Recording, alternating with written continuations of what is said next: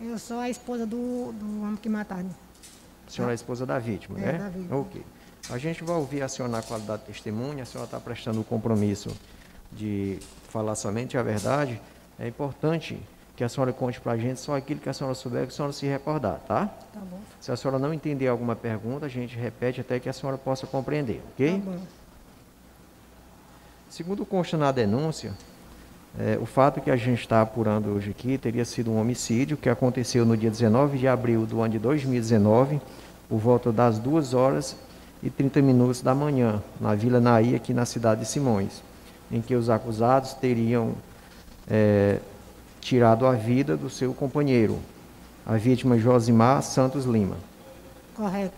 O que, que a senhora sabe nos dizer em relação a esse fato? É que naquele, naquela noite ele foi para Engazeira, mas o marido da Cléa. Aí quando ele voltou de madrugada, aí esse, a- o marido daí, ele chegou com o marido da Cléa e deixou na casa da Cléa. Que um desses cabos estava bebendo, as casas eram coladas à casa desses, da, das meninas lá, da Laiane e da, da Lauane. Aí deixou ele lá e voltou na minha casa, que era perto também. Aí ele foi, aí pediu uma, uma comida. Aí eu fui, botei um prato de comida para ele e mandei ele dormir numa casinha que nós tínhamos uma casinha alugada que eu dormia com ele na casinha lá. Mas como ele tinha saído de casa, eu estava com meus filhos nessa noite. Aí eu botei a comida para ele, ele saiu, foi para a casa dele. Aí depois, aí eu voltei para dentro de casa, fechei a porta. Aí eu só vi a discussão desde lá fora, com uma horinha pouco. Tava com ele, só vi a discussão lá. Aí eu só sabia que eles falavam o negócio de uma menina. Só que eu não sabia o que estava acontecendo com a menina. Quando a senhora fala discussão entre eles, era eles quem? Eu não sei porque eu não vi, que eu estava dentro de casa. Sim. Mas eu sei que era, que era meu, meu marido e, e os homens. Agora eu não sei quem era os homens, porque um que eu não conhecia e eu não vi eles. Mas eles estavam nessa casa vizinha lá.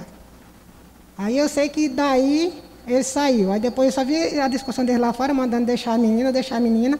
E eu via quando ele dizia bem assim, essa menina é filha de meu amigo. Eu acabei de deixar meu amigo ali na casa dele, ele está dormindo, ela é filha dele. A senhora dizia, a senhora está falando que ele dizia, ele dizia quem? Era seu marido, Era Josimar? meu marido, Josimar, que dizia. Hum. Aí eu sei que daí aí começou a discussão. Aí a menina sumiu, porque a mãe dela tinha saído e ela só atrás da mãe dela. Aí eu sei que quando ele, daí eles foi para a casinha dele lá com o pratinho de comer dele, eles foram atrás dele. Os três cabos foram atrás dele. Aí quando chegou lá, ele entrou para dentro de casa, aí meteram pedra na porta da casa dele. Sei que jogaram pedra lá, jogaram pedra lá, que, que eu sei que ele saiu, e daí ele saiu mais eles lá, foram para um escuro lá, e lá mataram ele. Aí eu fiquei só, de. só um instante. A senhora disse que ele saiu, saiu mais eles. Ele Eles- saiu só, ele na frente eles atrás. Ele quem? Ah, o seu esposo? Sim, meu esposo saiu na frente para a casinha lá que ele dormia. Josimar. Sim, Saiu sozinho. sozinho. Tá. E os meninos foram atrás dele. E os meninos quem? Esses meninos que mataram ele, que é o Adriano, que eu não conheço eles não. O Adriano e esses outros dois. A senhora chegou a ver os acusados lá no local? Não. A senhora não os viu lá? Não, eu só vi a discussão deles e, e ele jogando pedra na casinha dele. A senhora conhecia os acusados, algum deles anteriormente? Não. Eles eram da região? Eles moravam na Solidade.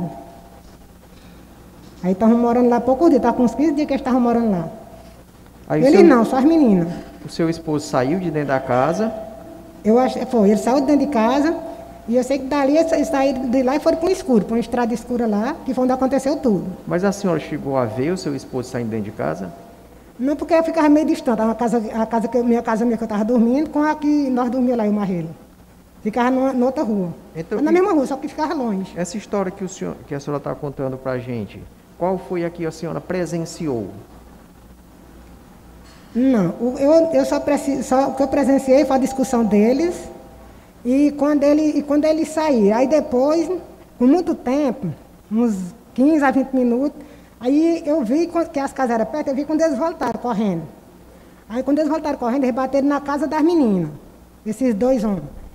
Aí bateram na casa delas, de- aí bateu na porta. Quando bateu, elas foram e entraram. Aí eu vi quando elas disseram bem assim, ei, mas vocês não mataram não, não? Aí eles foram e disseram, não, nós não matamos não, nós dimos só uma pisa nele. Foi o que eu ouvi. Então vamos, vamos tentar recapitular, porque a senhora tá, contou uma história para a gente e eu, eu acredito que todos perderam o nexo da história. Porque está sendo uma história no meio de outra. Vamos tentar compreender a ordem cronológica do, dos acontecimentos. A senhora disse, eu consegui compreender, até quando a senhora disse que o seu esposo, a vítima Josimar Santos, teria saído, mas a, o marido da, da Cleia, para Engazeira. Foi. A Cleia que a senhora diz, o nome dela é Cleonice? É, Cleonice. Cleonice é, é, seria a mãe da criança. Exatamente. Que supostamente os acusados teriam tentado fazer algum mal a ela. Seria Era. isso? É. Pronto. Aí o seu esposo teria voltado lá para o local de morada de vocês, teria ido para a casa da senhora e após ter comida, ele teria ido para outra casa. Era, só que ele não, ele levou a comida para a casinha que ele dormia. Só que ele não chegou a comer. Do jeitinho que ele chegou ali, ele colocou a comida dentro de casa. E daí parece que eles começaram a jogar pedra na casa, aí ele saiu para fora. Porque Tá. no outro dia estava comida lá Tá, do mesmo jeito. vamos, vamos não vamos saltar os fatos, não. Vamos seguir a ordem. Hum. Quando ele retornou, foi para sua casa, né? Não, daí ele foi assim, quando ele chegou da engazeira, ele deixou a menina na casa dela. A menina andava com eles? Não. Eles dois? É porque quando ele chegou, que ele botou, botou o marido da Cléia dentro, dentro de casa, deixa que a Cléia estava na rua, a mãe da menina. Aí ela só fez ver em casa, aí foi, e o marido estava tava lá deitado já, ela voltou para trás de novo, para outra rua. Aí no que ela saiu, a menina saiu atrás dela. Aí foi um, onde eles começaram a discussão, porque eu não sei se ele estava mandando a mãe ir para casa, que foi quando ele, que eu sei que eu vi a discussão dele, mas dessa menina. E ele dizia, "De- ela, é ela é filha do meu amigo, eu acabei de deixar meu amigo aí. E eles começaram tudo mal dessa menina. Aí daí foi quando ele foi para a casinha lá, que nós, que nós que eu mais ele dormia. De lá quando eles jogaram pedra na casa de lá, que depois de lá eles saíram. Tá. Então a senhora ouviu uma discussão entre ouvi. o seu marido Ouvi. e os três acusados. Eram, três, eram umas pessoas. A senhora, a senhora sabe se essas pessoas são os acusados do processo?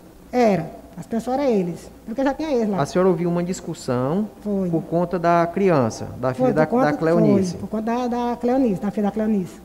E o seu, o seu marido dizia que não era para eles mexerem com a criança porque ele É. era parente dela. Era, era filho do amigo dele, ele tinha acabado de deixar o amigo dele lá dormindo na casinha. Isso a senhora ouviu a discussão? Foi, eu ouvi. A senhora, a senhora chegou a sair fora da casa para ver? Não, A senhora só ouviu, né? só ouvi. Tá, e daí? O que foi que aconteceu? Aí daí foi quando eles saíram, né? Depois da discussão, a menina, não sei se ela rodou para outra rua, voltou para casa. Que aí foi quando ele saiu, ele saiu, ele saiu para a casinha dele na frente e ele saiu atrás. Os meninos saíram atrás. Mas a senhora não viu isso? Vi não. Aí eu ouvi, quando eu andava, não dizia bem assim, ah, Daniel, Daniel, acorda, Daniel, vai atrás do teu irmão que ele está com a faca. Daniel, que a senhora fala, é possivelmente seja o Carlos É um Daniel. dos acusados. É, eu acho que é isso aí. É. Uma irmã dele. Foi. Não, uma das meninas. Elas estavam as duas na casa, era a Lawana e a Luana. Sim. Pode continuar. Aí ele foi, aí elas foram e saíram. Aí eu, eu sei que esse menino, eles levantaram e saíram os, os do- os três, né? Atrás dele, que foi quando eles jogaram pedra na casa dele, lá do, do, do, do finado. Aí de lá foi quando eles saíram de lá que, que eles levaram lá para onde ele foram e onde ele morreu. Tá. Mas a senhora viu. A senhora viu o seu Josimar entrando nessa casa? Na casinha lá de que ele dormia. Sim. É porque fica distante, mas ele entrou lá, na casinha lá. Não, estou só perguntando se a senhora chegou a ver. Não, né, vi não, não cheguei a ver não. A senhora chegou a ver os acusados jogando pedra na casa? Cheguei a ouvir, eles jogaram pedra lá, nós vimos no outro dia, assim, porque quando eles voltaram correndo, que nós fomos lá, No mesmo dia. A senhora na chegou... mesma noite. Na mesma noite. A senhora chegou a ver os acusados jogando pedra na casa do seu Josimar? Nós vimos, cada casa de nós nós vimos. Um Do- deles estava jogando pedra lá na outra casa dele, que ficava tudo na rua só. Então a senhora saiu fora da casa no Saindo, depois momento. que eles saíram na, na- depois que eles saíram lá na discussão, que, eles- que ele saiu na frente, que eles saíram atrás, nós saímos para fora, ficamos morrendo lá da, da porta lá de casa. A senhora viu a- a- os acusados sair atrás do, do Josimar quando Viu ele saiu para vimos, já ia casa? longe, já ia chegando lá na casa dele. Então a senhora viu quando o seu Josimar saiu na direção da casa e os Foi, acusados saíram os atrás acusados- dele. Foi, os acusados saíram atrás. A senhora viu também quando o seu Josimar entrou na casa e os acusados ficaram jogando pedra. Continuaram jogando pedra. Na hora que Tá. eles saíram jogando pedra. A senhora viu quando o, o seu Josimar saiu depois da casa? Da casa dele? Vimos, quando ele saiu, entrou na rua, na rua, na rua que fica na esquina. E a senhora viu quando os acusados saíram mais uma vez atrás dele? Saíram atrás dele. Aí de lá foi onde eles desapareceram. Aí eu só vi quando eles retornaram. Quando eles voltaram correndo, dizendo que, batendo na porta da casa das meninas, que era para eles abrir. Aí eles foram abrir a porta. Quando eles abriram a porta, eles entraram. A primeira coisa que eles procuraram, vocês não mataram ele, não? Quem eram essas meninas? A Luana e a Lauana. que o Daniel Marroto voltou para casa delas. Hum. Aí a senhora ouviu elas perguntando? Ouvi, elas procurando. Elas perguntavam, perguntaram o quê? Diz assim, Ei, mas vocês não mataram ele não, não? Eles foram e disseram, não, nós só demos uma pisa nele.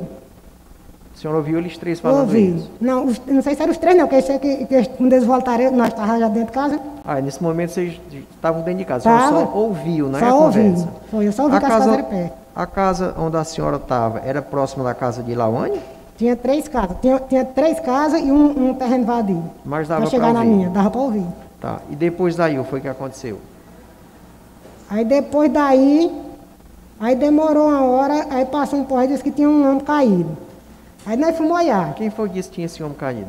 Foi um, pa- passou na estrada que era de madrugada, foi uma pessoa que passou. Aí era tarde, nós fomos olhar. Porque nós tínhamos visto quando ele saía, nós assim, só Hum. pode ser ele. Essa pessoa chegou e lhe contou essa história? Tinha um homem caído? Aí nós fomos, não, chegou, passou e disse bem assim que tinha, um homem, tinha tido uma briga, tinha um homem caído acolá. Aí nós fomos olhar. Nós vimos o rumo que eles tinham saído, nós fomos atrás no rumo.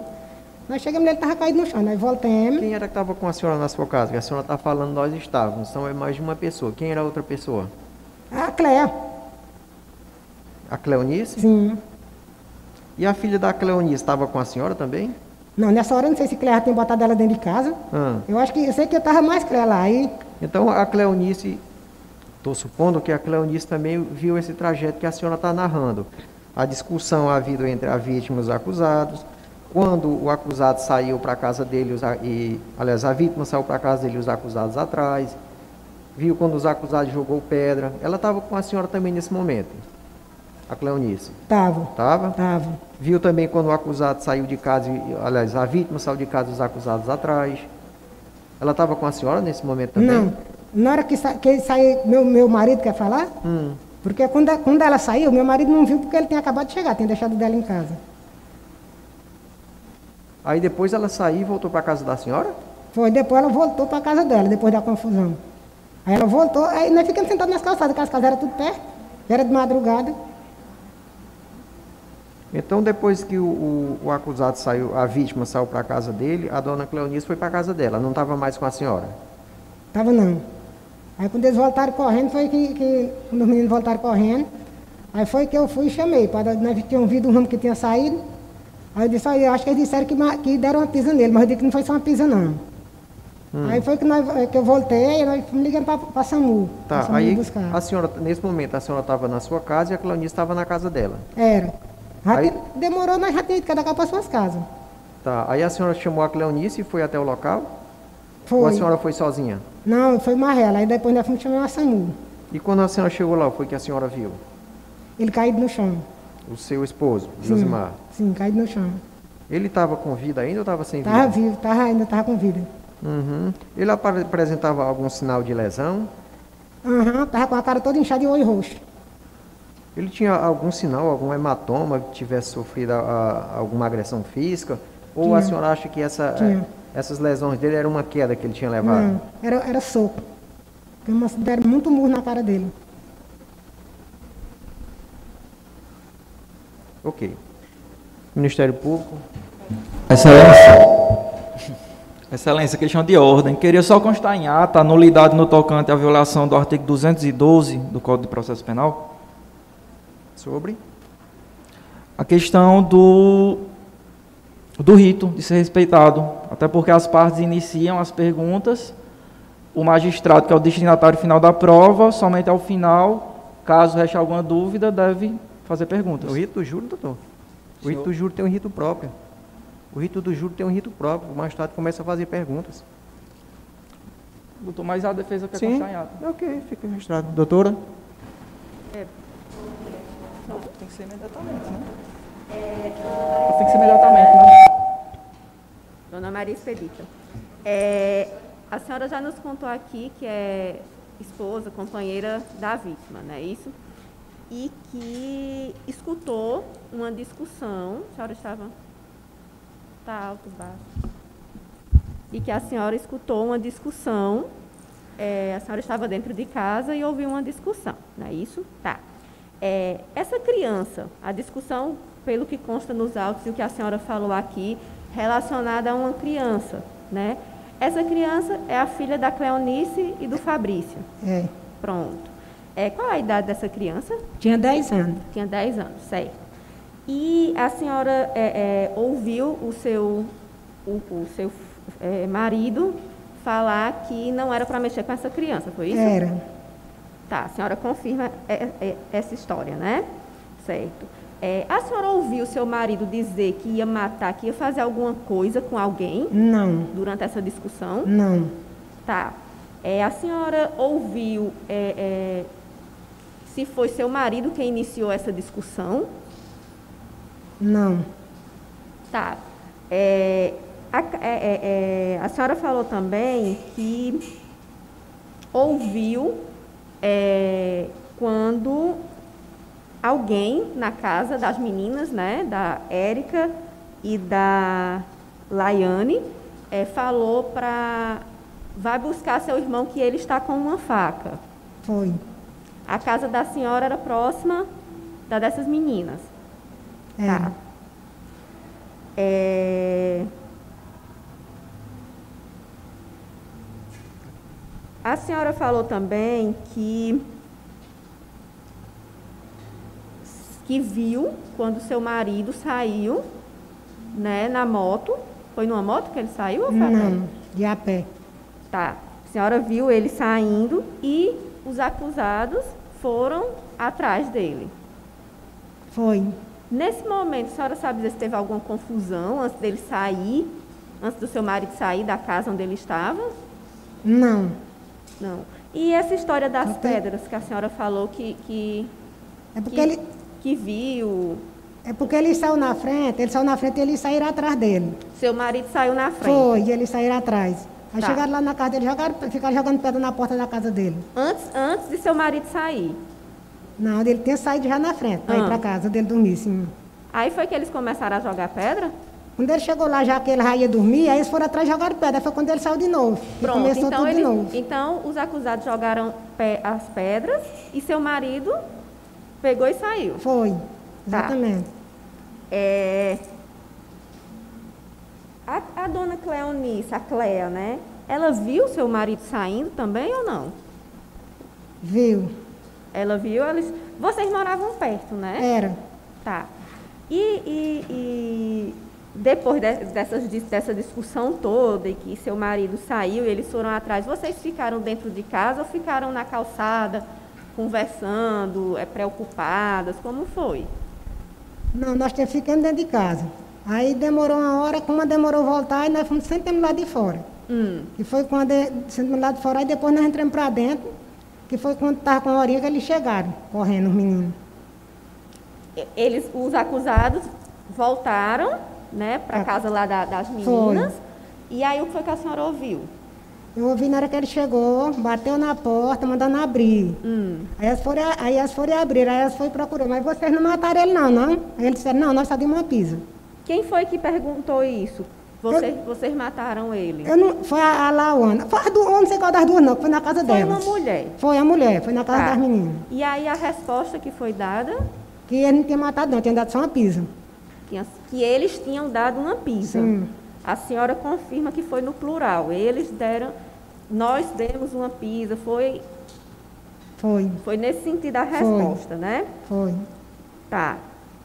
É, e aí a senhora é, teve a notícia é, que tinha um corpo, tinha uma pessoa caída na estrada e foi até lá, né? Quando a senhora chegou lá, o doutor perguntou, né? Como foi que a senhora encontrou seu marido? Se ele estava muito machucado, enfim. Foi. Assim, eu gostaria que a senhora repetisse aqui pra gente como foi que a senhora encontrou ele. Foi. Aí quando nós chegamos lá. Não, nós chegamos ele estava só lá no chão. Aí nós voltamos para trás, aí chamamos a SAMU. Aí quando o cabo, do- quando a SAMU foi, nós acompanhamos. Aí nós fomos, chegamos lá e nós vimos. Quando os cabos levantaram ele, aí ele estava com a cara toda roxa, um olho inchado. Era cara, era o aspecto de quem tinha caído da moto. Não. E era o aspecto de quê? De quem tinha sido Não tinha sido espancado. espancado, né? Era. É, a senhora tem ideia de com o que que ele foi espancado? Com um cacete, que tinha o pau lá no chão. Um pau era um pau, um pau assim, ó. Era. Era. Com aquelas estacas que tem nas, Sim. nas roças. Era. Certo. E aí vocês levaram ele para o hospital. Foi. Ele, ele ainda estava com vida, né? Que a senhora falou. Tava. Chegou no hospital falando ainda. Ele morreu no hospital aqui de Simões? Não, foi em Floriano. Ah, foi para Floriano, né? Foi. Em decorrência da gravidade, creio Foi. eu. Certo. E é, ele estava muito machucado no rosto, né? Tava. Era só no rosto machucado ou a senhora percebeu em outro lugar? Mulher, eu acho que ele era só no rosto e na cabeça, mas eu acho que ele estava machucado em algum outro canto. Porque quando chegava no hospital, que o povo pegava assim nos braços dele, ele, ele gritava, ai, ai, quando pegava ele para deitar ele na cama. Entendi. Aí eu acho que não só era na cabeça, mas como eu estava vestido, só deu de ver da cabeça. Certo. É, seu marido, ele era metido em confusão? Costumava Não, discutir com as eu saiba pessoas? não. Certo. O local onde o, o, o, o seu marido foi encontrado era próximo lá da casa de vocês? Era meio distante.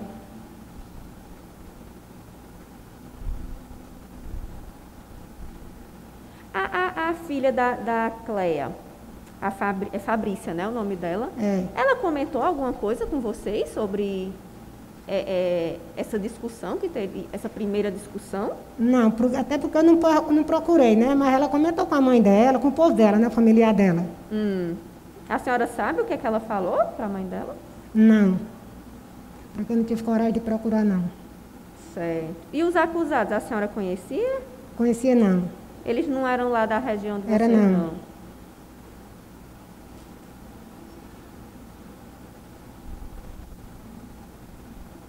Satisfeita, doutor?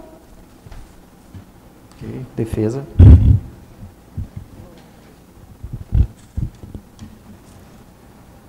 Bom dia. Bom dia, dia. senhora Maria Expedita. Bom dia. A gente vai lhe fazer algumas perguntas, só para a gente entender direitinho o que foi que aconteceu, tá bom? Tá. O que a senhora era do senhor Josimar? A esposa. Vocês moravam na mesma casa? Morava, só fazia dormir em casa separada. Porque a casa, minha casa mesmo só tinha um quarto. Nós era quatro. Eu tenho três filhos e, e tinha marreiro. Aí como eu não tinha quarto para dormir com ele, aí eu deixava meus meninos na casa e dormia em outra casinha alugada. Certo. A senhora mora há muito tempo lá? Morava. Tá com seis meses, um ano que nós morávamos mais ou menos lá. A rua lá era iluminada? É. Qual a distância entre a sua casa, no caso a casa que a senhora disse que tinha um quarto, né, e a casa do senhor Josimar? Eu não sei que distância posso medir, mas vou dizer assim o quê? Uns Quantas casas mais ou menos entre um e outra? muitas casas, uma rua que nós atravessávamos a rua todo dinheiro ficava numa esquina da outra rua. Então era longe, né? não era tão longe. perto Não não. era bem perto não. Certo. Mas como é daquela na Praça do Abril? Na rua tinha muita árvore, é uma rua muito aberta. Não. Tem Tinha uma árvores? rua de casa assim e assim era mata. Certo. Mas assim, nas, cal- Não, nas tudo- calçadas tinham árvores ou não? Tinha. Tá de pau. Certo. No dia do ocorrido, né, é, que o senhor Josimar chegou na sua casa, ele tinha ingerido bebida alcoólica, ele tinha bebido? Tinha. Tinha? Tinha. Certo. Onde a senhora estava na hora que ele chegou, exatamente? Eu estava na minha casa com meus filhos. Bom dia, dona Expedita, tudo bem? Bom dia, tudo. A senhora está bem? Tô. Então, é, onde é que a senhora estava quando ele chegou? A senhora disse que foi na sua casa, den- dentro da sua casa, é isso ou na calçada? Estava dentro de casa. Dentro de casa. Era, e aí ele bateu e entrou. Eu estava dormindo. Sim. Aí ele chegou, bateu na porta, pediu comida, eu fui e botei a comida e dei para ele, para ele para a casinha que eu dormia mais ele, para ele dormir em casa. Tá, aí ele saiu. Foi, aí ele saiu. Pronto. Depois que ele saiu, a senhora permaneceu dentro de casa ou a senhora saiu também? Não, permaneci dentro de casa. Ficou dentro de casa, foi. tá bem. E aí, Cleonice saiu de casa depois disso. Depois que seu marido saiu, Cleonice saiu para ir levar o remédio, foi isso? Foi, ela saiu para outra rua. Saiu e como foi que a senhora viu? Se a senhora acabou de me dizer que estava dentro de casa. Não, ela, mas ela levou o remédio, não foi para mim não. Hã? Mas não foi para mim que ela levou o remédio não. Não, eu sei. A senhora me disse agora, eu perguntei à senhora, a Cleonice saiu de casa logo após a senhora ter saído. A Cleonice saiu e a senhora me disse, saiu. Só que a senhora anteriormente tinha me dito que a senhora estava dentro de casa. Como a, a senhora viu Cleonice saindo? Foi bem assim, na hora que meu marido chegou com dela, deixou ele na casa dele. Sim. Como as casas eram próximas, aí ele deixou lá e voltou na minha casa. Sim. Comeu. Aí foi e me pediu um pratinho de comida. Aí eu abri a porta e dei a comida para ele, que ele saiu saindo. A Cleonice saiu saindo. Quando a senhora abriu a porta para ele, Sim, foi a Cleonice saiu na mesma hora. Foi. Aí quando eu fui abrir a porta, que eu fui dar comida ele, eu vi na hora que ela saiu voltando para outra rua. Então, Cleonice e seu, e seu Josmar passaram no mesmo momento. Cleonice foi para lá e ele foi, foi, para cá. quase no foi mesmo isso? momento. Quase no mesmo Foi, momento. porque foi o tempo que eu- que eu voltei, botei a comida para ele, quando eu voltei ela já ia passando. Para onde Cleonice foi? A Para outra rua. Para outra rua? Foi. A casa da vizinha que estava passando mal era na outra Era rua? na outra rua. Não era na mesma rua de vocês, não. Era não. Tá bom. É, logo em seguida, a senhora viu a filha dela indo atrás? Vi não. Foi quando eu só vi que dizer que a- só vi a discussão mó dela. Aí eu fiquei sabendo que era mó, eu Não. vi que a confusão, a discussão era mó da menina. Ela foi disso, eu vou eu ia atrás da mãe dela. Tá bom, só um minuto, dona Expedita, só para ficar claro. A senhora viu a menina saindo ou a senhora não viu? Não, eu vi a discussão deles com a, Não, menina. eu estou perguntando. Vi não, vi não. Porque assim, aqui, a senhora na condição de testemunha, a senhora tem que falar sobre o que a senhora viu. Pois é, pois eu não vi não. A senhora não vi. viu a menina saindo. Não, só ouvi a discussão. No seu depoimento, em juízo, lá quando a senhora teve com o juiz, com a promotora, que eles perguntaram isso, a senhora disse que viu a menina saindo logo em seguida atrás da, da mãe. A senhora viu ou a senhora não viu? Eu ouvi a discussão só, Não. eu não vi ela saindo. Então a senhora não viu a não, menina eu não vi ela saindo. atrás. saindo, mas a senhora viu quando seu Josmar saiu? A senhora viu quando seu Josmar saiu e viu quando Cleonice foi, foi em lado oposto. Foi. Cleonice foi para outra rua. Foi. Certo? Tudo bem. É, foi nesse momento que a criança foi abordada pelos acusados. Na hora que a Cleonice saiu, as crianças saíram atrás e ela foi abordada pelos acusados agora, nesse momento. Que eles foram quê? Na hora, na hora que a Cleonice saiu e a criança saiu atrás. Foi nesse momento que ela foi abordada pelos acusados, Foi, foi nesse momento aí que começou a discussão deles. certo? A senhora viu esse momento dos vi. acusados abordando a criança? Não, a criança não estava dormindo. Mas a senhora, em juízo, falou que viu a criança saindo e viu a criança sendo abordada. A senhora viu ou a senhora não viu? Eu só ouvi a discussão deles, moda da menina. Depois que tinha acontecido. Então a Não, senhora não depois- viu. não. A senhora não viu a criança sendo abordada? Depois da A discussão senhora, deles, não. a senhora ouviu o momento que seu marido falou. É, Doutora, só um instante. Eu peço à senhora que seja objetiva nas perguntas.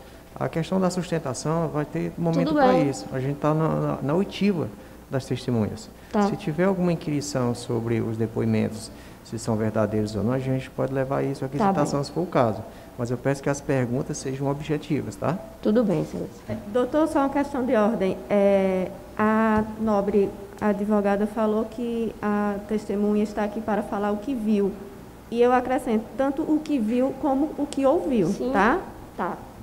Certo. O que a senhora viu e o que a senhora ouviu no momento do fato. Não o que a senhora ouviu falar depois. Não, é isso, doutora? Não é isso, excelência? Não é isso? Ela tem que falar o que ela ouviu e o que ela viu. Ela tem que falar a verdade. Certo. Isso. É... Certo. Depois desse momento, é, a senhora viu para que lado as pessoas foram? A senhora, ou a senhora estava dentro de casa já? Não viu mais nada?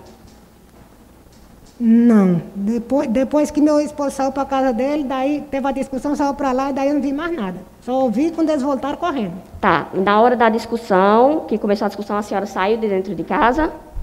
Ou ficou lá dentro? Não, fiquei dentro de casa. Só ouvindo? Foi. Aí não viu, não viu momento Não, nenhum da não. discussão. E qual foi o momento que a senhora saiu de dentro de casa? Depois que ele tinha saído para casa dele, que eles saíram atrás, quando a menina gritou, Daniel, atrás de atrás de teu irmão, Daniel, que ele está com a faca. Mas esse momento aí é, já é quando tudo aconteceu logo na- depois na estrada, não é mais no Não. momento da briga ali na rua, não é isso? Aí era no começo que ele já ia para casa mesmo. E a discussão foi de frente à casa de nós tudo, né? Porque as casas eram tudo pertinho. Só para ficar claro, depois que a senhora entregou a comida, a senhora viu Cleonice passando, o seu, o seu esposo indo para o outro lado, a senhora entrou, não saiu mais, só saiu novamente depois que ouviu um acusado voltando e dizendo que tinham acertado ele na estrada. Foi isso? Foi. Todo momento a senhora ficou dentro de casa, Foi. só ouvindo. Só ouvi. Tudo bem. A senhora é, afirmou, inclusive nesse instante, quando foi visitada pelo, pela excelência, que no momento da confusão estavam os três acusados. Estavam três acusados no momento da confusão ou só estavam dois? Eu vi a discussão deles. Eu não vi, nem, eu não vi se era três, nem quantos eram. Só vi a discussão deles. Mas a Eu senhora... só, o que eu sei é que saíram três atrás dele. Certo. Não, porque a senhora falou neste instante, na sua fala inicial, que a irmã de um, tinha, ou, a, ou a esposa, tinha ido chamar um deles, né? Como é que aconteceu isso? Eles estavam os três juntos, só estavam dois e depois foi chamado um terceiro. É porque ele estava na casa das meninas. Esses homens estavam lá. Sim. Aí de- depois da discussão, eu sei que meu esposo saiu na frente e saiu um, um atrás. Ou dois, que eu não sei quantos eram, que eu estava dentro da minha casa. Eu só vi, aí eu só vi quando, a outra, quando uma das meninas gritou para o irmão ir atrás do outro pegar a faca do irmão, que estava com a faca. Foi o que eu ouvi. Aí ver mesmo, ver, não vi nada não, quando saí para fora. A senhora foi sozinha ou a senhora foi acompanhada da senhora Cleonice no momento da. Eu e a Cléa. As duas. Cleonice. Quem chamou o SAMU? Eu. Quando vocês o encontraram, vocês tentaram ajudá-lo? Não, porque a gente não pode tocar. Aí Então a senhora afirma aqui nesse momento Vou tempo atrás que vocês não tocaram no não, corpo. Não. Ok. Só o cabo da SAMU. Certo. Quando nós fomos, ele estava estiradinho no chão. Só que quando nós voltamos com a SAMU, ele já estava sentado. Ah, então ele assim. tava, ele sentou sozinho. Sentou sozinho. Certo. É, a senhora disse inicialmente também que tinha a impressão que ele tinha recebido vários socos, né? Depois, quando a doutora promotora lhe perguntou, a senhora já falou que parecia que tinha sido um pau. Não. Ou foi soco ou Só foi um pau? dois. Foi soco e pau, os dois. Como é que a senhora consegue identificar isso? Qual a diferença da lesão causada por um soco ou por um pau? Porque o olho dele estava inchado e roxo. O olho dele estava vermelho. Certo? Então a senhora olhou lá e disse: aqui deve ter sido soco e pau, foi? A senhora acha, na verdade, que foi isso que aconteceu. Porque assim, qual a técnica que a senhora pode dizer para dizer para a gente que foi soco e pau? Né? Que foram os dois elementos. Porque nós bate, batemos um raio-x da cabeça dele, aí tinha três faturas na cabeça dele, fora do olho. Hum. No tipo que tivesse três rachaduras que não tinha uh, batido. Certo? Só para finalizar, tinha sangue? Ele estava ensanguentado? Não, só um pouquinho de sangue no chão. Não tinha Tinha sangue. não, só um pouquinho. Tá bom então. Satisfeito. Bom dia, dona Expedita. Bom dia. Tudo bem com a senhora? Dona Tudo. Expedita, como é que a moto tava? Caído. Tava estragada? Como é que... Não. Tava intacta, como se nada tivesse Sim. acontecido com a Como se moto. nada tivesse acontecido. Certo, ok. Satisfeita, excelência. De nada. Senhores jurados, tem alguma pergunta? Ok. Eu posso dispensar a testemunha, doutora Talita, defesa. Por mim, sim, doutor. Doutora Talita. Por mim, sim. Ok, prontinho. Muito obrigado por a senhora ter vindo. A senhora está dispensada, tá? Obrigada. Deixa só. Não, fica dispensado, não tem necessidade não. Está registrado. Prontinho, está dispensada. Obrigado.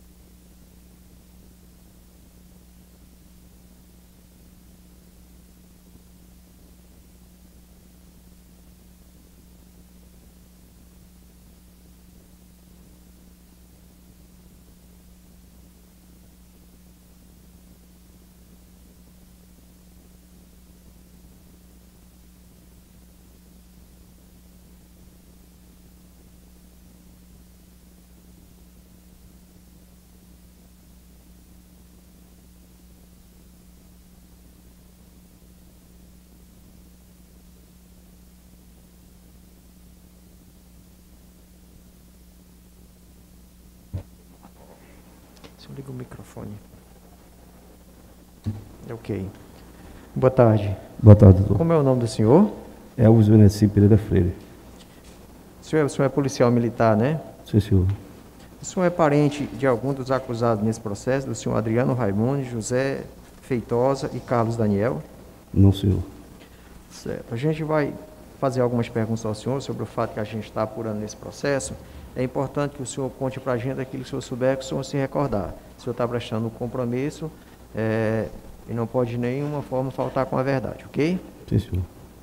Segundo consta no processo, esse fato aconteceu no dia 19 de abril do ano de 2019, por volta das 2 horas e 30 da manhã, aqui na Vila Naí, em Simões, em que os três acusados teriam matado a vítima Josimar Santos Lima. O senhor recorda alguma coisa desse fato? Recordo, sim. O senhor pode contar para a gente?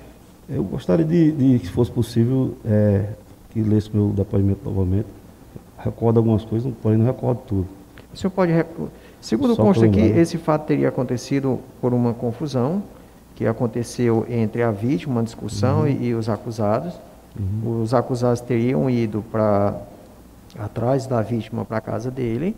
Uhum. Em seguida, teriam ateado pedra na casa da vítima. A vítima depois teria saído de casa e os acusados atrás dele. E, segundo é relatado na inicial, os acusados depois teriam encontrado a vítima e teriam matado ele no caminho. A, a esposa da vítima e uma vizinha teriam ido até o local, teriam encontrado o corpo da vítima e aí teriam acionado a polícia. A polícia teria comparecido ao local e teria verificado, juntamente com o pessoal do SAMU, foi, levou ele para o hospital e ele acabou falecendo posteriormente no hospital. Foram feita a apreensão de alguns objetos e feita a, a perícia. É o fato que consta na inicial. Pronto. É, acredito que de manhã, na parte da manhã, é, a gente foi, é, através de rondas mesmo, passando próximo ali ao hospital, é, um uma familiar do- da vítima acionou a polícia de que teria alguém da família dela é, bastante ferido. né? A gente falou, entrou em contato com o pessoal do hospital para saber a gravidade do, dos ferimentos. Fomos informados, acredito que pelo diretor do hospital, que a situação do, do rapaz era grave.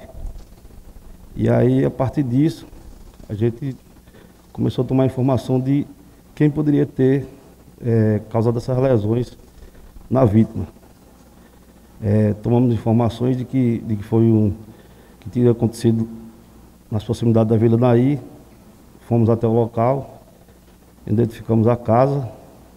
Lá eh, começamos a falar com os populares e chegamos às informações que davam conta desses três, dessas três pessoas. Me recordo bem o nome de Adriano. E tem mais dois que eu não recordo agora, acho Daniel. E a partir daí, a gente localizou o Adriano primeiro e posteriormente os outros dois acusados. O senhor estava na diligência, então, quando encontrou os acusados. Sim, senhor. O senhor lembra, o senhor chegou aí ao local onde aconteceu o fato? Fomos sim. O senhor recorda de como estava o local? Se tinha marcas de sangue no local? Se foi encontrado e foi apreendido algum objeto? Tinha marca de sangue, era uma estrada de terra, ali às proximidades da Vila Naí, mais ou menos uns 100, 150 metros do local da que eles teriam discutido.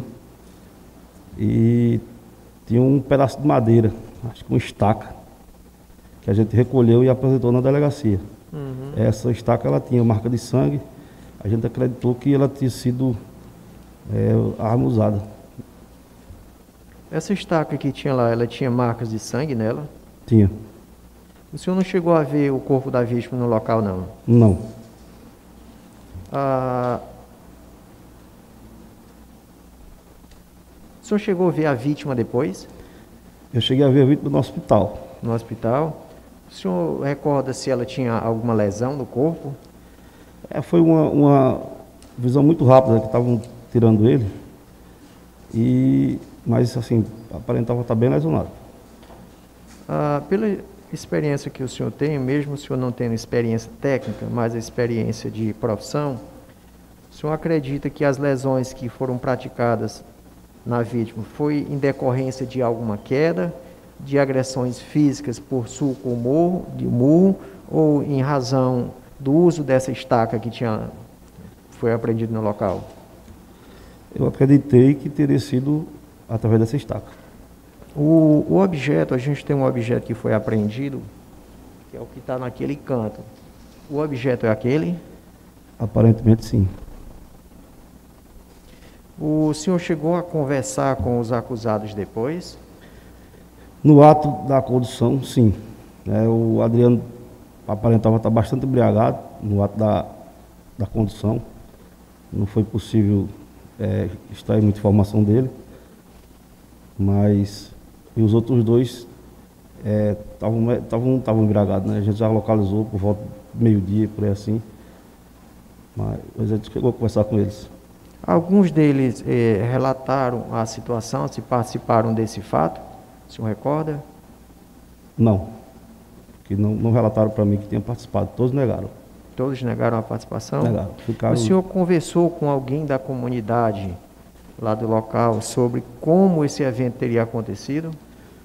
Conversamos com algumas pessoas, é, conduzimos acho que duas moças que relataram para a gente que teria tido a discussão e que eles teriam, esses três, teriam ido em direção ao local que a vítima se encontrava, né? A, o local da agressão. É, conversamos com duas moças, foram elas que relataram para a gente que é, teria havido essa discussão e que a vítima saiu para um determinado local e esses três rapazes foram até o local onde, eles, onde a vítima foi encontrada. Uhum. O senhor recorda se, se em conversa com alguém, por que, que essa discussão teria iniciado? As, informações que chegaram para a gente é que teria, é, a vítima teria tentado defender uma criança de um, um suposto, suposto assédio. Seria, então, a discussão teria se dado em, é, em razão de uma criança, então? Isso. E teve algum fato que o que foi que ligou essa criança a esse fato mesmo?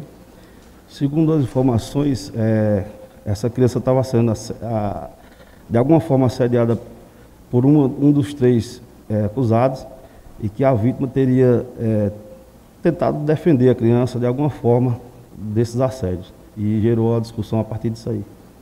Uhum. O senhor recorda o nome das pessoas com quem o senhor conversou? Não. É, conduzimos duas moças, mas eu não, não recordo de cabeça. Ok. É, Ministério Público. Bom dia. Bom dia, doutora. É, Elvis, né? Isso. Elvis, é, o senhor nos relatou aqui que participou da diligência, né? Sim, senhora. E tomou contato por conta que estava passando no hospital e um, um familiar da vítima é, falou com o senhor não foi isso? Isso. Pronto. E aí o senhor foi até o local? Isso. Tá. É, chegando no local, o senhor viu, é, é, é, além do sangue que o senhor disse, né? O senhor viu a moto da vítima? Não, não me recordo. O senhor não recorda ter visto a moto? Não. E a vítima, o senhor chegou a ver ela no hospital? Sim, vi. Como é que ela estava? Estava muito machucada? Bem machucada. Onde eram esses machucados? A cabeça. A cabeça. É, e o senhor afirmou aqui para o doutor que, de acordo com sua experiência, né, porque aqui ninguém aqui é médico uhum. para ter a, a, a, expertise de dizer qual, de fato, né, o, o instrumento, digamos assim, para reconhecer. Mas a gente vai aqui pela prática do dia a dia, né? Uhum. E o senhor, como policial, o senhor tem essa prática, assim como outras pessoas aqui também. É, o senhor afirmou que é, foi dessa estaca. Acredito que sim. Certo. Uma estaca dessa pesada, né? Bem pesada. Para é, é, ser retirada, né, do, do, é como se fosse um cercadinho, né, que cercado não, cerca, né? Isso. Para ser retirada é, é, exige um esforço, né? Isso. Do, da terra né, vamos dizer assim, da terra, e para ela ser lançada também. Uhum. Certo. É, a moto, o senhor não teve contato com a moto? Não me recordo. Tá. É, e aí o senhor falou, né, que nas suas diligências o senhor conversou com duas mulheres, Isso. foi? E elas disseram que teve essa discussão porque a vítima foi defender uma criança que estaria ou teria sido assediada por um ou dois dos acusados. Correto. O senhor eh, lembra se o nome dessas meninas eram Érica, Érica Luana ou Érica Lauana e, e Laiane? Luana me, me parece um nome. Luana e Laiane. Luana, isso, Tá, então elas falaram isso para o senhor. isso. Tá. É, e o, o- os acusados, o senhor falou que eles, o Adriano estava embriagado, não falou nada quando o Isso. senhor o prendeu. Isso. E os outros dois, eles negaram ou ficaram é, jogando um para o outro? Os dois outros que a gente de- é, aprendeu acusaram o Adriano. O, o Carlos Daniel e o, o José Filho. Isso. Eles disseram que foi o Adriano quem, Para nós da Polícia Militar, eles- quem teria que teria praticado. tacado a a estaca. estaca. Tá. E eles ficaram fazendo o quê? Ficaram só olhando, foi? É, a gente tentou ver de alguma forma qual seria a participação deles, mas Não, inter- não interviram na conduta do Adriano. justamente. Tá. A moto, o senhor disse que não, não teve contato, né? Sei. É, pela experiência do senhor, o senhor acha que o, o- a vítima ela ficou com aqueles machucados por algum é, acidente de trânsito, por ter caído da moto? Eu não cheguei a ver a vítima no local. é, Não, mas... mas o senhor não viu ela no hospital? Fui. Pronto, aqueles machucados dela. É, São machucados de quem sofreu um acidente de trânsito, quem caiu de uma moto? não me pareceu. Não não, não me pareceu. Não pareceu. Não. É mais é, é parecido com quem foi atacado por um instrumento desse tipo, Justamente. né? Certo. É, o senhor teve contato com, com alguém, com a mãe ou com o pai da, da criança? Dessa Não, criança que teria, dessa situação toda que foi envolvida? não que eu me recorde. Não recorda, né? Tá. Satisfeita, doutor? Defesa. Bom dia, senhor Elvis. Bom dia. A gente só vai te fazer umas perguntas, tá? Para a gente finalizar, esclarecer o que aconteceu. Tá ok. Na verdade, então, a polícia só teve contato, só soube da situação no outro dia pela manhã, né? Possível. Então, a polícia não esteve no local, não viu o corpo no chão, Não. nada disso, certo? O senhor disse que foi muito rápido, né? O que viu a vítima no hospital. Isso. Foi muito rápido.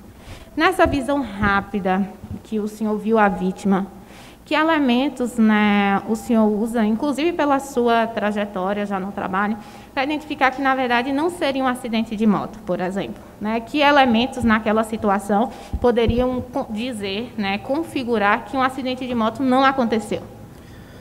Pela situação em geral, como falei, não sou técnico na área, o Uhum. que induziu a ter esse pensamento foi eh, as denúncias de que teria narrativa. havido agressão e chegado ao local do acontecido, ter encontrado um pedaço de madeira e me levou a crer que teria sido essa madeira tem causado ferimento. Entendi, perfeito.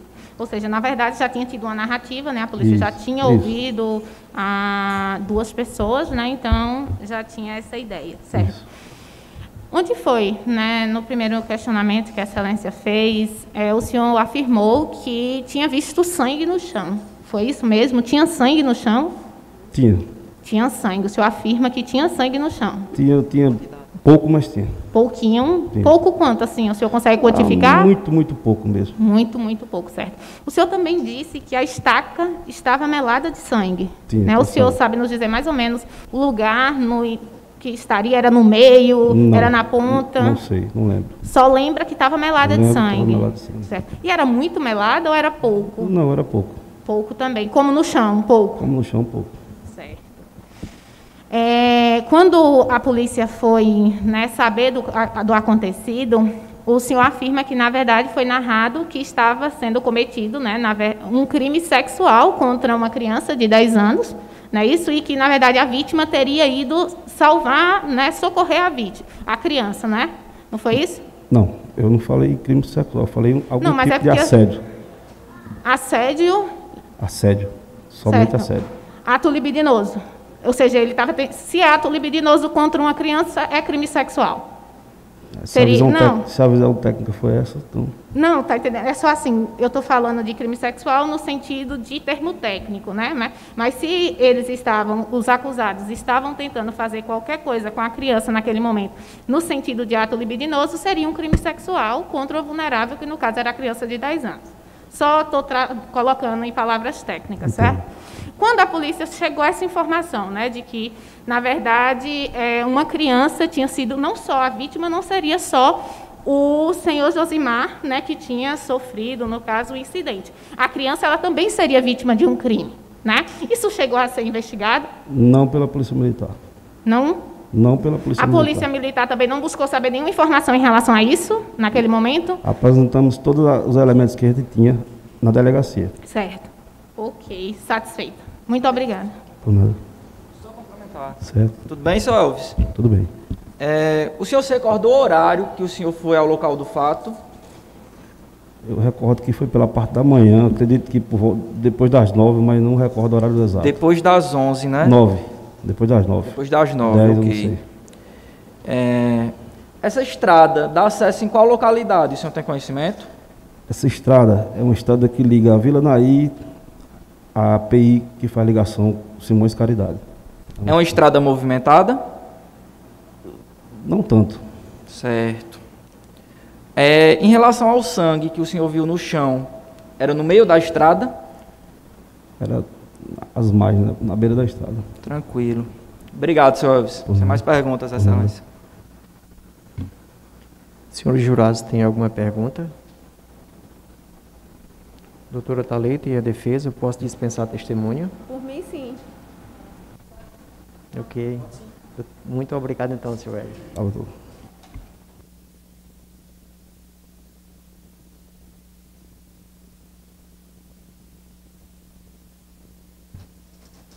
Algum dos colegas jurados querem ir ao banheiro?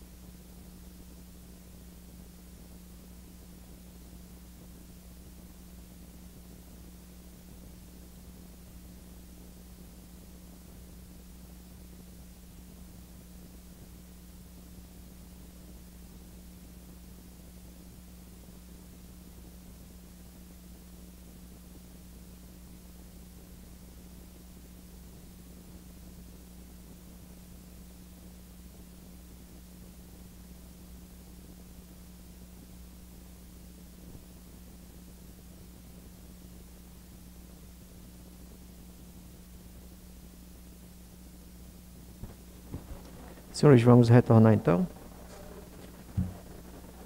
Bom dia. A senhora pode se aproximar um pouquinho. Isso. Ligue o microfone da senhora embaixo. Prontinho. Como é o nome da senhora? Cleonice Guilhermina dos Reis Santos. A senhora chega um pouquinho mais próximo do microfone. Isso. É Cleonice. Guilhermina dos Reis Santos.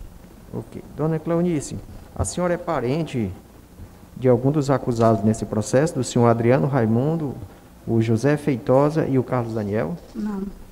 Ok. A gente vai fazer algumas perguntas à senhora sobre o fato que a gente está apurando nesse processo.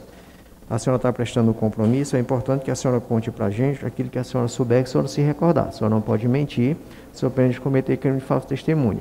Se a senhora não compreender alguma pergunta, a gente repete até que a senhora compreenda, ok? Ok. Segundo consta na denúncia, esse fato teria acontecido no dia 19 de abril do ano de 2019, por volta das 2h30 horas da manhã, na Vila Naí, aqui na cidade de Simões. Segundo consta, ah, teria havido uma prévia discussão entre a vítima, o senhor Josimar Santos Lima, por conta de uma criança que seria filha da senhora, a Fabrícia, e a partir daí a vítima teria ido para casa de uma discussão e os acusados teriam ido atrás dele. Após, teriam jogado pedra na casa e após algum tempo a vítima teria saído de casa e os acusados teriam ido atrás dele. Quando durante um tempo depois a vítima foi encontrada morta. O que, que a senhora sabe e recorda sobre esse fato? Tente contar para a gente. Eu lembro que eu cheguei do serviço de sete para oito, não, sete para oito horas da noite. E ele estava lá bebendo, vizinho à minha casa.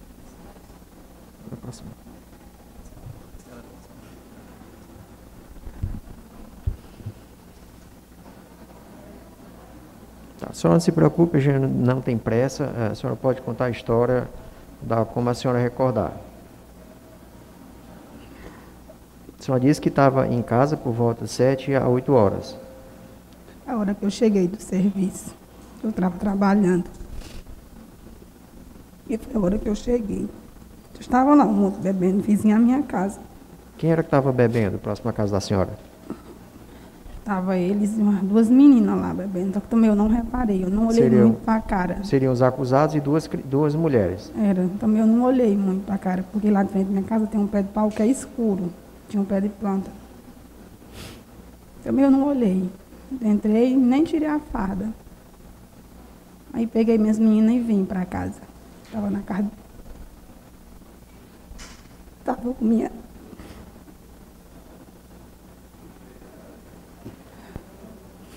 Com minha mãe. A gente ficou em casa. Depois ele chegou. Jorge chegou mais ou mais. Meu ex-marido. Quem foi que chegou?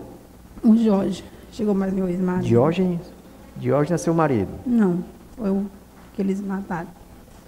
Todos que eles mataram. Ah, o marido Josimar. era o outro. É, aqui Tá. a gente chamava ele. Josimar chegou, mas meu ex-marido, Como era o nome do, do ex-marido da senhora? Fabrício. Hum? Fabrício. Fabrício? Tá. Então, o Fabrício, logo que a senhora chegou do trabalho, o Fabrício chegou juntamente com a vítima Josimar. Foi sim. Chegaram. E, ok. E nessa época, nesse período também, o Adriano, o José e o Carlos estavam bebendo próximo à casa da senhora, juntamente com duas mulheres. Certo. As duas meninas.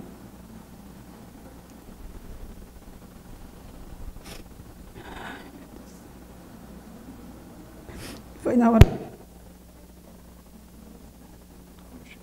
Acho que desligou o som da senhora. Tente conectar novamente.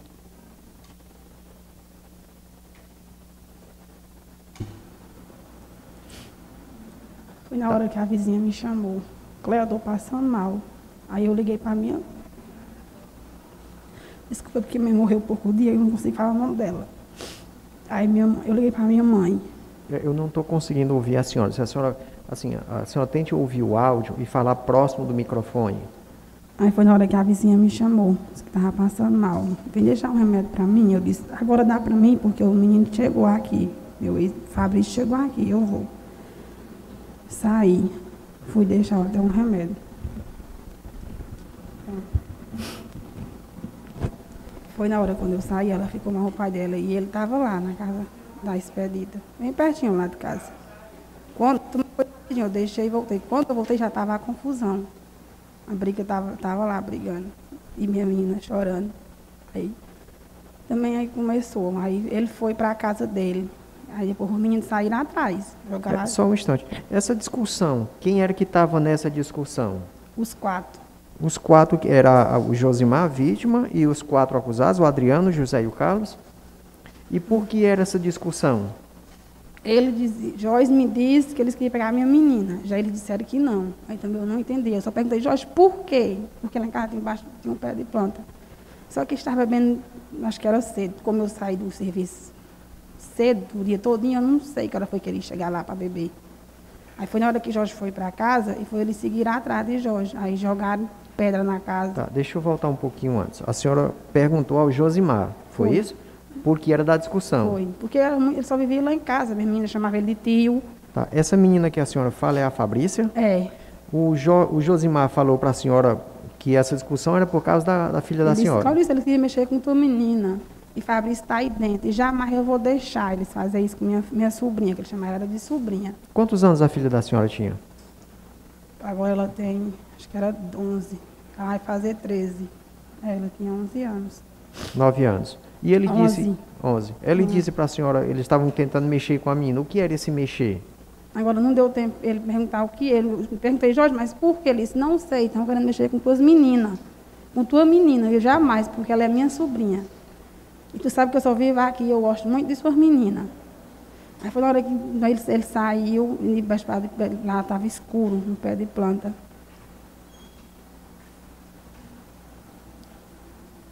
Aí foi na hora que ele saiu, lá para casa os meninos foram atrás. Aí jogaram pedra na casa. E rodearam por a outra rua, lá, por caminhando, mataram ele. E nós pelejamos. Ele disse, Jorge, você não vai. Ele disse, vou sim, eu, nós pelejamos, a esperita para ele não ir. Aí foi na hora que ele foi, seguiu lá para o caminho, lá o menino. Nós pelejamos para ele ficar. Também ele foi, não voltou mais.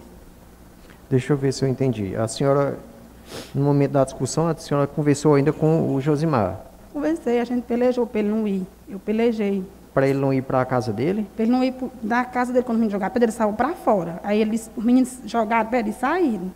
Aí ele foi na hora que ele disse que ia atrás. Deixa eu só tentar compreender. Deixa eu só tentar compreender com os colegas também, para a gente não estar fazendo re- perguntas desnecessárias. Em que momento a senhora questionou ao Josimar o porquê da discussão que ele, tá, que ele teve com os três acusados? Na hora que o rapaz eu conseguia puxar ele um pouco da briga, lá de frente de lá de casa. Aí Nesse ele- momento ele já tinha ido para a casa dele? Não, ele ia, foi na hora que ele foi. Então, primeiro, eles estavam no momento da discussão, a senhora minha chegou. Casa. De frente de minha casa. Aí foi quando ele disse que era porque eles estavam tentando mexer com a filha da senhora. Era. Aí ele saiu para a casa dele. Foi sim. Ele mora só na casa? Na expedita. Mas Expedita nesse dia estava com ele na casa? Tava. Ela tava. Ele, é, eles, ela foi deixar até uma comida, uma vasilhinha de comida. Para ele, eu acho que ele nem jantou. Uhum. Mas ele, ele nesse dia tava, ficou na mesma casa com a esposa dele ou ele ficou em outra casa?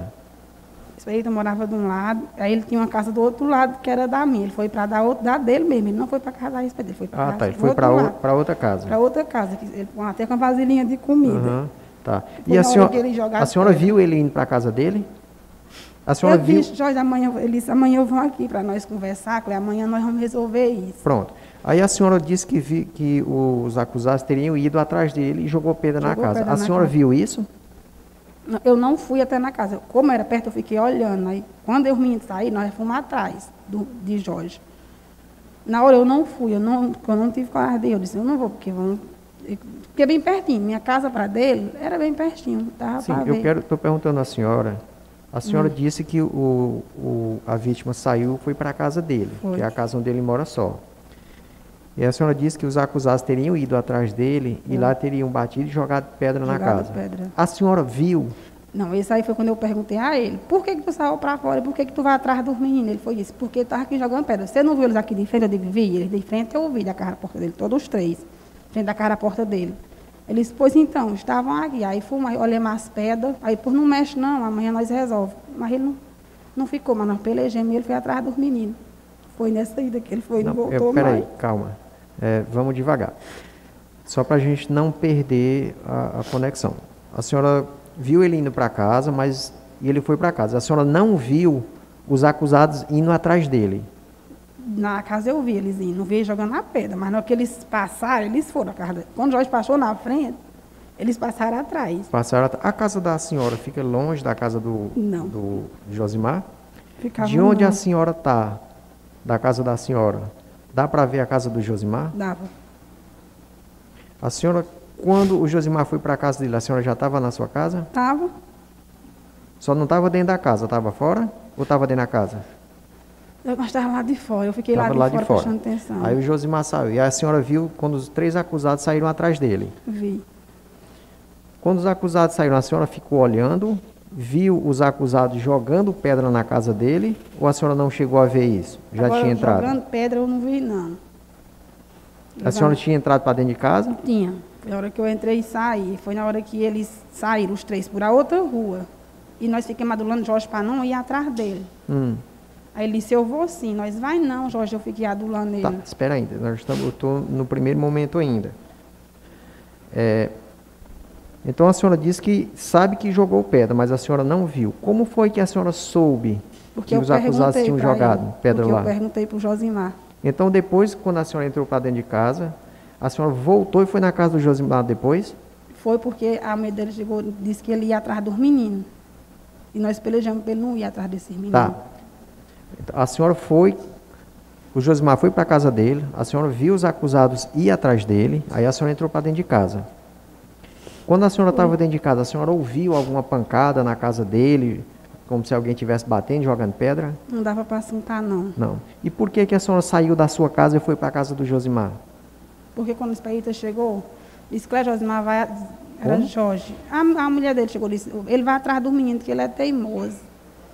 Aí foi a gente foi atrás dele, para ele não ir. Ah, então a, a, a esposa dele foi na casa da senhora e chamou para a senhora ir na casa do Josimar, porque o Josimar seria teimoso. E queria Estava com receio de que ele ia atrás dos meninos.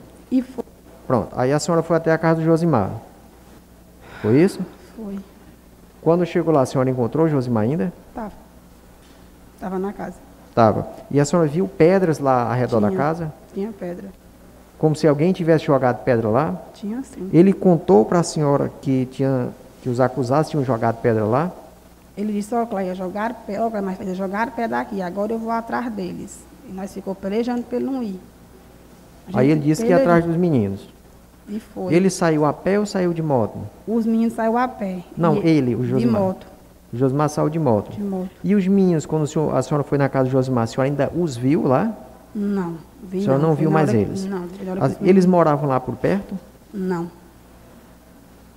Então. Josimar saiu para procurar eles, mas não sabia onde poderia encontrar. Tô supondo. É, acho que sim. Ele, ele disse que ia atrás dos meninos. O Josimar saiu armado?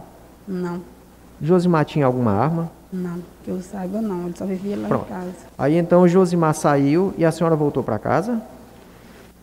A gente, vo- A senhora e a esposa do Josimar. e a gente ficou agoniado. Só nós de mulher, nós não fomos atrás. Fiquemos lá. Uhum. Aí foi na hora que eu entrei e ela saiu. Aí eu não sei quem foi dizer a ela que ele estava lá caído. Só sei que eu, E como foi que vocês souberam que o, o- que o Josimar estava caído e ferido em um local? ela veio me dizer, a mulher dele. Ela foi dizer na casa da senhora? Aí vocês foram até o local onde o Josimar estava. Eu não consegui não ver ele lá no chão, não. Eu cheguei lá perto, não fui, não. Eu A senhora não, não, não viu ele, não? Vim no hospital.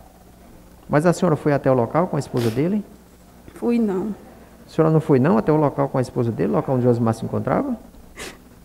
Eu não consegui. Ela disse que ele estava muito ferido. Aí a gente chamou a SAMU, um da parte. Eu estou só para entender. A senhora foi até o local do fato onde o Josimar estava ou a senhora não foi? A senhora ficou em casa? Lá onde ele estava, eu não fui não. Fui lá perto só. Lá Ah, o, onde senhor ele foi, o senhor foi, a senhora foi até próximo ao local. foi. Lá onde ele estava, eu não consegui ir, não. Quando eu vi ela já chorando, dizendo que lá estava morto, eu não tive coragem de ir, não. A senhora foi até próximo ao local, mas não chegou a vê-lo. Só no hospital. Uhum, tá. É, aí vocês chamaram o SAMU, Foi. Chamamos. aí o SAMU compareceu no local e levou. A senhora lembra se quando a senhora chegou, a senhora disse que não viu o corpo, mas a senhora chegou a ver a moto? Não. Não? Não vi a moto, doutor. Tá. Quando a senhora chegou no hospital, a senhora só foi no hospital ou a senhora chegou a vê-lo? Eu vi. Ele tinha algum, algum sinal de como se tivesse sido agredido? Estava com o olho roxo, inchado. E a cabeça machucada. Cabeça machucada? Uhum. Mas ele ainda falou alguma coisa ou ele já tinha falecido? Ele, comigo ele não falou não, eu falei, mas ele não falou não. Ele não falava mais não, né? Não. Tá ok então. Doutora Talita, Bom dia. Bom dia. É Cleonice, né? O nome da senhora? É, Dona Cleonice, a senhora morava vizinho aonde eh, os acusados estavam bebendo, era? Era. Era? Essa casa é de quem, onde eles estavam bebendo? Era quem morava lá era a Simone. Era de aluguel. Simone e as duas meninas. É Érica Lau- e Laiane, é? É sim. Tá. É, deixa eu lhe perguntar uma coisa. É, a senhora é, já era tarde na noite, né? Pelo que consta aqui dos autos. E a senhora tem mais de uma filha, é? Tenho duas. Tem duas. A senhora estava se sentindo incomodada com, a quantidade, é, com, aquele, com os acusados lá próximo da sua casa, bebendo? A senhora se sentiu de alguma forma incomodada? Eu cheguei do mercado, aí fui buscar ela na casa de minha mãe. Aí fiquei uma horinha lá na casa da mãe. Depois fui para casa. Aí também nem olhei para ele, só fiz passei para dentro de casa. Certo. É, aí as- é, uma vizinha da senhora passou mal, foi? E a Foi, senhora sim. teve que sair? Foi. A senhora saiu sozinha ou levou alguma de suas filhas? Saí sozinha. É pertinho a casa. E quem ficou com suas filhas? Pai dela. Certo. É, e e qual, é qual foi mais ou menos esse horário, a senhora lembra? Da confusão? Não, que a senhora foi na casa de sua vizinha que estava passando mal. Deixa eu ver se eu lembro. Era um, não. Acho que era, já era um pouco tarde. Que até chamei. Era à noite? Era. Foi depois da janta?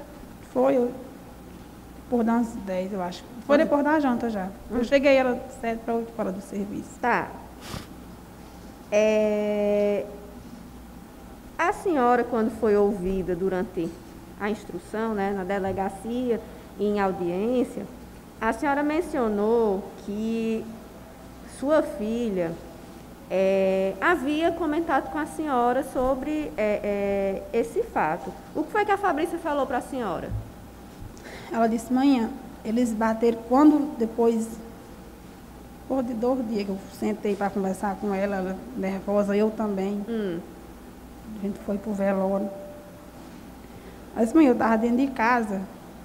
E eles bateram, foi onde Jorge bateram na porta, foi onde Jorge veio para cá. eles quem que Os bateram? meninos. Ela disse, foi onde Jorge foi para lá. Acho que ele estava lá, a casa é muito perto, e ele viu ele lá. Então, sua filha Fabrícia disse que. que é, ela disse a qu- quantas pessoas foram que bateram lá na, na casa da senhora? A mãe só perguntou e ela mostrou, disse à mãe que era três. Mãe, vovó, eram uns três. Eram uns três, certo.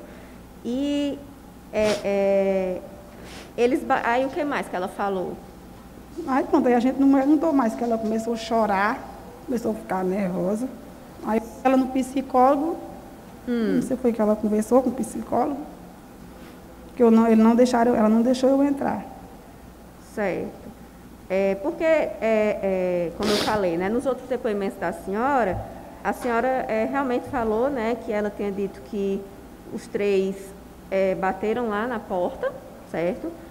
E que aí ela acrescentou que o Adriano teria dito que o corpo dela era muito bonito. A senhora lembra disso?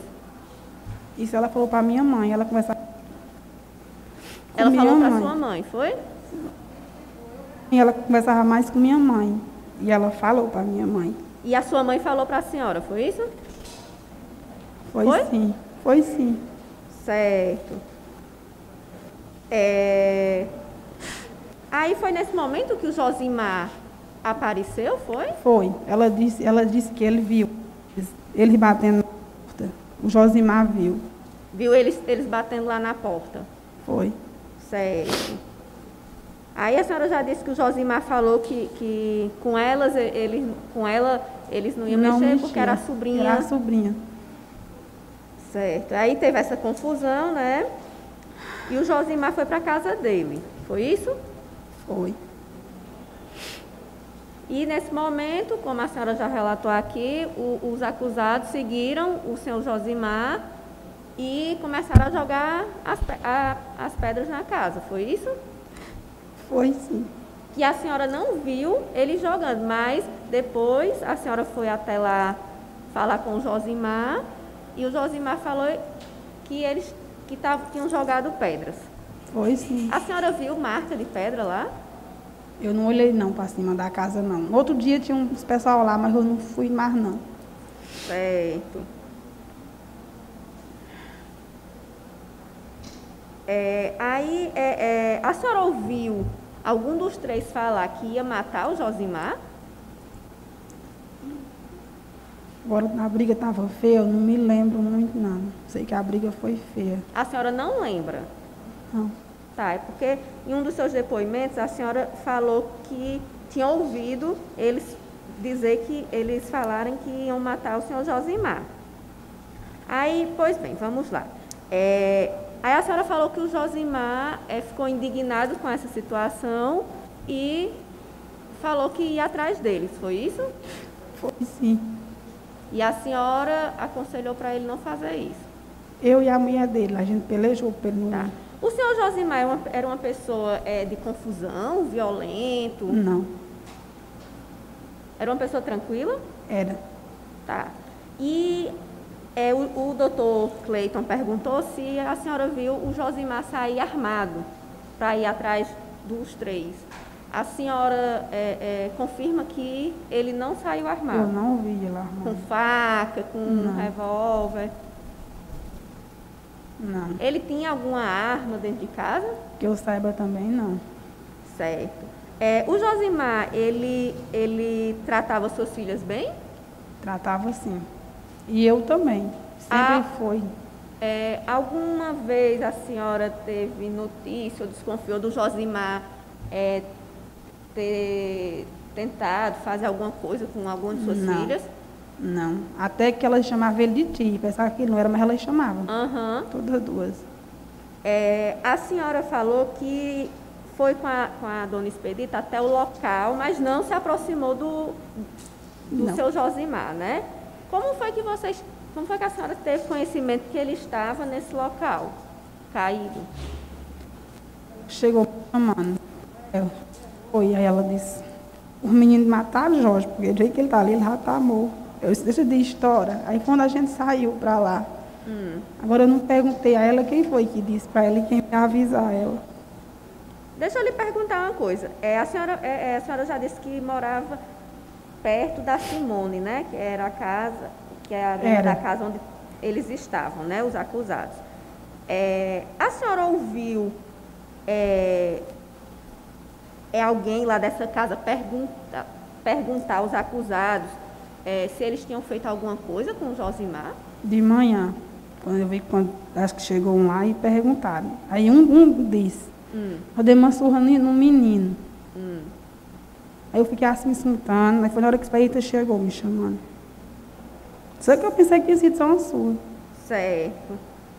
É, a senhora chegou a ver o senhor Josimar é, é, no hospital? Vi. Ele estava muito. Eu sei que para a senhora é difícil recordar, né? Mas a gente tem que perguntar, né? Ele estava muito machucado? Só a cabeça estava machucada e o olho já de roxo. A senhora lembra se tinha algum arranhão no corpo dele, da cabeça para baixo? Não vi- Eu não lembrei, não vi não, eu só olhei na cabeça dele Só a cabeça, e né? peguei na mão dele. Certo. A senhora conhece, conhece ou conhecia os acusados? Só ia falar no Adriano, eu não. O Adriano, o que, é que a senhora sabe do Adriano? A minha, eu acho que os povos lá falando, ah, Adriano gosta de confusão. Eu disse também, eu não sei quem é Adriano, eu nunca vi esse Adriano. Aí depois foram me mostrar a foto. Eu disse, não, já vi ele passando na rua. Hum, a senhora sabe dizer se o Adriano já foi preso? Já... Sei não. Senhora só sabe que ele é, é da, ele é assim. Cara, eu vi o povo comentando. povo de, Que ele gostava de eu ouvi dizer, né, que ele é, é- é- é metido em confusão, é isso? Só. Tá. E os demais a senhora não tem conhecimento. Não. Tá. Sem mais perguntas, doutor. Defesa. Bom dia, dona Cleonice. Tudo Bom bem com a dia. senhora? Bom dia.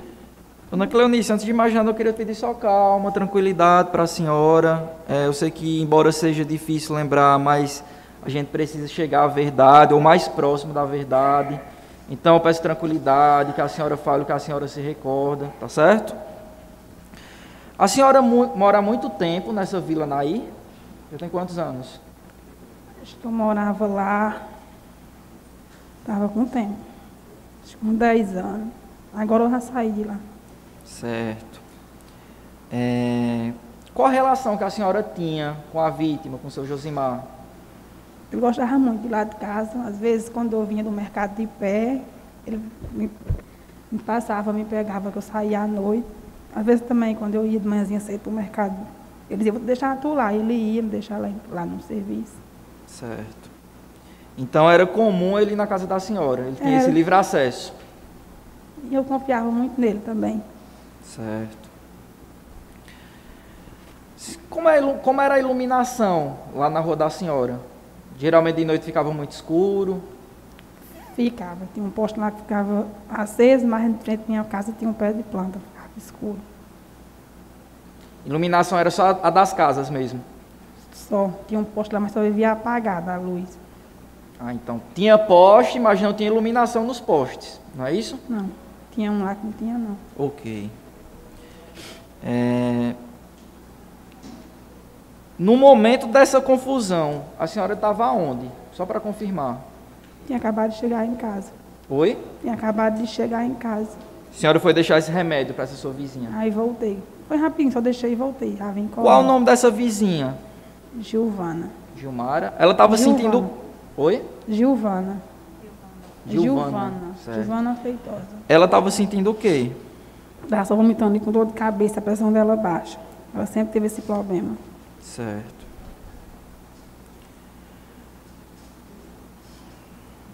Onde era a casa dela? Em que sentido? Era atrás? Era do lado?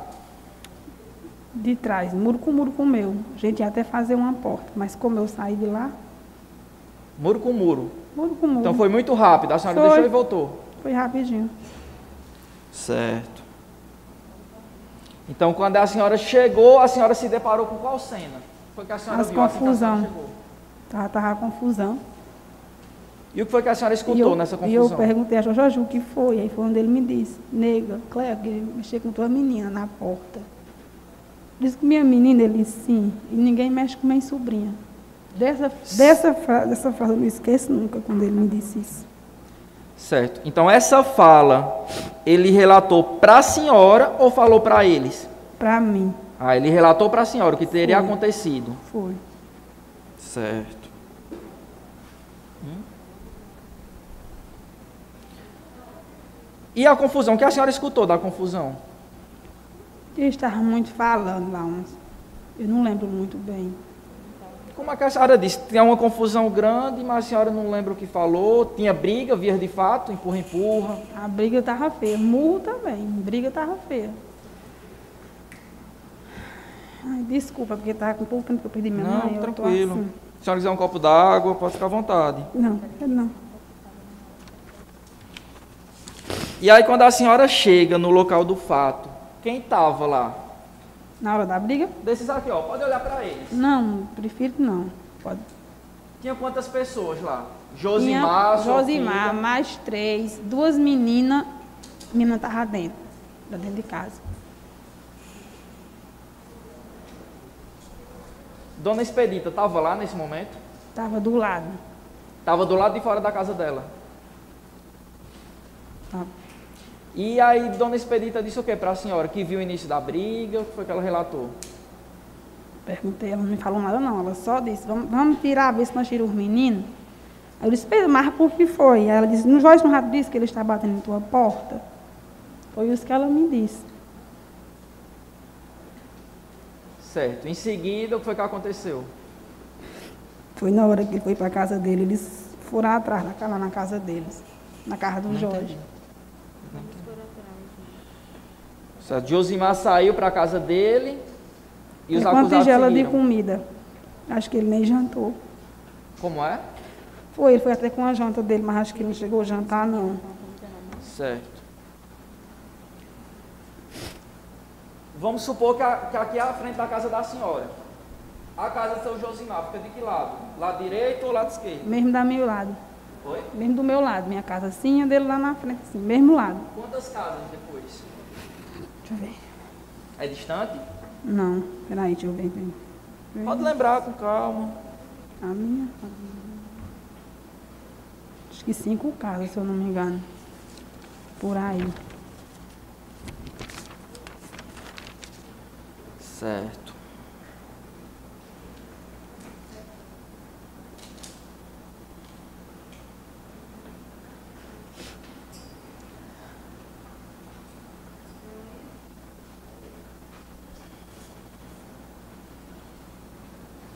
Em seguida, é, a senhora viu depois das pedras. A senhora viu as pedras? Tinha umas lá no chão.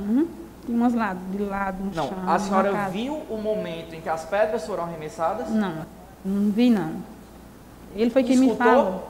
Não, eu entrei pra dentro. Foi na hora que Assim, certo, só para ficar claro aqui para a gente. Porque uma coisa é, eu ouvi falar, outra coisa é eu vi, eu presenciei. A senhora então nem ouviu, nem viu as pedras serem arremessadas. Não.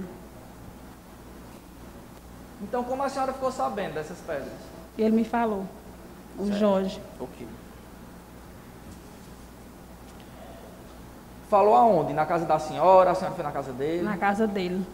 Quando aí ela chegou dizendo assim, Clé, ele vai atrás dos meninos. Os meninos foram para ali, ele vai atrás. Foi na hora que eu saí mais ela. A gente pelejou para ele não ir. E ele disse que ia porque ia. Que ninguém, ele não tinha mais ninguém jogar pedra na casa dele, ele estava dentro de casa. E qual a expressão dele? Qual o estado dele? Ele estava com raiva? Ele estava brabo? Ele estava bem agitado. Estava bem agitado. E aí, só para confirmar, só para ficar bem claro aqui para os jurados. Então, a senhora confirma que ele disse para a senhora: Eu vou atrás deles. Foi, ele me disse. Eu pelejei para ele não ir. Ainda peguei a chave da moto. Ele, ele pegou de minha mão. E eu pedi para ele não ir. A mãe dele também pediu para ele não ir. Ele disse, eu vou. Eu mandei eles bater em minha porta, jogar pé de minha porta. Ele saiu de pé ou de moto nesse momento? Moto.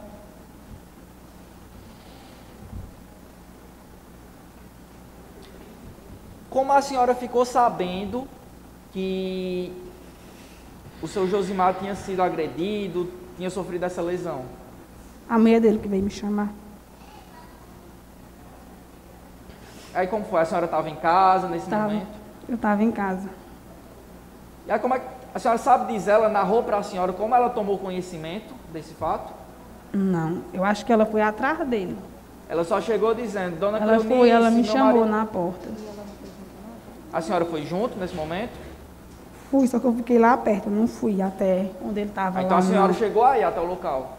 Lá não tá ele, eu não fui, não. Foi? Lá não tá ele, eu não fui. Eu fui só até lá, não consegui, porque ela estava chorando, ela disse. Mas do, do lugar que a senhora ficou, dava para ver a cena, ele caído? Não, dava não. Eu não fui até lá não. Eu saí e fiquei um pouco no caminho. Quando a SAMU chegou e ela disse, "Me mataram, tá? e ela chorando. Eu disse, pois eu não vou, eu não vou conseguir ver lá no chão. E era aproximadamente que horas? Era muito cedo, era madrugada? De madrugada já. Que horas mais ou menos? De três para quatro horas, por aí. Depois que o SAMU foi lá, atendeu, levou ele, a senhora chegou aí no local do fato? Não consegui. Fui no hospital. Foi no hospital. mas Quando não- ela foi para o lugar, aí eu fui para o hospital para ele. Pronto. foram para lá e eu fui para o hospital. Vamos voltar só mais um pouquinho. Então ela foi na casa da senhora trazer a informação de que o marido dela estava lesionado, estava machucado. Foi. E aí, quem foi que acionou o SAMU? Foi ela. Foi ela. Foi ela.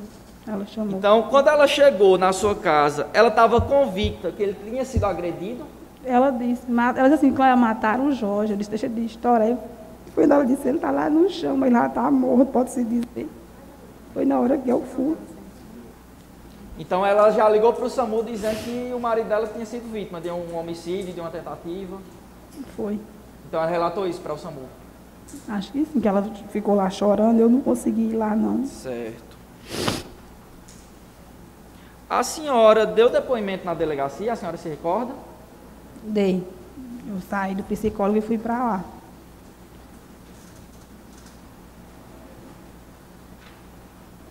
A senhora confirma essa assinatura como sua? É a minha. É a assinatura, né? É sim. Então, aquilo que a senhora falou em delegacia, a senhora confirma aqui hoje também. Confirmo sim. Doutores? Obrigado, dona Cleonice. As doutoras elas vão fazer algumas perguntas. Dona Cleonice, só para a gente encerrar mesmo, deixa eu só entender a parte do que aconteceu, inclusive para ficar claro para os jurados também, quando a senhora né, e a senhora Maria Expedida foram até a casa do seu Josimar para tentar acalmá-lo né, e fazer com que ele não fosse atrás dos acusados.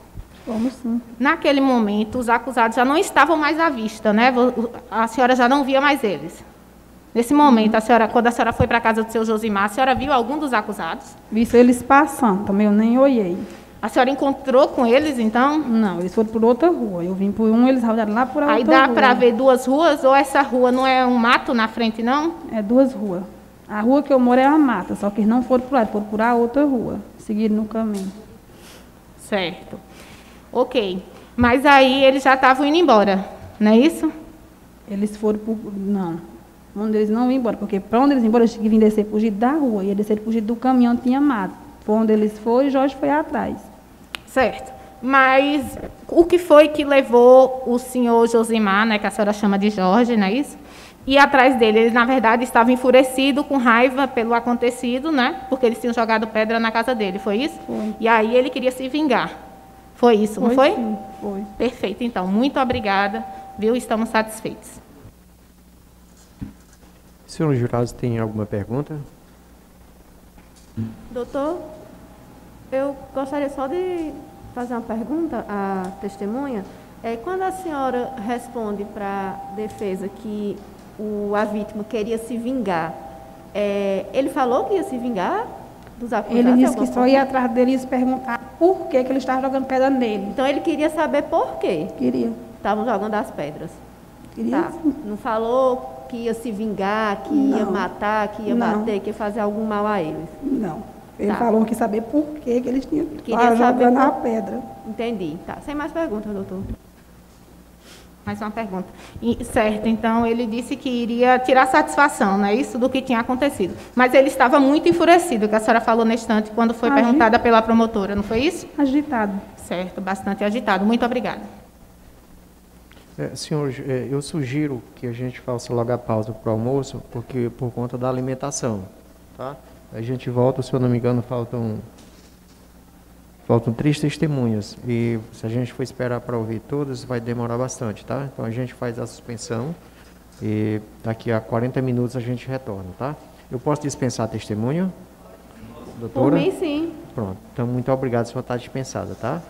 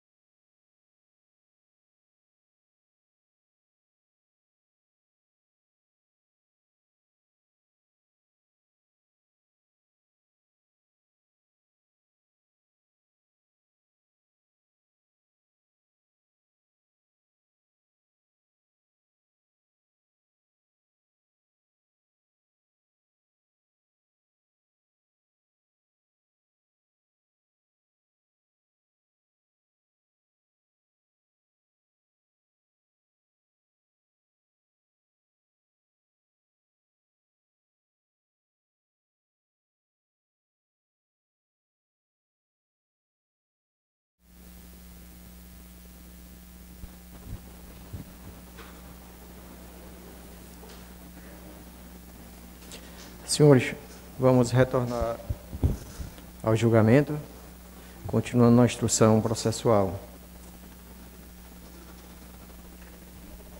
É, a senhora pode ligar seu microfone? Só aperte esse botãozinho, pronto. Pronto. Isso, pode regular aí. Ok. Como é o nome da senhora? Érica Luana. Érica Luana. Como é o nome dos pais da senhora? Simone Xavier de Carvalho. José Cícero Xavier. Certo. A senhora é parente de algum dos acusados desse processo, do senhor Adriano, José Feitosa e o Carlos Daniel? Eu sou ex-cunhada do Daniel, Carlos Uhum. Daniel. Ok. A gente vai ouvir a senhora na qualidade de testemunho. É importante que a senhora conte para a gente aquilo que a senhora souber, que a senhora se recordar, tá? A senhora só não pode mentir, sob pena de cometer crime de falso testemunho. Tá. O fato que a gente está apurando teria supostamente acontecido no dia 19 de abril do ano de 2019, por volta das 2 horas e 30 minutos, quando teve uma discussão entre o- a vítima, senhor Josimar Santos de Lima, e os acusados Adriano, José Feitosa e o Carlos Daniel. Após essa discussão, o segundo consta nos autos, o senhor Josimar teria ido para sua casa e os acusados teriam jogado pedra na casa dele. Após, o senhor Josimar teria saído e em um determinado local, os acusados teriam matado ele. É o que consta nos autos. O que, que a senhora recorda sobre esse fato? O que a É- senhora sabe dizer? Dessa história de pedra é mentira. Não teve isso. A senhora mora lá no local? Eu morava, isso aconteceu de frente à minha casa. Eu estava o tempo todo lá de fora, vendo a confusão. Uhum. Aí eu me recordo que foi assim.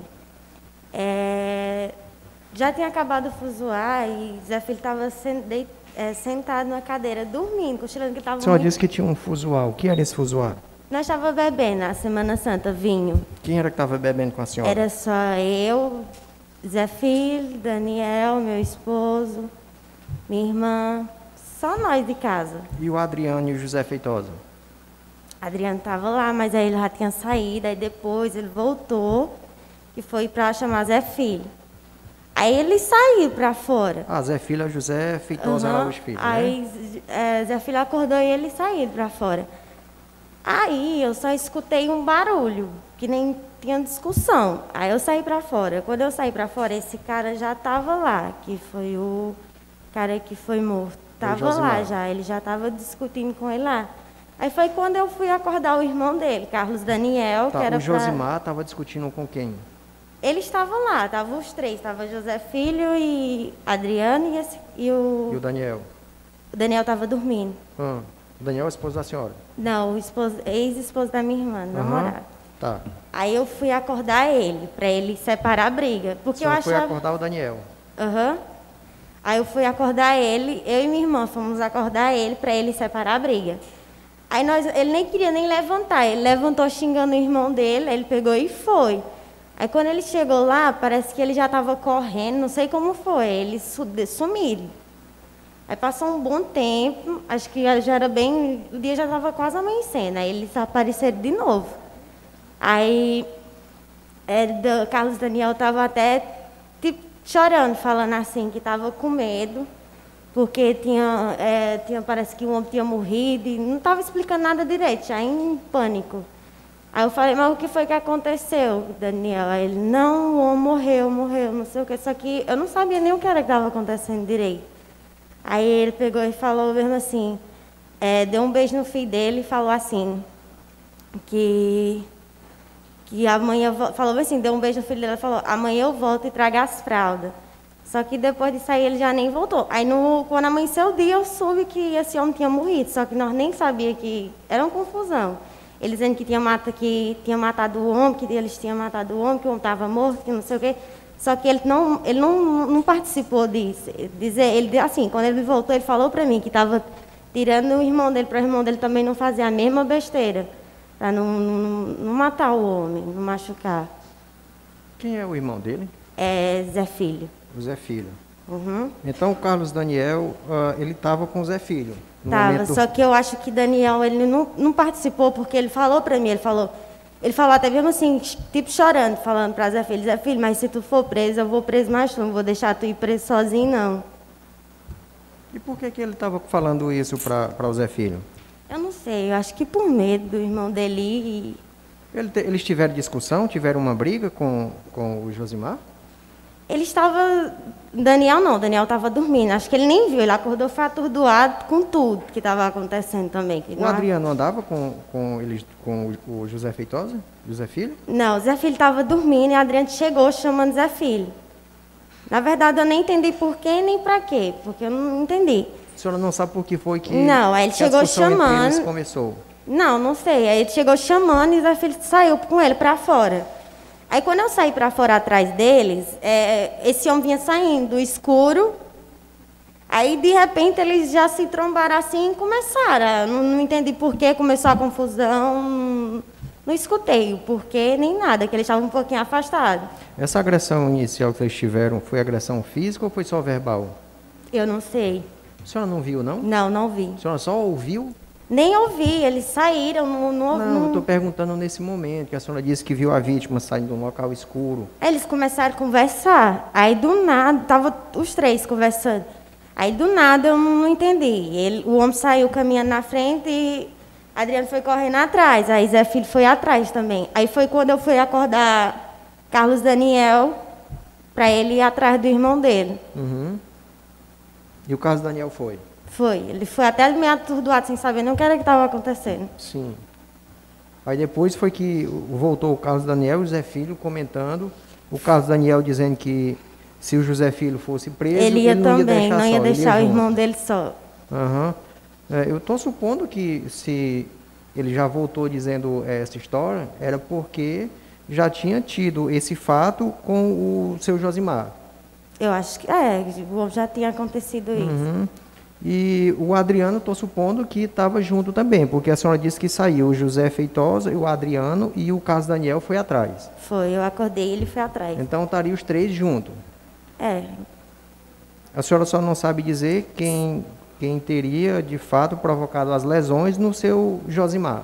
Que a senhora Não, até porque a senhora não estava presente. Quando o Carlos Daniel voltou, ele me falou que estava tirando o irmão dele, que não estava deixando o irmão dele bater no homem. Tava, o tempo todo ele estava lá, tentando separar. Só que ele disse que ele sozinho não, não ia. Quem estava batendo no, no homem era quem? Aí eu não sei, porque eu não vi, né? Não, o, o Carlos Daniel dizia quem era que estava Estava batendo no tirando o irmão dele para o irmão dele não fazer besteira. Então o irmão dele, o José Filho, estava batendo no homem. Eu não sei porque eu não vi, mas ele o estava pelo que o seu Carlos ele Daniel disse que estava segurava dizendo. nele, segurava o braço dele.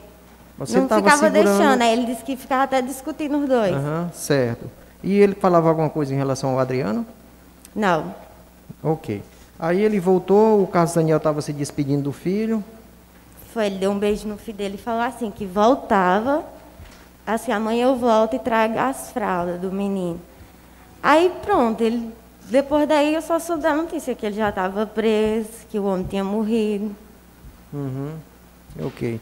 É, a senhora soube depois, posteriormente, por que foi que houve essa discussão inicial entre os três acusados e a vítima Josimar? Não.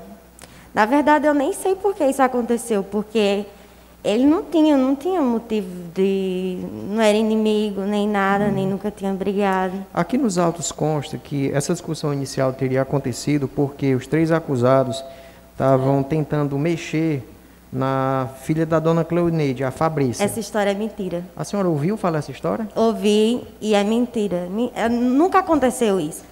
Porque, assim, o que é verdade é verdade. A pessoa tem que falar, né? Aí quer colocar uma história, essa história no meio de uma coisa que não tem nada a ver. Porque não aconteceu esse negócio de estupro, não deu tempo isso acontecer de jeito nenhum. Eles vão, eles, como é que eles vão estar em dois lugares ao mesmo tempo? Se eles estão lá de frente da casa, como é que eles vão arrodear para correr atrás dessa menina? Como? Isso não existe.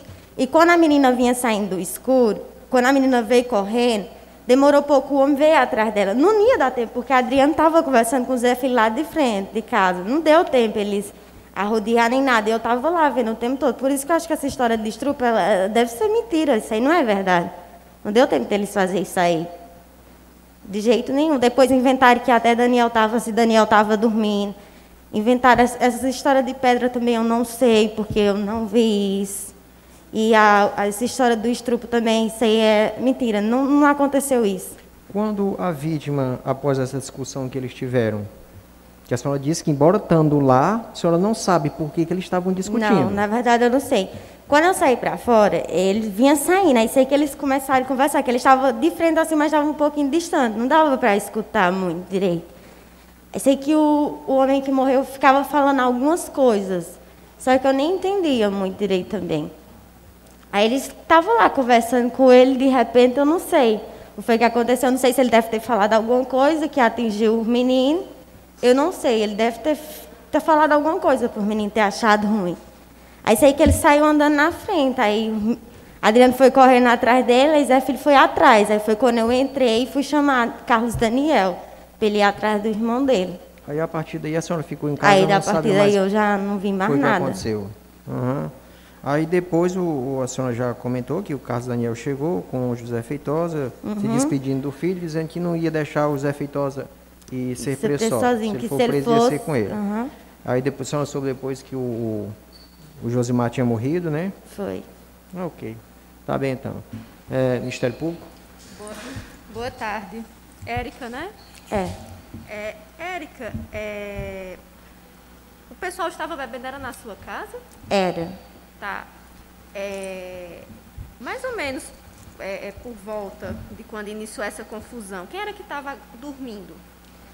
Zé Filho estava dormindo, mas Adriano chegou acordando ele. Aí hum. ele saiu para fora. Hum. Aí depois que o menino, que Zé Filho e Adriano correu atrás desse homem. Não, eu estou perguntando antes, antes dessa corrida, porque não teve uma discussão verbal? Não. Lá? Tava todo mundo de boa, só foi essa confusão que aconteceu aí. Com, com a vítima? Estou falando com a vítima. Não teve uma discussão? Teve, lá de frente. Pronto, é nesse momento aí, quem era que estava dormindo? Carlos Daniel. Só o Carlos Daniel? Aham. Uhum. E o, o, Zé Filho e o Adriano estavam aonde? Zé Filho estava dormindo, aí Adriano chegou acordando ele, ele saiu para fora. Hum. Foi quando esse homem apareceu e eles começaram a discutir. Tá, a senhora está dizendo que é, é, é, essa história do envolvendo uma criança é, seria. Isso eu não vi isso. Você não viu? Não, e não deu tempo, porque como é que eles vão estar tá num lugar e vai correr atrás da menina se eles estão ali parados? Mas é, quando a senhora disse que viu eles parados, eles, eles estavam com a vítima? Ela vinha saindo do escuro depois. Eles ficaram lá de frente, só os dois. Hum. Passou um tempinho assim, aí foi. Ele, era Adriano e Zé Filho, eles dois estavam conversando. Hum. Eu não sei nem o que era também. Hum. Aí após, é, aí demorou um tempinho assim, aí a menina vinha saindo do escuro. Hum. Aí quando ela demorou um pouco, aí o homem saiu atrás dela. Aí sei que ele começou a conversar com os meninos lá e de repente ele. E você estava todo esse tempo com, com o Adriano e com o Zé Filho? Eu estava de frente de casa aí, na confusão. Certo. É, eu estou perguntando porque quando a senhora prestou depoimento na delegacia, né? Uhum. Tanto na delegacia como na audiência que teve antes, acredito que a senhora se lembra, né? Que teve uhum. uma audiência com a gente. É, a senhora falou que é, realmente vocês estavam todos bebendo na sua uhum. casa, que o, o, Zé Filho estava dormindo, uhum. né? E o Carlos Daniel também estava dormindo com o filho, né? A senhora até mencionou já Foi. a existência desse filho. E que o Adriano era o único que estava acordado. Ele não estava lá. Aí. A senhora eu... falou que, que o Adriano era o único que estava acordado e que a senhora já tinha até pedido para ele ir Foi, embora. ele tinha saído. Aí demorou, o menino já estava tudo dormindo. Aí ele foi e chegou de volta. Nesse momento que a senhora pediu para ele sair, que ele saiu e depois voltou. Ah. Onde a senhora estava? Arrumando a casa. Que nós então a arrum... senhora não viu Pra onde o que ele... ele fez não, ou deixou de não. fazer nesse intervalo? Não, não vi. Pronto, pronto. Aí depois ele voltou já chamando Foi. O, o Zé Filho? O Zé? Filho. Uhum. E o que era que ele dizia? Ele falou assim, é, Zé Filho, acorda, vamos resolver um negócio sério. Tipo um negócio assim, ele falou. Aí em seguida já, a senhora já viu eles com a vítima? Não, aí eles saíram para fora, aí eu fui atrás. Hum. Aí eu cheguei lá, eles estavam conversando. Aí eu peguei e também não maldei nada. Aí só escutei uns gritos, que acho que era o grito da menina. Uhum. Aí eu saí para fora de novo. Quando eu saí para fora, a menina estava pedindo socorro, que tinha um, um homem querendo pegar ela. Aí só que eu não vi ninguém, nem nada. Aí eu peguei e quando deu fé, o homem vinha saindo do escuro. Aí eles começaram a discutir lá com o homem, eu vi que eles iam brigar. E eu não tinha como separar nem nada, né? Mulher, eu peguei e fui acordar o irmão dele. Que é o Carlos Daniel. Aham, para ver se ele amenizava a situação. Aí quando ele saiu para fora, ele já estava correndo. Ele foi e correu atrás. Pronto, vamos lá. É, essa discussão aí que a senhora presenciou era discussão verbal. Ah, discussãozinha Não boca. teve agressão física, nem Aham. nada. Tá. E aí a senhora falou que eles discutiram, né? Aí o, o- Foi o Adriano que foi chamar o Daniel ou foi o Zé Filho? Não, eu fui acordar. Ah, foi você, né? Desculpe. Então a senhora foi lá chamar o Carlos Aham. Daniel e aí a vítima saiu e eles foram atrás da vítima. Foi. Pronto. E aí a senhora não, Não vi mais nada. não viu mais nada. Tá. Então teve um momento que a senhora não viu o que Adriano fez ou deixou de fazer, Aham. né? Pronto. É, Aí depois a senhora falou que quando já estava perto de amanhecer o dia, é, É, Carlos Daniel e Zé Carlos Filho Daniel voltaram. e Zé Filho, e Zé Filho foi? Aham. Voltaram. E eles foram para casa da senhora, foi? Foi, foram lá. Aí ele, Carlos Daniel, como eu falei, né? Ele foi lá untar o filho dele na cama, deu um beijo. Falou que a mãe, que falava assim, ó, amanhã eu trago as fraldas para minha irmã. Aí ele só fala, e falava assim para Zé Filho que se Zé Filho fosse preso, ele não ia deixar o Zé Filho preso, que ele ia mais ele, não ia deixar o irmão dele Ele, só. ele falou isso, é, eu, eu ouvi, né, quando a senhora falou para o juiz que é, o Carlos Daniel disse que tentou segurar o irmão. Ele disse tá, a todo não- momento que segurava, ficava separando. Só que ele falava também que era só ele, não tinha como ele tirar os dois de cima para não então, bater. Então, os dois estavam agredindo a vítima. Aí eu não sei, ele disse que Tá. tentava. É, a senhora- é, o Carlos Daniel, em algum momento, falou se um deles teria pego a estaca e batido na vítima? Não. Eu estou lhe perguntando porque no seu depoimento, né, a senhora falou que o Adriano, que o Carlos Daniel disse para a senhora Que sim, tinha atacado o que pau. o Adriano Aham. pegou uma estaca de madeira, né, e acertou na cabeça da vítima. Foi, também teve isso aí. O Carlos falou. Daniel falou isso para a senhora? Falou. Tá. Tinha acertado ele na cabeça. Pronto. acho E que o caiu. Adriano e o Zé Filho continuaram a espancar a vítima que ficou no chão, que ficou no chão, né? Ela estava caída. E o Adriano e o Zé Filho é, continuaram a agredir. Eu acho que é- foi aí nesse momento que ele falou para a senhora que tentou tirar o irmão. É, ele falou que estava tirando o irmão dele para o irmão dele não fazer besteira. Pronto. É, a senhora conhecia a vítima? Não. Vocês moravam tudo ali Só perto? de vista, assim. Só de vista. Já tinha é, é, é, tido notícia da vítima envolvida em confusão? A senhora Não, tinha nunca. presenciado alguma confusão? Uh-uh. Tá.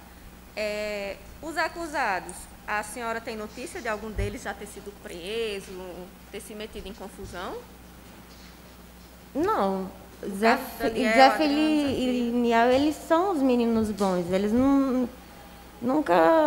E o Adriano, a senhora tinha intimidade, amizade? Não, também não. Ele, o Adriano é- era amigo deles. Estava na sua casa por conta do Carlos Daniel e do Zé Filho? Na é? verdade, eu nem não, não sei, né? Se eles são amigos, não. Entendi. Então, assim, só para ficar bem claro, é, que teve um momento né, que a senhora não viu o que Adriano fez ou deixou de fazer. Não, ele né? saiu. Que saiu, depois voltou e em seguida começou todo esse rolo. Foi. Tá. E a senhora também confirma que o Carlos Daniel, né, relatou para a senhora que o Adriano pegou a, a estaca, bateu na vítima e que ele tentava tirar o, o irmão dele. É, Daniel falava que queria tirar, mas ele sozinho não, não, não tinha como tirar os dois. O Daniel, ele disse para a senhora se fez alguma coisa para evitar que o Adriano eh, tacasse essa, essa, essa estaca, esse pau na, na vítima?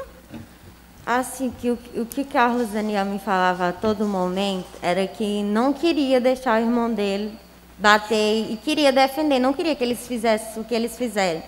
Ele tentava, ele falou para mim que tentava separar, tentava, só que ele sozinho não ia. Não conseguia. Enquanto ele tirava um, o outro já estava mais agressivo. E ele foi por quê? A senhora a, sabe por que, que o Carlos Daniel foi junto com eles, com os dois? Para tirar o irmão dele. Não, para atrás da vítima. Porque até então, né, eles tinham discutido de boca, aí a vítima saiu Não sei o e motivo. os outros dois foram Eu acho que esse- ele, acho que ele ia para casa dele, acho que ele já ia para casa dele, não sei, alguma coisa. Eu ouvi uma história que ele ia buscar uma faca, mas eu também não sei porque é muita coisa, né? Aí sei que os meninos foram atrás, eu não sei se ele para onde ele ia, o que ele ia fazer, não sei se ele falou essa alguma história, coisa. Essa história da faca, é, a senhora ouviu é, quando eles... Foi alguém que contou para a senhora, foi? Mas essa história da faca não é real, porque se essa história da faca fosse verdade mesmo, ele não ia perder tempo com o pau, né? Então, é, é, é, a vítima saiu desarmada, sem nada, e os outros três foram atrás dela. Não, foi Zé Filho e Adriana, eles foram atrás. Aí eu vi que ia acontecer uma besteira, que eles iam brigar. Eu fui e acordei Carlos Daniel para ir, para ver se apaziguava a situação. Entendi, entendi. Tá bom. É, Satisfeita? Defesa. Expressada? Não?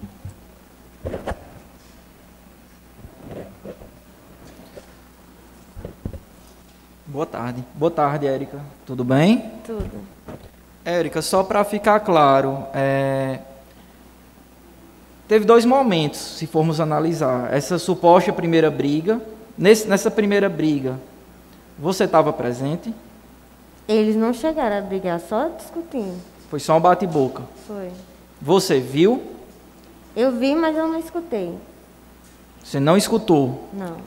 Qual era a distância que você estava? Era um pouco longe, era como mais ou menos daqui. Era um pouco afastado, era bem afastado. um Quer dizer que não foi em frente à casa da dona Cleonice, não? Essa primeira. Não, em frente, em frente, assim, para escutar, ouvir, não. Eu escutava algumas coisas que eles falavam, mas não, não era tudo que dava para ouvir. Certo, certo. É, eles estavam em frente aonde? Qual a referência que você dá? Estava na frente da casa Na de Dona frente- Fulana. Na frente da casa da viúva. A casa da viúva fica quantas casas de distância da sua? Acho que ficava mais ou menos umas oito casas, por aí. É. Me diga uma coisa. Da sua casa, você consegue escutar uma conversa, um diálogo da casa ao lado? Dá para escutar? Não sei, mais ou menos, um pouco. Por exemplo, da casa da viúva para a sua casa. Dá para escutar o que se passa lá? mais ou menos, que nem eu tô falando. Eu escutava algumas coisas que eles falavam. Não, eu não estou falando da discussão. Vamos lá, calma. No dia a dia, você está dentro da sua casa, Não. você consegue escutar? É possível? Não, não. Certo. É, Só para deixar claro, nessa primeira discussão, o Daniel, o Carlos Daniel, estava presente? Não. Ele tava estava onde? Dormindo. Dormindo. E como é que aconteceu? Alguém foi chamar ele? Foi exatamente assim. A filha da, da, da viúva, ela, a mulher, a viúva mandou, minha irmã, mandou a filha dela e, e chamar a gente, que nós estávamos dentro de casa. Ela foi e falou assim, ó, acorda o irmão dele, que para ele tirar ele daí, que eles vão brigar. Rapidinho. Quem foi que foi lhe avisar? A filha da viúva, Certo. Gabriela. É criança, é adolescente? Eu acho que já é adolescente. Certo. Satisfeito, excelência. Obrigado, viu? Senhores jurados, tem alguma pergunta? Ok. Senhor, eh, doutora Thalita, defesa, eu posso dispensar testemunho? Pode. Ok, muito obrigado por a senhora ter vindo, tá?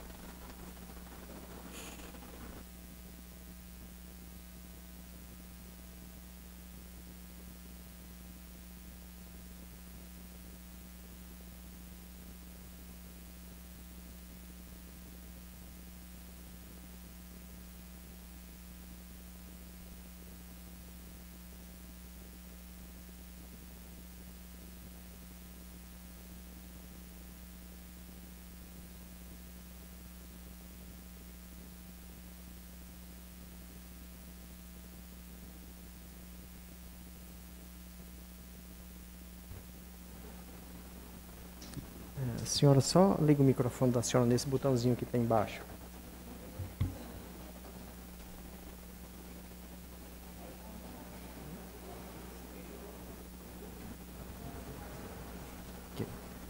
Boa tarde. Boa tarde. Como é o nome da senhora? Laiane Xavier Carvalho. A senhora pode repetir, por favor? Laiane Xavier Carvalho. Não estou ouvindo a senhora. Laiane Xavier Carvalho. Laiane, né? Como é o nome dos pais da senhora? Simone Xavier de Carvalho e José Cícero de Carvalho. Ok. A senhora é parente de algum dos acusados nesse processo? Sou mãe do filho do Carlos Daniel. A senhora é mãe do filho do Carlos Daniel. A senhora convive com ele? Convivia? Tem união estável? Não, a gente só namorava, depois terminava, ficava só casinha. Nunca manteve união estável com ele, não, né? Foi só namoro. É. Ok. A gente vai ouvir a senhora na qualidade de testemunha. É importante que a senhora conte para a gente aquilo que a senhora souber, que a senhora se recordar, tá? A senhora não pode mentir, sob pena de cometer crime de falso testemunho. Ok.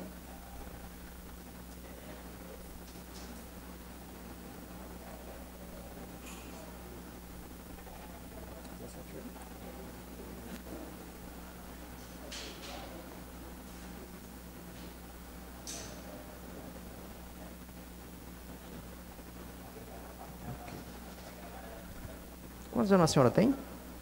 Tenho 17. 17? Tem alguém da senhora aqui? Algum parente da senhora? Minha irmã, Érica Luana. Quem? Minha irmã, Ela está aqui? a Érica Luana. Ela está aqui? Ah, ela veio, né? Estava depois na Foi a que acabou de ser ouvida. Ah, tá.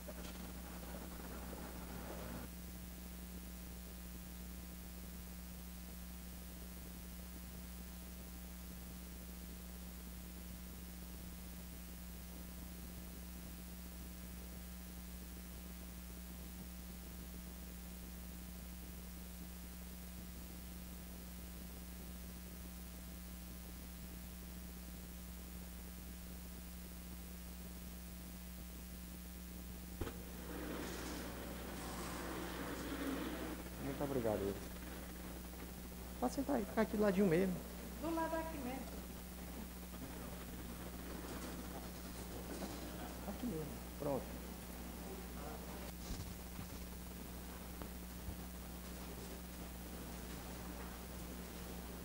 Prontinho. A senhora pode ligar seu microfone de novo? Pronto, muito obrigado. É, a sua irmã está acompanhando a senhora em razão da senhora ter só 17 anos, tá? Não impede da senhora prestar o compromisso, mas é importante que tenha um representante junto com a senhora, uma pessoa de maior de idade que a senhora diz que, que é quem lhe acompanha, ok? É, a senhora já sabe do que se trata, né? Eu comentei com a senhora. É, conte para a gente sobre esse fato, sobre o acontecido, o que, que a senhora sabe, o que, que a senhora se recorda. É, naquele dia a gente estava em casa, inclusive eu estava operada, né? Se a senhora conseguir falar um pouquinho perto do microfone, para que os colegas que estão presentes também Tá. possam ouvir a senhora. Naquela noite eu estava em casa, inclusive operada, né? Aí eles chegaram lá em casa, o Zé Filho e o Niel. Aí eles ficaram lá com nós. Eu achei até que era ver o menino, né? Foram conhecer o menino, que ele nunca tinha visto o menino ainda, foi ver o menino. Aí o Daniel foi, eles beberam lá, Daniel dormiu, comeu o menino no Excelência, braço. com licença, desculpe te incomodar, é porque os jurados não estão conseguindo ouvir o que a testemunha está falando.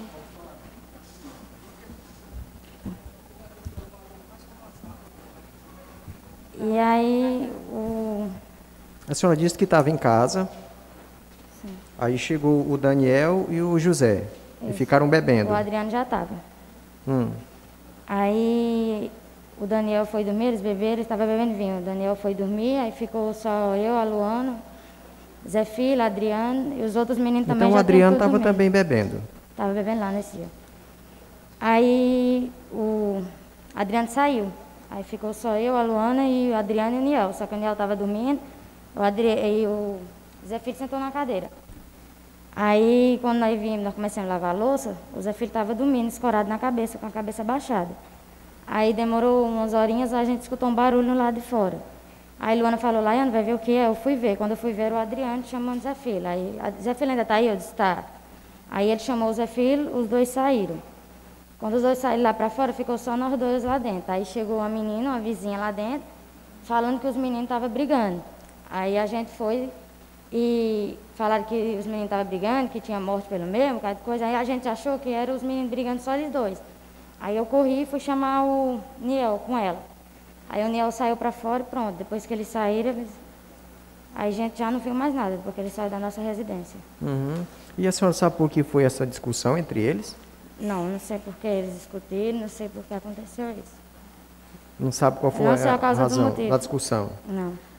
E aí eles saíram, saíram o, o Adriano e o José. Isso. E o Carlos Daniel. Ficou dormindo lá em casa. Depois Carlos- da confusão foi que eu acordei ele. Depois da confusão que tinha acontecido na frente da casa da senhora. Eles começaram a discutir ações. É, Aham. Saiu, eles começaram a discutir, começaram a ouvir, a gente começou a ouvir gritos. Aí a menina chegou lá me chamando. Aí eu fui, acordei o Daniel para o Daniel ir socorrer. E aí o Daniel saiu atrás deles É, para socorrer. para socorrer eles? Oi? Para socorrer eles? Na hora da briga, da confusão, foi que o Daniel levantou para ir socorrer. Mas quando vocês chamaram o Daniel, o, o Adriano e, e o Zé Feitosa ainda estavam lá? Quando eu chamei o Daniel, ele já estava na confusão lá fora. Mas estavam lá fora? Ou Eles tinham saído de, do lado de frente da casa? Já estava na confusão, não estava mais lá em casa. Então já não estavam mais lá. Não. E eles tinham ido para onde? O Adriano e o José? Eu não sei, até hoje eu não sei o local onde foi a confusão. Eu só sei de onde ele estava na, na minha Tá. residência. Depois Aí o, o Daniel, que é o caso do Daniel, porque eu saiu. não podia estar andando por causa dos pontos. Eu não estava andando. Aí depois de algum tempo eles voltaram ou a senhora não viu mais Aí eles? depois que aconteceu isso tudo, voltou o Daniel e o Zé Filho lá em casa. Aí falaram lá, mas nada importante também. E saíram e o Daniel falou que depois retornava lá em casa. Até ele falou, Laiane, amanhã eu volto com a fralda do menino. Aí pronto. né? Mas ele disse o quê? O, disse que amanhã eu volto por quê? Ia lá em casa, porque eu falei pra ele que ele falou que o menino era recém-nascido. Ele falou que ia Hum. voltar no retornar no outro dia com a fralda. Só que aí quando foi no dia, os, os homens já chegou lá em casa falando do que tinha acontecido. Aham. Mas o Adriano disse, o, aliás, o Daniel chegou a comentar com a senhora o que era que tinha acontecido. Falou que eles tinham brigado, ele estava com muito medo do homem estar morto só. Eles tinham brigado e estavam com um homem que estava morto. Quem era que tinha participado da briga? Bom, ele falou pra mim que era o Zé Filho, o Adriano tinha participado da briga. Quando ele chegou, já tinha acontecido tudo. Ele não falou que, tava que tentou impedir o Adriano ou o José Feitosa para não bater no chegou- homem, não? Ele disse que quando chegou só, já tinha acontecido, partou e saiu. Chamou o Adriano para sair, aí eles correram e foram diretamente lá para casa. Aham. E o Daniel foi embora também? Ele já foi lá para casa com, a, com o Zé Filho, depois que eles chegaram lá em casa, falaram com a gente e subiram para casa deles. Aí pronto, sem mais nada. Ok. É, Ministério Público? Boa tarde. É Laiane, né, seu nome? É, Laiane, é, o que a senhora contou aqui pra gente é mais ou menos o mesmo que sua irmã Érica contou, né? É, que o Adriano é, estava bebendo com vocês e o Carlos Daniel e o Zé Filho, né?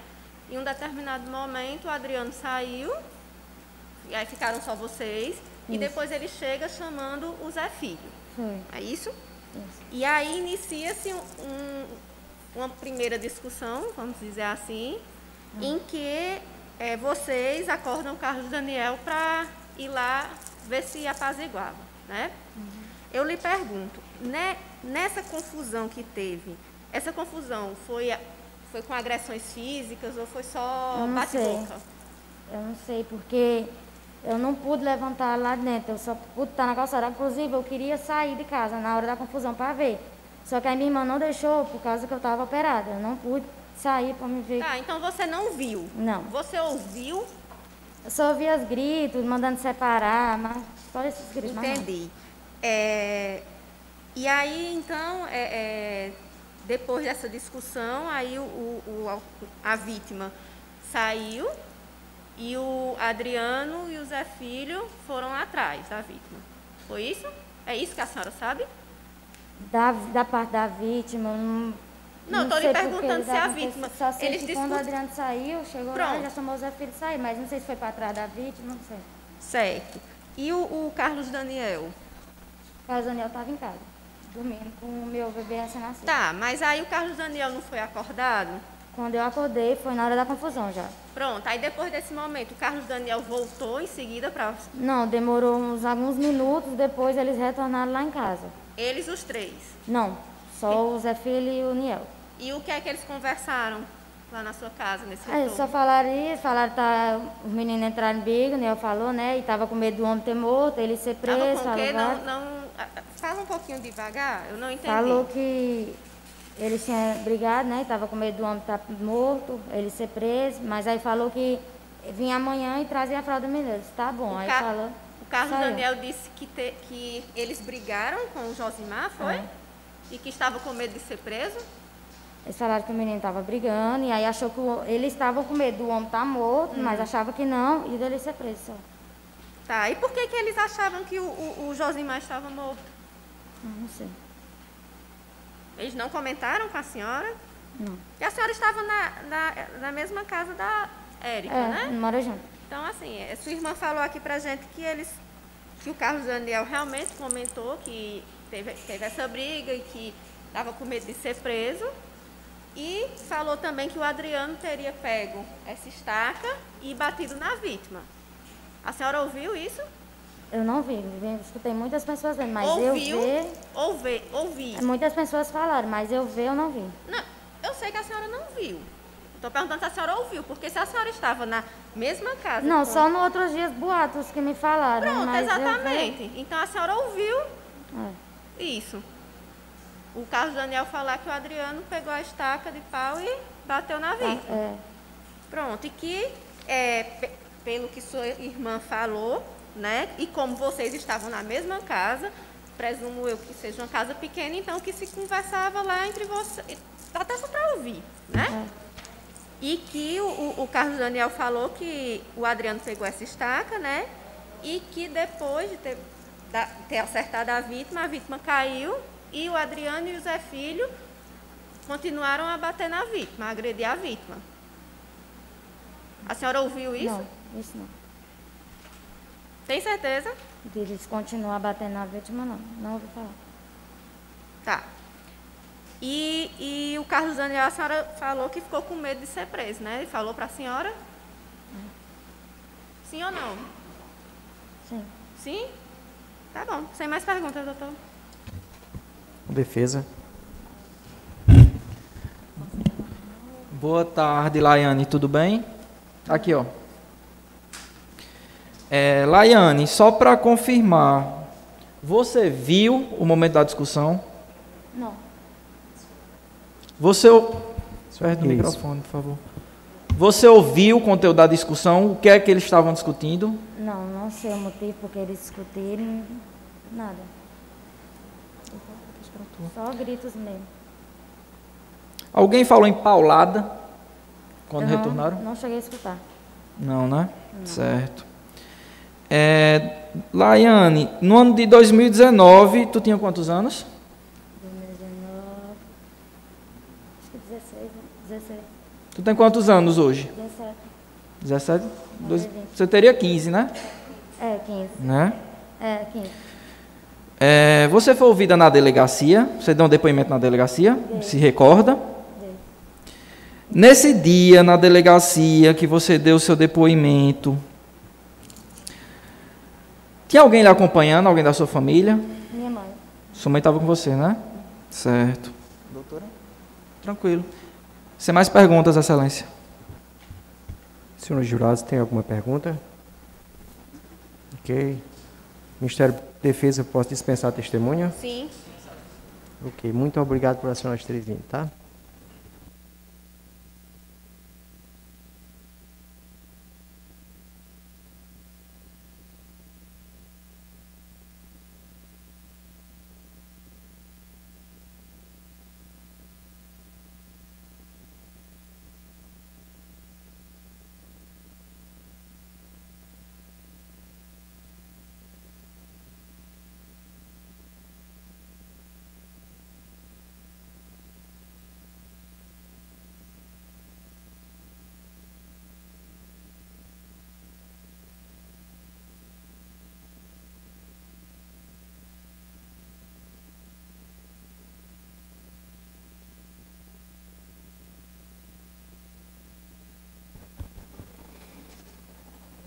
É, a senhora pode ligar seu microfone, esse botãozinho que tem embaixo. Só apertar nele. Pronto. A senhora procure falar um pouquinho perto do microfone para que a gente consiga captar a voz da senhora. Sim. Como é o nome da senhora? Fabiana Maria Santos Lima. Qual é a filiação da senhora, o nome de pai e mãe? É Antônio Barbosa de Lima, Maria das Mercedes Jesus Santo. A senhora é parente de algum dos acusados desse processo? Dos acusados? Sim. Não. A gente vai fazer algumas perguntas à senhora sobre o fato que a gente está apurando nesses autos. É importante que a senhora conte para a gente aquilo que a senhora souber que a senhora se recordar.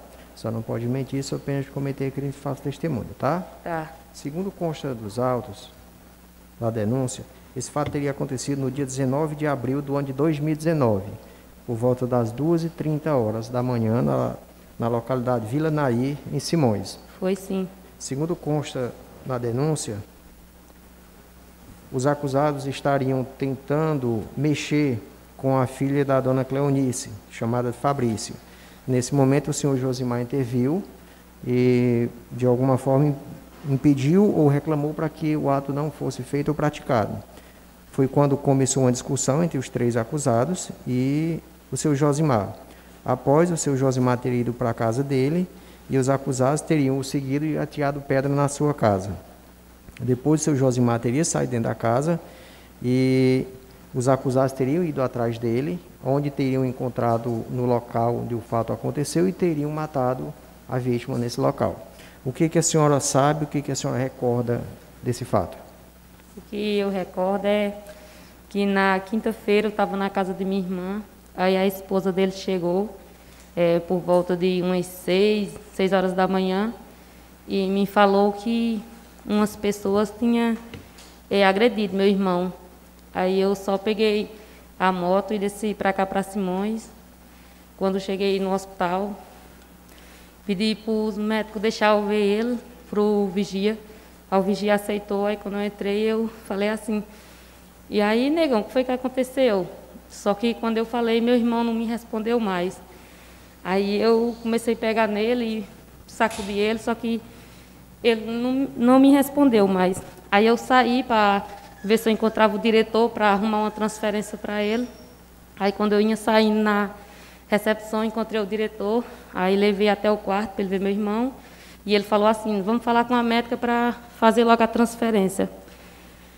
Aí, quando eu falei com a médica, eu saí, encontrei com a esposa dele, eu falei assim, eu, não foi essa história? Aí a esposa dele falou que os meninos estavam bebendo na casa de umas meninas lá na Vila Naí, e aconteceu esse acontecido, e eu saí para procurar a polícia. Cheguei lá, tinha um policial lá, eu contei a situação para o policial, ele falou que estava sem... No momento a viatura não estava lá. Aí eu voltei para o hospital e encontrei com a viatura, com os policiais dentro. Aí contei a situação, aí o policial perguntou para mim como era que fazia para chegar até os meninos. Aí eu falei que eu não sabia totalmente da história, por causa que eu não estava lá, fiquei sabendo por boca dos outros.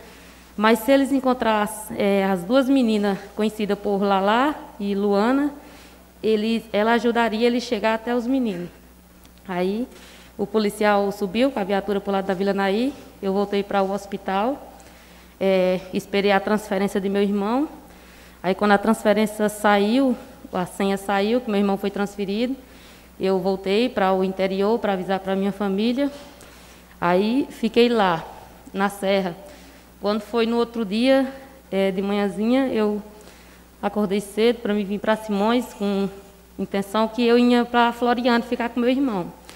Mas quando eu desci a ladeira, encontrei com minha cunhada, que é a esposa dele.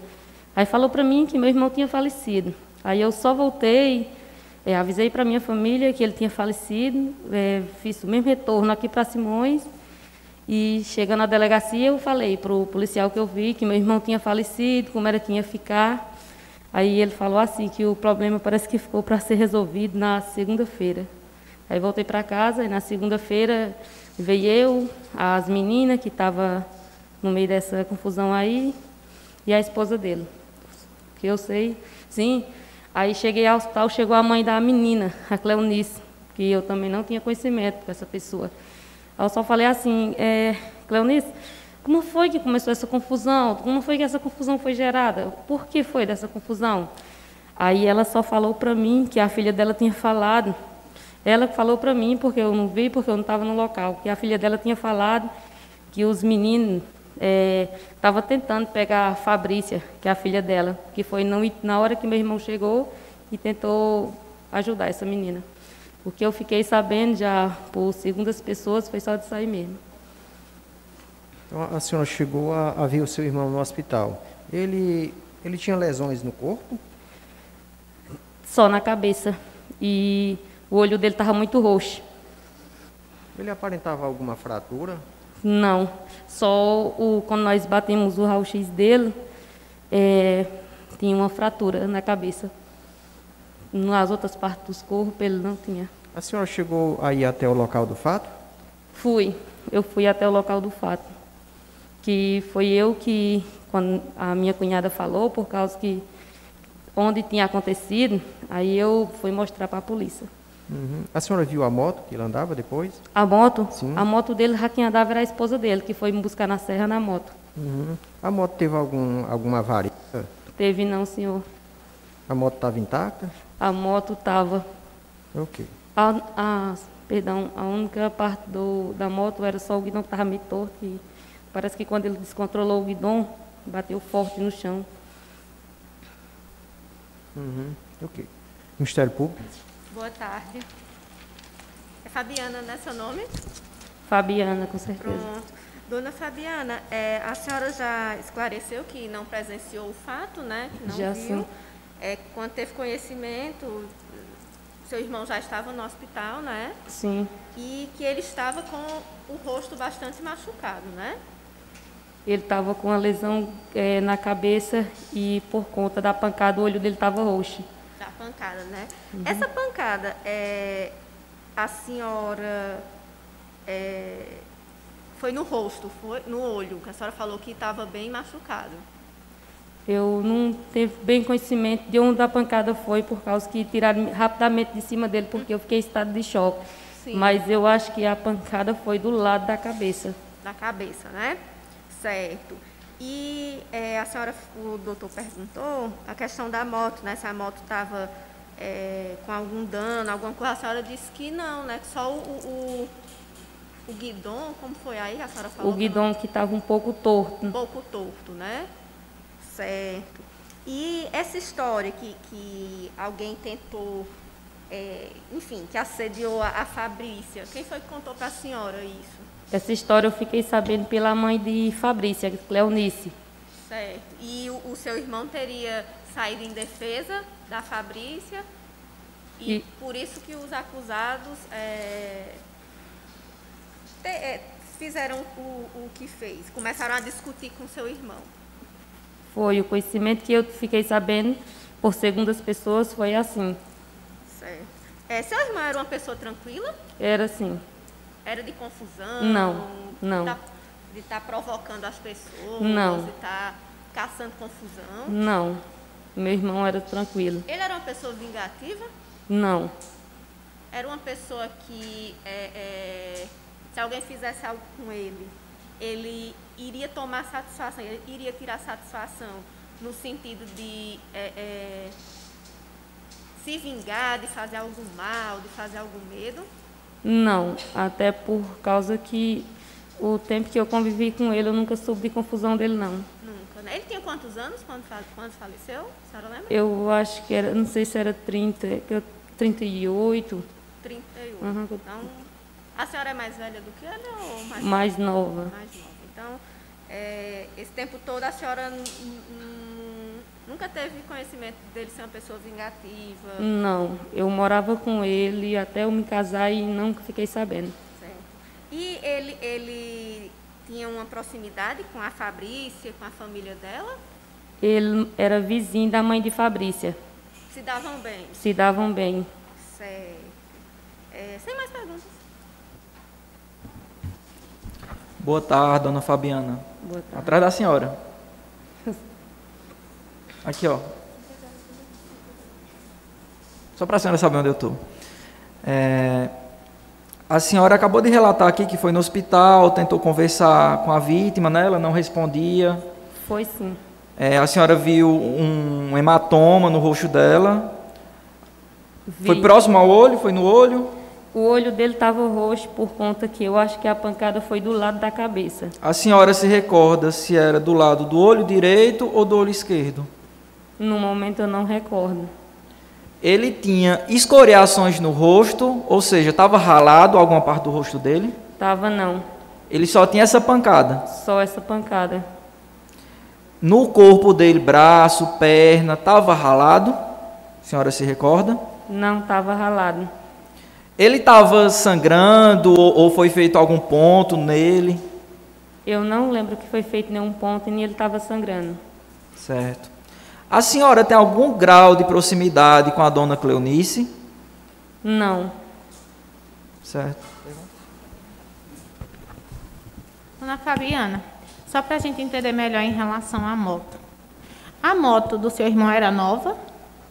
A moto do meu irmão era uma moto, eu acho que era uma 2008. Era uma moto Mas assim, aparentemente ela era bem conservada? Era. Era, né? Então dava para, se tivesse arranhões nela, arranhões, dava para identificar. Dava sim. Tá certo então, satisfeito. É, dona Fabiana, deixa eu só fazer uma última pergunta à senhora. Quando a senhora teve aqui ouvida em juízo, para ver se confirma essa história, a senhora disse anteriormente que teria muito medo dos acusados, pois teria ouvido dizer que eles teriam comentado que quando saísse da cadeia iria matar a senhora. Essa história procede? É assim, no começo é, dessa confusão, saiu muito boato. Tanto saiu mentiras da parte da família deles, tipo, alguém vindo mentir para nós, porque eu não tenho para que eu mentir, como alguém da, da, da nossa parte também foram mentir para a família deles. Então, portanto, os boatos eu ouvi só no começo. Já está com dois anos e se eu falar que eu ouvi mais boatos, eu vou estar mentindo. A senhora inicialmente disse que tinha medo de quando ele saísse da cadeia. Hoje a senhora tem medo? Eu tenho medo.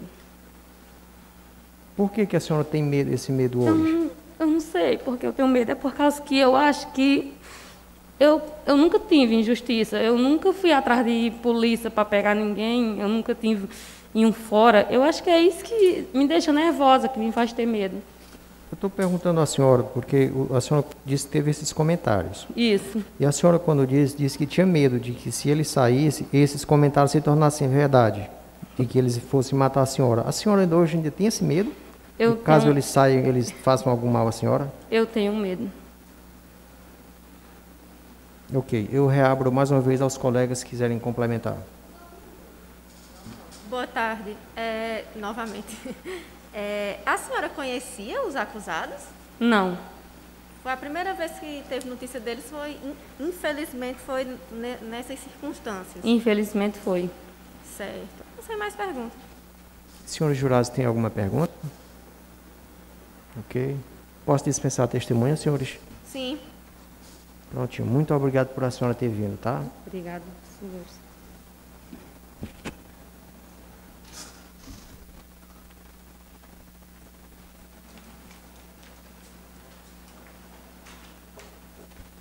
A defesa vai querer falar com os acusados novamente? Tá.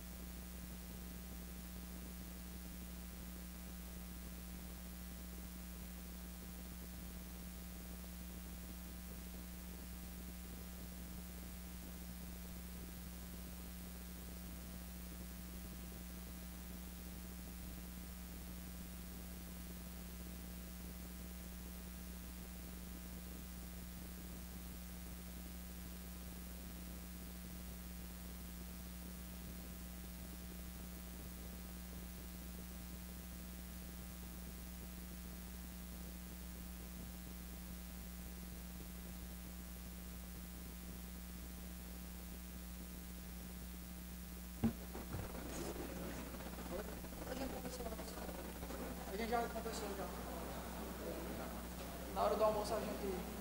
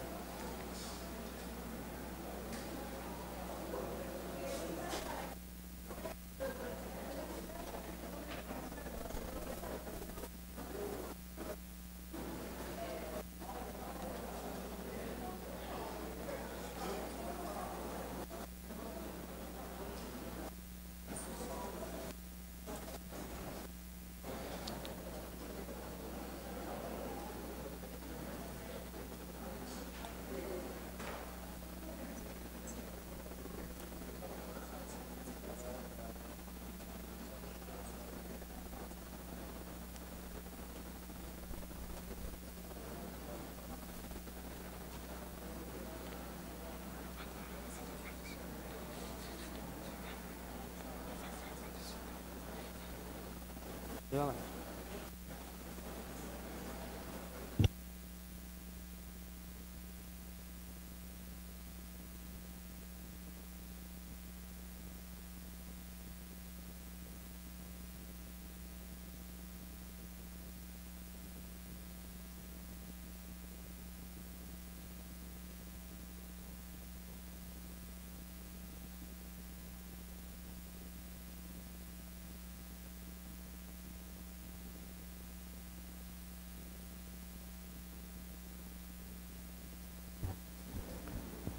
Senhores, podemos retornar?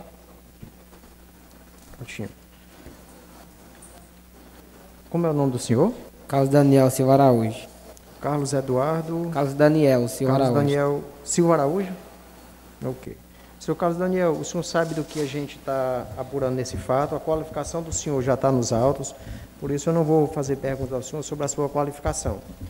É, a gente vai fazer perguntas ao senhor em relação ao fato em si, do qual o senhor é um dos acusados. Asseguro ao direito, ao senhor, exercer o direito de permanecer em silêncio. Se o senhor não quiser responder às perguntas, quiser exercer esse direito, é, é, fica facultado ao senhor. Se o senhor disser que não quer responder perguntas minhas, eu não faço. Acredito que o Ministério Público também da mesma forma. O senhor compreendeu? Então, se o senhor quiser ficar em silêncio ou responder só as perguntas que o senhor entender que sejam convenientes ao senhor, é um direito que o senhor tem. Como também, se o senhor quiser apresentar a sua defesa de uma forma plena, respondendo a todas as perguntas, é um direito também que lhe fica assegurado. O senhor compreendeu? Compreendi. O senhor quer prestar o seu depoimento ou quer ficar em silêncio? As perguntas que eu lhe fizer. Excelência, questão de ordem. Na condição de defesa técnica, eu queria orientar o Carlos Daniel a apenas responder às perguntas da defesa. Ok, doutor. O senhor orienta. Orienta, mas eu tenho que perguntar a ele. Sim. Sim, o quê? Quero responder as perguntas. O senhor quer responder a todas as perguntas ou as perguntas do seu advogado? Meu advogado. O senhor não quer responder as perguntas que forem feitas por mim nem pela promotora? O senhor compreendeu o que está sendo perguntado ao senhor? Sim. É, nessa fase, eu vou explicar ao senhor direitinho. Tanto eu posso fazer perguntas, como o Ministério Público pode fazer perguntas, como a defesa pode fazer perguntas, como os senhores jurados também podem fazer perguntas. Se o senhor quiser, o senhor pode ficar em silêncio e não responder a nenhuma das perguntas. Como também, se o senhor quiser, pode responder só as perguntas que lhe ficarem serem convenientes. Sim. Eu compreendo que faz parte do direito de defesa do senhor. O seu advogado está lhe recomendando para o senhor responder só as perguntas que ele as fizer. Eu pergunto ao senhor, o senhor quer responder a todas as perguntas ou o senhor quer responder somente as perguntas que o seu advogado lhe fizer? Pode perguntar, eu respondo. A de todas nós? Tá bom, então. É, segundo consta aqui nos autos, na data de 19 de abril do ano de 2009, de 2019, por volta das 2h30 horas, teria acontecido um evento, do qual o senhor acompanhou, que supostamente o senhor, juntamente com os outros acusados, teriam é, tentado mexer com a Fabrícia, filha da Cleonice. Em razão disso, o senhor Josimar teria intervido no feito e teria impedido que isso acontecesse ou continuasse. E vocês teriam tido uma discussão. Consta ainda que após isso, a vítima teria ido para a casa dela e vocês teriam ido atrás, teriam jogado pedras lá. Após a vítima teria saído, em um determinado local vocês teriam se encontrado quando teriam matado a vítima. O que nisso é verdade, no que não é verdade e o que que o senhor recorda, o que que o senhor quer contar a gente? Se o senhor quiser, o senhor pode contar a história que o senhor entender desde o início, é, como o senhor entender conveniente. Sim, da parte que eu vou contar da parte que eu estava, senhor. Foi na hora que a mulher do falecido mandou Laiane e Luana me, me acordar para mim apartar a confusão do meu irmão. Aí quando eu estava dormindo mais meu filho, aí quando eu fui apartar a confusão do meu irmão, que eu cheguei de frente, o falecido saiu e disse que ia matar nós três. Aí, eu, aí meu irmão mais correu e chamou para mim correr junto. Eu corri junto com eles. Aí nós corrimos. Nós corrimos. Fiquei pensando que a polícia ia vir. Aí quem veio foi o, o falecido. Aí puxou uma faca e disse que ia matar nós. Aí nós corrimos de novo. A estrada do, do ano que aconteceu o caso. Aí ele correu, aí nós corrimos, ele correu atrás de nós, chegou lá, nós pulamos a cerca. Aí ele ficou lá de fora, aí pediu para nós sair, falou, sai para fora, três homens, três homens com medo de um para eu matar vocês três. Aí Adriano falou que não era para nós sair não. Um bom tempo, ele saiu, voltou, foi embora. Aí nós pulemos a cerca de novo. Quando nós pulemos, ele vinha na moto, nós vinha ele na moto. Aí Adriano estava assim, mas é filho, eu estava uns 5 metros de distância deles. Foi na hora que ele vinha e Adriana arremessou o pau. Aí quando Adriana arremessou o pau, a Adriana já arremessou correndo. Aí quando a Adriana correu, meu irmão chamou para me correr, nós corrimos. Tá, deixa Fomos pra só- casa. Certo. Deixa eu só tentar entender a história. O senhor diz, o senhor participou de uma discussão que teve anteriormente com o senhor Josimar por conta da, da filha da Cleonice, da Fabrícia? Não, sobre essa parte aí eu não O senhor não o senhor não estava no momento, não? não estava no momento. Uhum. O senhor soube depois dessa discussão? Depois. Antes do, de, dessa briga que teve com a vítima, Josimar, antes de ter arremessado esse pau nele, o senhor soube dessa briga antes? Dessa discussão que foi, teve antes? Porque a discussão, pelo que o senhor disse, foi entre o Adriano, o José e o Josimar. Qual foi o momento que o senhor soube dessa discussão? Foi na hora que a Laiane, a mãe do meu, a mãe do meu filho veio me chamar para me apartar a confusão do meu irmão. Pronto. O senhor estava dormindo, né? Estava dormindo. Aí o senhor levantou. Levantei, aí fui na casa do falecido. Pronto. Quando o senhor foi, o falecido já estava na casa dele. Tava. E quem era que estava fora? Meu irmão e Adriano estavam lá de frente. Aí ele, ele apontou para fora, aí viu que eu ia chegando, aí falou, agora eu vou matar vocês três. Aí foi na hora que Adriano mais filho correu, aí chamou para me correr, eu corri junto com eles. Vocês saíram correndo? Foi. Aham. E aí vocês foram para onde? Aí nós corrimos pensando que a polícia ia vir. Aí nós fiquemos, assim, aqui era a casa dele, nós, aqui era a casa dele, nós corrimos assim, aí subimos assim para a rua, aí fiquemos lá, e lá vem ele na moto. Aí ele encostou na moto bem pertinho de nós, aí desceu, eu disse, agora eu mato Tinha, um- tinha uma cerca lá? Nessa hora aí que nós corrimos, que nós pensamos que a perto da, da, da roça. E nós não tínhamos saltado para a cerca ainda. Aí foi na hora que ele, nós três, nós, eu corri mais os meninos, aí nós pulamos a cerca. Quando ele correu atrás de nós, pulou a cerca, ficou pro lado de fora. Aí disse, sai para fora para eu matar vocês três, vocês não são homem, não. Aí,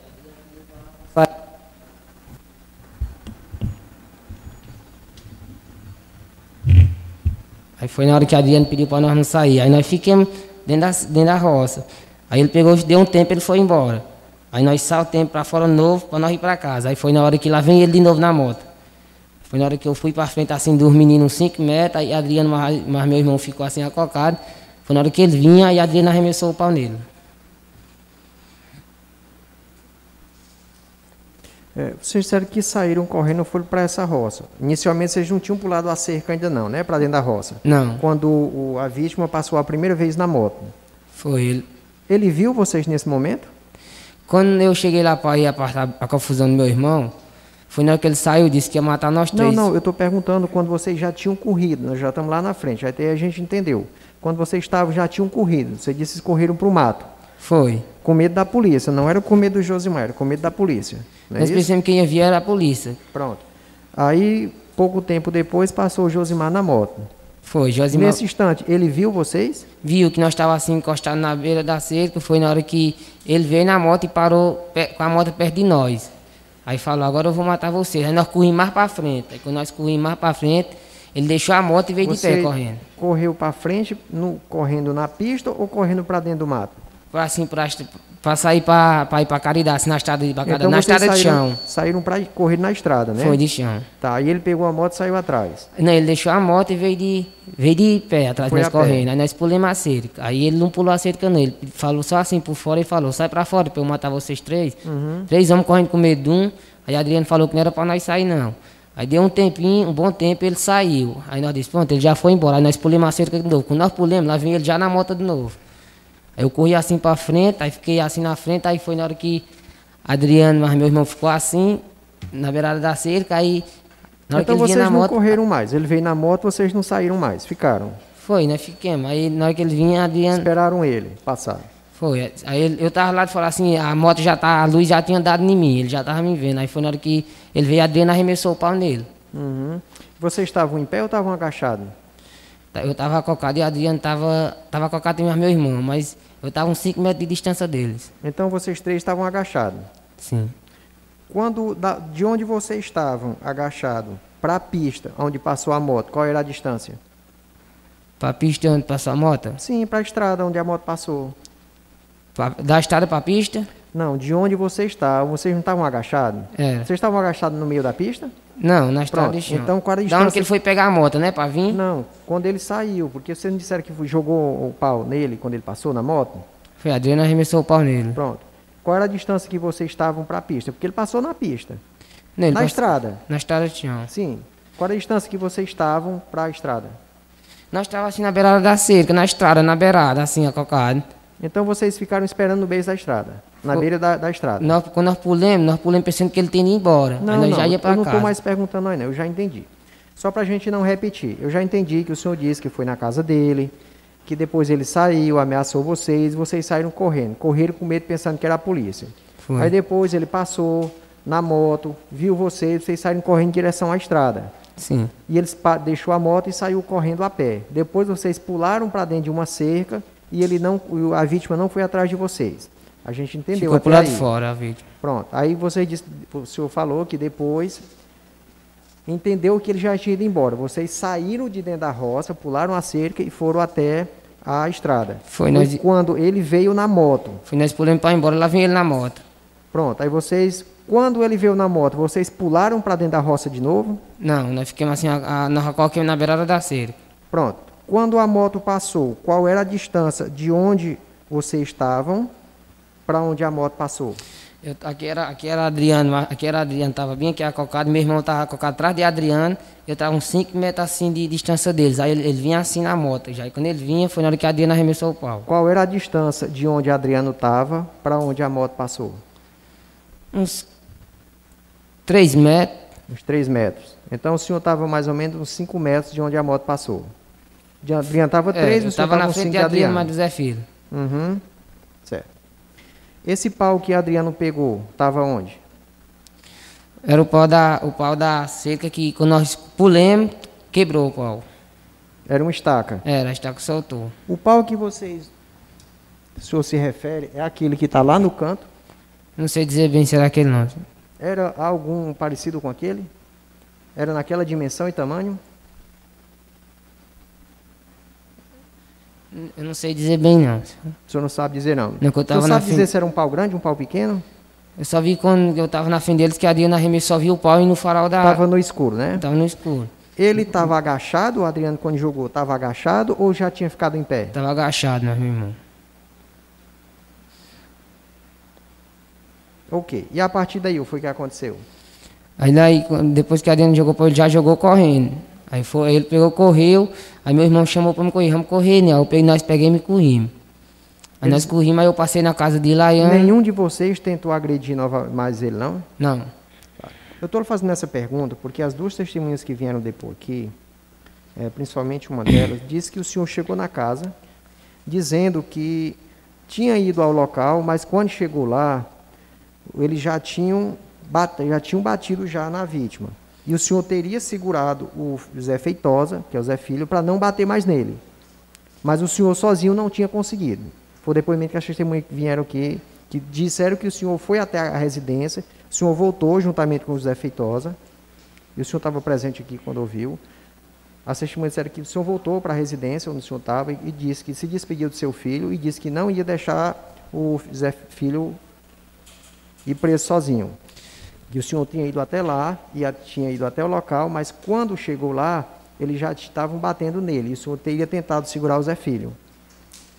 Não, quando a, Essa, essa história o senhor não contou não para as testemunhas? não, quando a Adriana arremessou o pau, a Adriana já arremessou correndo. Aí eu mais meu irmão, eu mais meu irmão, ele meu irmão chamou para me correr, também vamos correr. Aí nós corrimos, mas nós passamos na casa de Laiane mais Luana mesmo. Aí Tá, quando- Então essa, essa história que as testemunhas disseram que o senhor contou para elas não é verdade. Não, não foi exatamente assim. Tá bom. É, o senhor já foi preso alguma outra vez? Não, O senhor responde a algum outro processo? não. Tá bom então. Ministério Público? Boa tarde. Boa tarde. É, Carlos Daniel, não é isso? É isso. É, depois desse acontecido aí, o senhor retornou para a casa da- das meninas, da Lai, Laiane, da Érica e da. Qual é que é o nome dela? Érica Luana e da Laiane? Sim. Sim? Quando chegou lá, o que foi? O senhor conversou? O senhor comentou alguma Quando eu coisa? cheguei lá, eu bati na porta, aí falei pra ela, Laiane, Abriu a porta, ele falou, o que foi? Eu disse assim, Adriana arremessou o pau no, no falecido ali, eu não sei se ele escapa ou não. E amanhã eu venho aí, não tá... Amanhã eu venho aí, tá meu filho, trago umas fraldas para ele. Aí falei isso, aí fui para casa. O senhor falou que Adriano ah, teria arremessado Arremessado o pau. No falecido e que não sabia se ele ia sobreviver, foi isso? Não é demais, tinha arremessado o pau, não é demais, não sabia se ele ia... Tá. E por que, é, o senhor tem elas têm alguma coisa contra o senhor? Elas não gostam do senhor? Elas têm algum motivo para vir aqui e falar alguma coisa para lhe prejudicar? Não saiba não. Pronto, é porque o senhor estava aqui, né, quando elas foram ouvidas, né, e elas falaram exatamente o que o juiz acabou de questionar o senhor, que o senhor teria dito a elas que tentou apartar a, a confusão lá, a briga, que o Adriano teria realmente tacado a estaca na, na vítima e que seu irmão, eh, juntamente com o Adriano, come- eh, ficaram agredindo a vítima e o senhor tentou eh, eh, tirar seu irmão de lá, mas era só o senhor contra duas pessoas. O senhor ouviu, né, que elas falaram Foi, mas não aconteceu isso. Tá, então por que, que elas vi- viriam aqui e falariam isso aqui? Eu não sei por que não. Mas não, acon- não aconteceu isso não. Ele só, só aconteceu que a Diana arremessou o pau nele. Tá, mas o, o, o senhor confirma aqui que elas não têm nada contra o senhor e nem o senhor contra elas. Não. Pronto, certo. É, o Adriano, ele pegou essa estaca, foi quando vocês pularam a cerca, foi? Não, quando nós pulamos a cerca, a estaca, a estaca arrancou. Quando nós pulamos, porque nós pegamos na. A Diana pegou assim na estaca. Para nós pular a cerca, aí a estaca arrancou. Aí nós, quando ela arrancou, ela ficou no chão. Aí nós ficamos dentro da cerca. Aí foi na hora que ele veio correndo. Foi na hora que ele veio correndo atrás de nós, que ele pediu para nós sair para fora.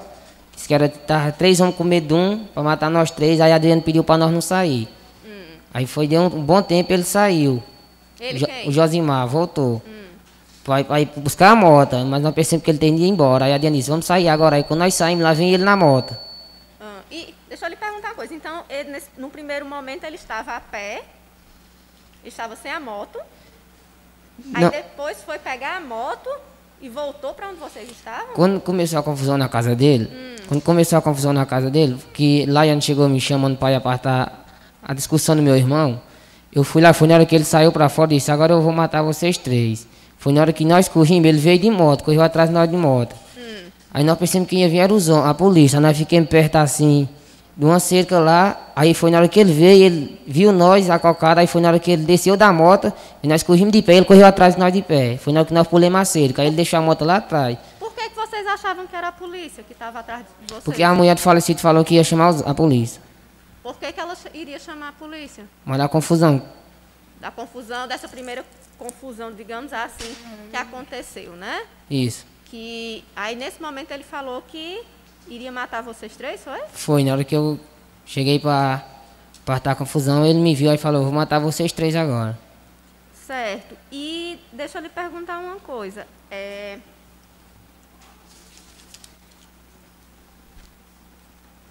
Uma estaca dessa é pesada? Você dizer não, que eu não. Não peguei na estaca nem.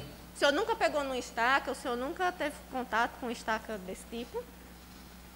Já peguei na estaca, mas nessa daí, nessa estaca. Não, por jeito que a gente vê, ela é meio grande, mas. Não sei o peso dela não. Certo.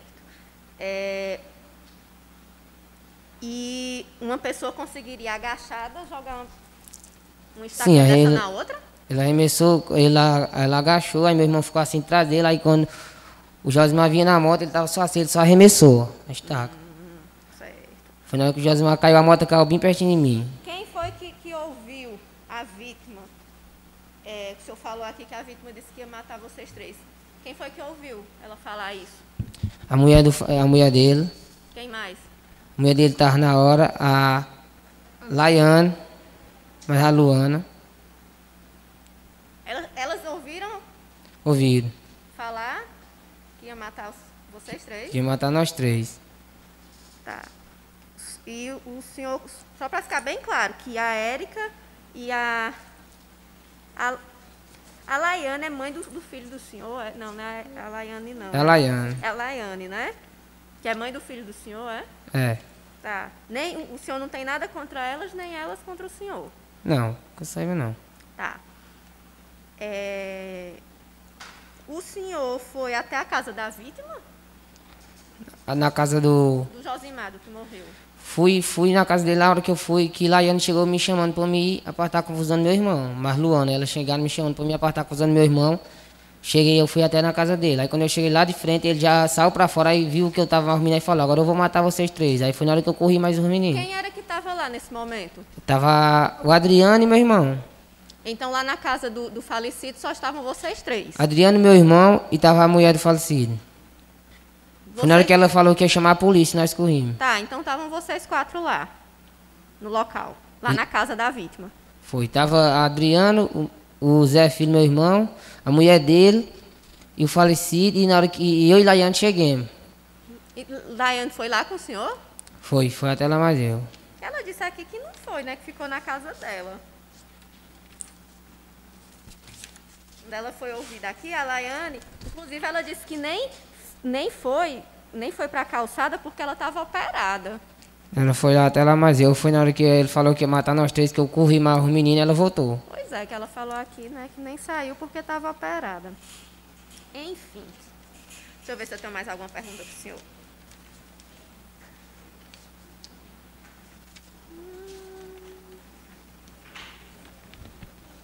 E lá no, no, no local, lá onde vocês ficaram escondidos no mato, eh, tinha iluminação? E nação? Iluminação, tinha poste, tinha luz? Tinha não. Tava escuro. Tava escuro. E como foi que a vítima viu vocês lá? A vítima viu nós, porque quando ele vinha. morreu? Quando, não, ele, quando ele correu atrás de nós lá, que ele deixou a moto, que nós estávamos dentro da cerca, que ele não viu nós nele, ficou só falando para nós sair para fora. Hum. Aí quando ele deu, que ele foi, deu um bom tempo que ele voltou, nós pensamos que ele teria ido embora, mas ele foi pegar a moto. Aí nós pulemos a cerca para a estrada. E essa moto ficou longe lá do local onde vocês estavam? Ficou.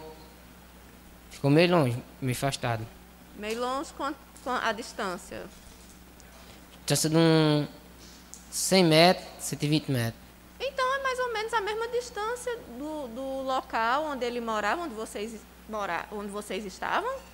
Na discussão verbal? Não, da, da casa que ele estava, na a casa da confusão. Pra casa é, a de- casa da confusão, A para o ca- local. Né? Mais casa de Laiane. A casa de Laiane, Uhum, sim, da casa de Laiane para lá para o mato. Qual é a distância? da casa de Laiane lá para casa do mato era uma distância boa. Distância boa quanto? Quantos, quantos metros? Você não tem sei diz- noção? Eu não sei dizer quantos metros não, mas era uma, é porque assim, é, o senhor não sabe dizer a distância da casa da Laiane para o local, mas sabe exatamente a distância, a distância é, onde o, a vítima teria pego, teria deixado a moto, né? E pego essa moto e ido até vocês. que quando ele deixou a, quando ele quando nós saímos da casa dele da confusão que ele disse que ia matar nós três, Hum, nós corrimos. Aí ele veio na moto. Aí quando ele, ele veio na moto, nós estávamos assim na beira da cerca. Aí ele viu nós, aí parou na moto, aí desceu da moto e disse que ia matar nós. Aí foi na hora que nós corrimos, ele correu de pé atrás de nós. Foi na base de, de uns, uns 300 metros, foi onde que ele foi buscar a moto, para pegar a moto. É, vocês, vocês jogaram pedra na casa da vítima? Não, nessa hora aí eu não, não participei não, não estava não. Hã? Não sei falar se tinha pedra não. Essa parte aí o senhor não tem conhecimento. Não. Tá. Tem mais perguntas, doutor? Defesa. Seu Carlos Daniel, a gente só vai te fazer umas perguntas rápidas só para a gente poder fechar aí né, o que você já respondeu. No caso, você não estava presente no momento da confusão que existiu, Não. Certo? Você estava onde? Estava na casa da Laiane, estava com meu filho dormindo. Estava dormindo. Estava dormindo. Seu filho tem quantos anos? Tem dois anos e uns meses. Na data do fato, Na data do fato ele tinha. Estava com 15 dias de nascido. certo? Então o senhor já estava dormindo, o senhor não presenciou nada, Não. certo? O que, quando a, quem foi lhe chamar? Foi me chamar, foi Laiane e Luana, que chegou me acordando. Certo. E o que é que elas lhe disseram? Chamou, chegou me chamando, acorda Daniel, que pra tu ir apartar a confusão do teu irmão, que tá com confusão com o Josimar. Certo. Foi na hora que eu fui mais elas. Quando chegou lá, o senhor presenciou alguma confusão? Quando eu cheguei lá, vi só na hora que ele saiu pra fora, na hora que eu cheguei lá, ele saiu pra fora, aí viu que eu ia chegando e falou, agora eu vou matar vocês três. Foi na hora que a Diana e Zé Filho correu e disse, corre, Nel, aí eu corri junto com eles.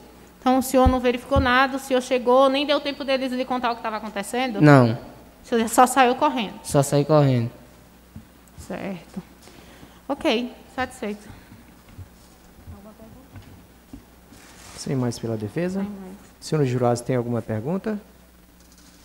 Não? Ok. A gente pode trocar os colegas. O senhor aguarda na sala enquanto outro colega do senhor depõe, tá?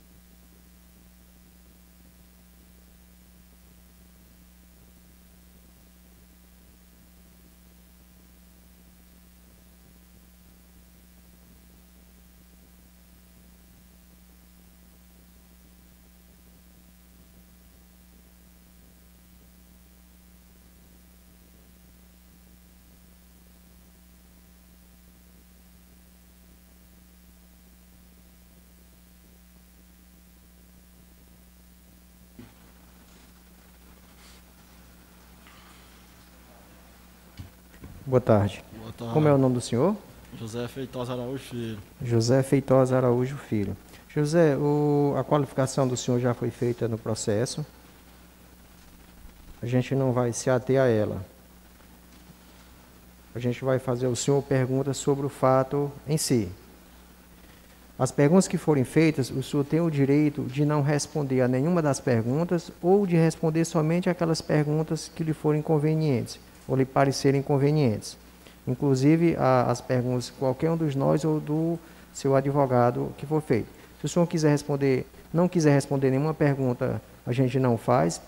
Como se alguma pergunta que for feita o senhor não quiser responder, o senhor pode ficar em silêncio. Como também se o senhor disser que quer responder somente as perguntas do seu advogado, ah, eu não me abstenho de fazer perguntas ao senhor. Acredito que o Ministério Público também. O senhor compreendeu? Sim. O senhor quer responder às perguntas, o senhor quer exercer o seu direito de permanecer em silêncio? Respondeu só meu advogado. Ok? O senhor quer responder somente as perguntas do seu advogado? Ok. Doutora Talita? Doutor, é, eu quero que conste as perguntas que eu vou fazer.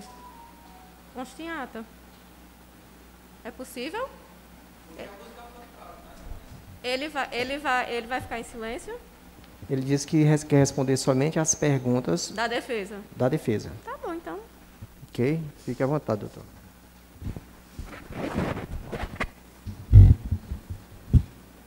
Seu José Feitosa, boa tarde. Tudo bem? tarde. Fique Bem. atrás do senhor. É, o senhor já escutou tudo, todas as acusações que pesam contra o senhor, o senhor acompanhou os depoimentos. É, me diga uma coisa. O senhor confirma que houve uma discussão com a pessoa do Josimar, a pessoa da vítima, no qual o senhor estava presente, no qual a pessoa do Adriano estava presente, o senhor confirma? Sim. Fala mais perto do microfone, por favor. Sim. Confirma, né, que essa, essa discussão aconteceu. Aham. É, em seguida, o que foi que aconteceu?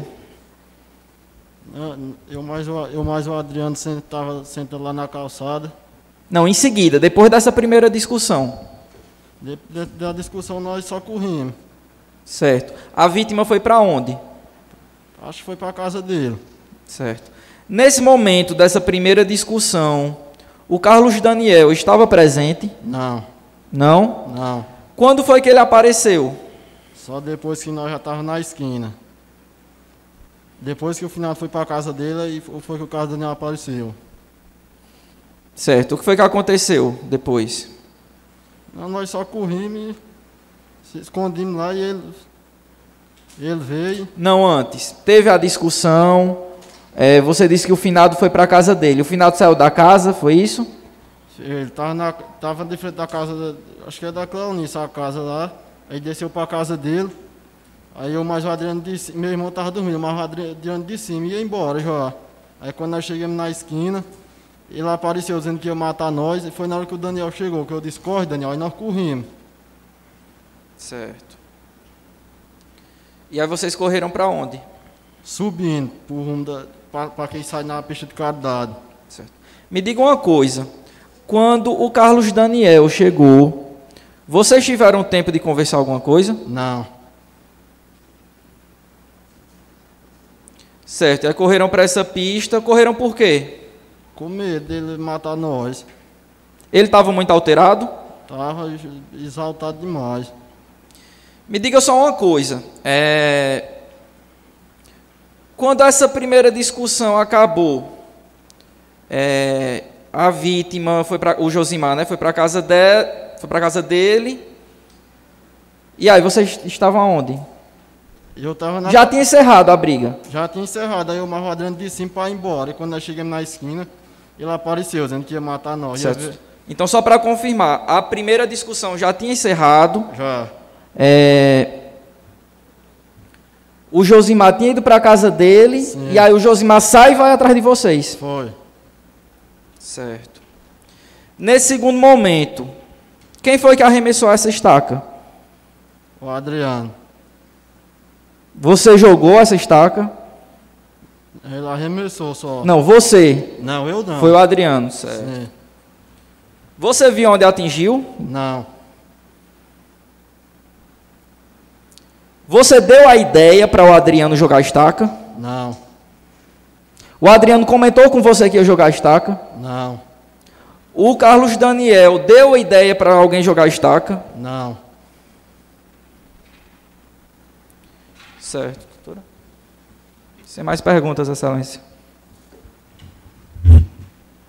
Sem mais perguntas pela defesa. Senhores jurados, tem alguma pergunta? Não? Ok. Encerrar o depoimento do senhor e ouvir o próximo acusado.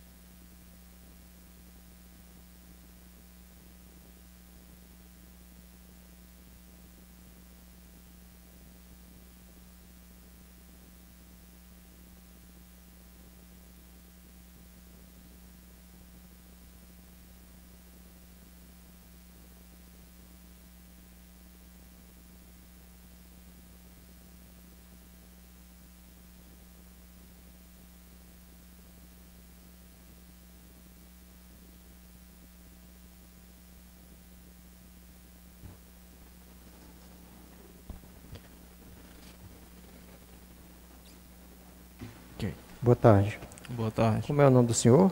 Adriano Raimundo Jesus. Senhor Adriano, é, igualmente como foi feito com os outros acusados, a gente não vai fazer a qualificação do senhor porque ela já consta nos autos. Então a gente vai já considera como feita. A gente vai passar para a pergunta do senhor em relação ao fato, é, ao eventual fato criminoso narrado na denúncia. Eu asseguro ao senhor, e lhe garanto, o direito de permanecer em silêncio. As perguntas que forem feitas ao senhor, você só precisa responder aquilo que o senhor quiser, aquilo que o senhor desejar. Se o senhor não quiser responder a nenhuma pergunta, a gente não irá fazê-lo. Se o senhor também quiser responder somente algumas perguntas, se o senhor assim entender conveniente, se o senhor quiser responder somente as perguntas do seu advogado, creio que eu não irei fazer e o Ministério Público possivelmente também não. O senhor compreendeu? Compreendi. O senhor quer responder as perguntas? Sobre o fato só com o meu advogado. Ok. Doutora Talita? Nada para fazer, né? Ok. Então a defesa fica à vontade. Boa tarde, seu Adriano. Boa tarde. Tudo bem? Tudo. É, eu acho que você já sabe, né, a acusação que pesa contra você, é, você já ouviu os depoimentos. Eu queria que você relatasse para a gente, de forma bem clara, o que, é que foi que aconteceu nessa data, nesse, no primeiro momento. É, no primeiro momento que aconteceu, é, eu estava na casa de, de Laiane, é, eu estava mal o Zé Filho, é, então chamei ele para a gente fumar um cigarro do lado de fora, aí a gente foi, aí em seguida eu escutei os gritos da, da, da menina pedindo socorro, e eu falei para Zé Filho que ele me esperasse lá, que eu ia ver o que estava, o que estava acontecendo. E chegando lá, ele estava pegado no braço dela, ela estava bastante alterada, é, chorando, pedindo que ele soltasse. Eu fiquei um pouco afastado e só pedi que assaltasse. E aí eu falando com ele, ele não assaltou. Aí eu referi umas palavras que eu acho um pouco pesado com ele. E aí ele soltou, em seguida ele veio e me agrediu com um tapa no Seu peito. Adriano, ele quem? Aqui, ó, sou eu. Ele quem? O, senhor tá falando quem? Josmar. Certo. E quais foram as palavras que o senhor, o senhor lembra? Chama ele de pedófilo. Certo. O senhor ficou chateado com o que estava acontecendo? né, Fiquei Valdir? chateado porque um, hora, um horário da, é, o horário que já que se encontrava aquela hora, né? É, e ele estava com a criança, para ele ser uma pessoa mais velha do que ela. é, eu pensei em fazer só o bem, só queria ajudá-la só. Eu não fui agredir ele nem nada. Eu fiquei distante dele, só pedi que assaltasse. Tudo bem, pode continuar a história. E aí ele veio e me agrediu. Aí ele saiu falando que ia mostrar para mim que era homem. Então ele saiu descendo. Ok. Nesse primeiro momento, dessa primeira discussão, a pessoa do Carlos Daniel estava presente? Não. Só você e o José Feitosa? É, ele estava um pouco Ok. afastado, Zé Filho. E Daniel estava onde? Tava dormindo. Certo. Aí ele saiu, é, descendo na estrada, no rumo, no rumo de uma casa lá. E aí eu mais é filho, já, como o Carlos Daniel já estava indo, pra, é, já estava dormindo, a gente resolveu sair em direção da nossa casa, para nós para nossa casa dormir. Aí quando a gente ia passando, ele ficou jogando piada da janela. Aí a gente começou a discutir. Só um pouquinho, só voltando um pouquinho para a gente recapitular.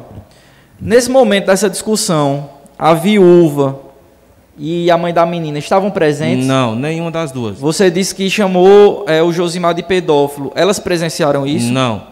Certo. E aí, quando começou a gerar a discussão de, de boca, ele dentro da casa, da, da janela, a gente na esquina, Carlos Daniel vinha chegando, ele já saiu em seguida com a faca. Aí nós já saiu correndo, que o Carlos Daniel não deu nem tempo de conversar nada com ele. Em seguida, a gente já saiu correndo todos os três juntos. A gente correu até onde estava a construção da faculdade, a gente ficou lá, e aí parece que ele voltou.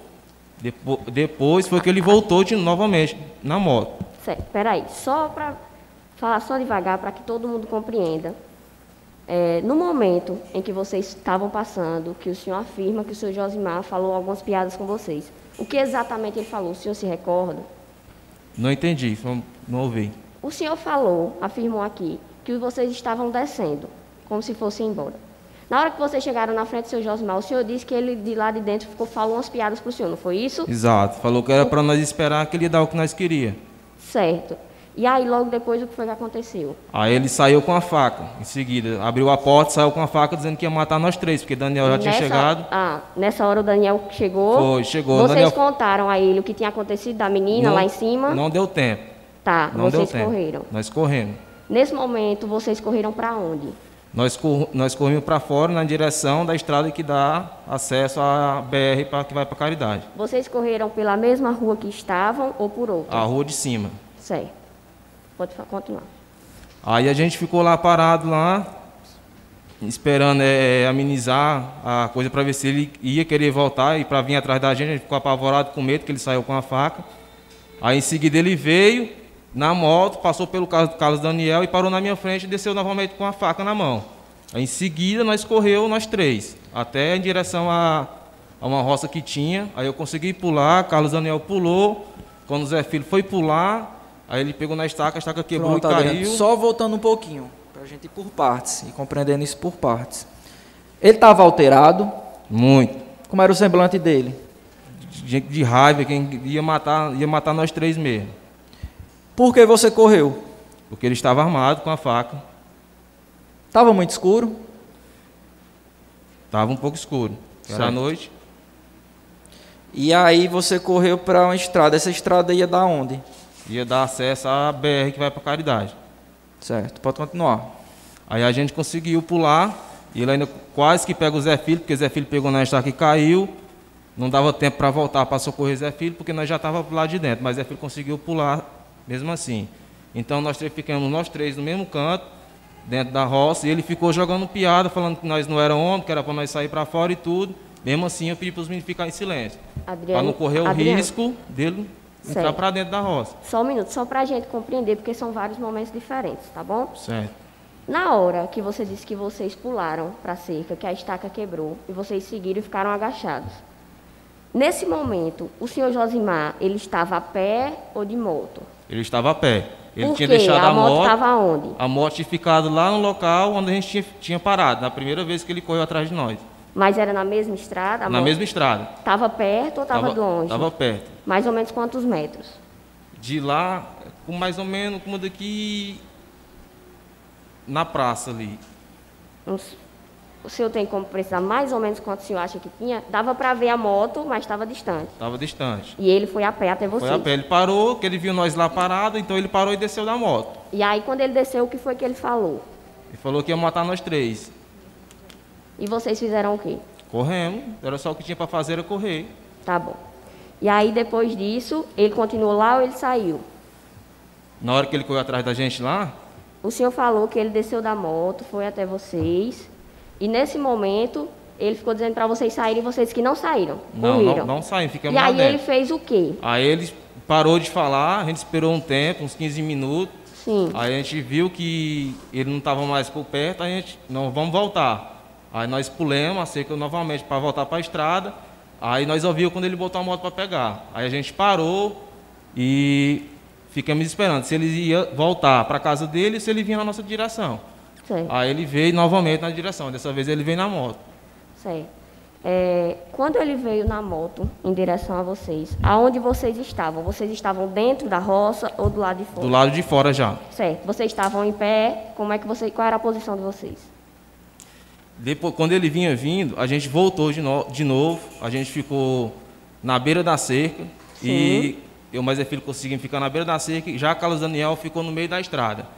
Então, Certo. de lá de onde ele vinha, já dava para ver Daniel, que eu via a, a luz da moto, já estava clareando ele aí já. vocês viram a luz da moto. Foi. E aí, nesse momento, o que foi que aconteceu? Eu ah, tive que arremessar o pau, porque eu me senti, eu estava com muito medo e Você achou que ele, ia, ma- ele ia fazer algum mal com vocês? Com certeza. Se ele veio uma, duas e, e a terceira vez, nós estávamos só correndo para poder evitar. E ele continuou insistindo, insistindo, Essa e é... estava armado. Adriano, me diz uma coisa, vamos lá para a gente entender exatamente como é que aconteceu com relação a todos vocês. Né? Hum. Primeiro, essa estaca né, que você disse que arremessou, ela era pesada? Era assim. Era. Eu quero saber se naquele momento vocês combinaram que vocês iriam arremessar a Não.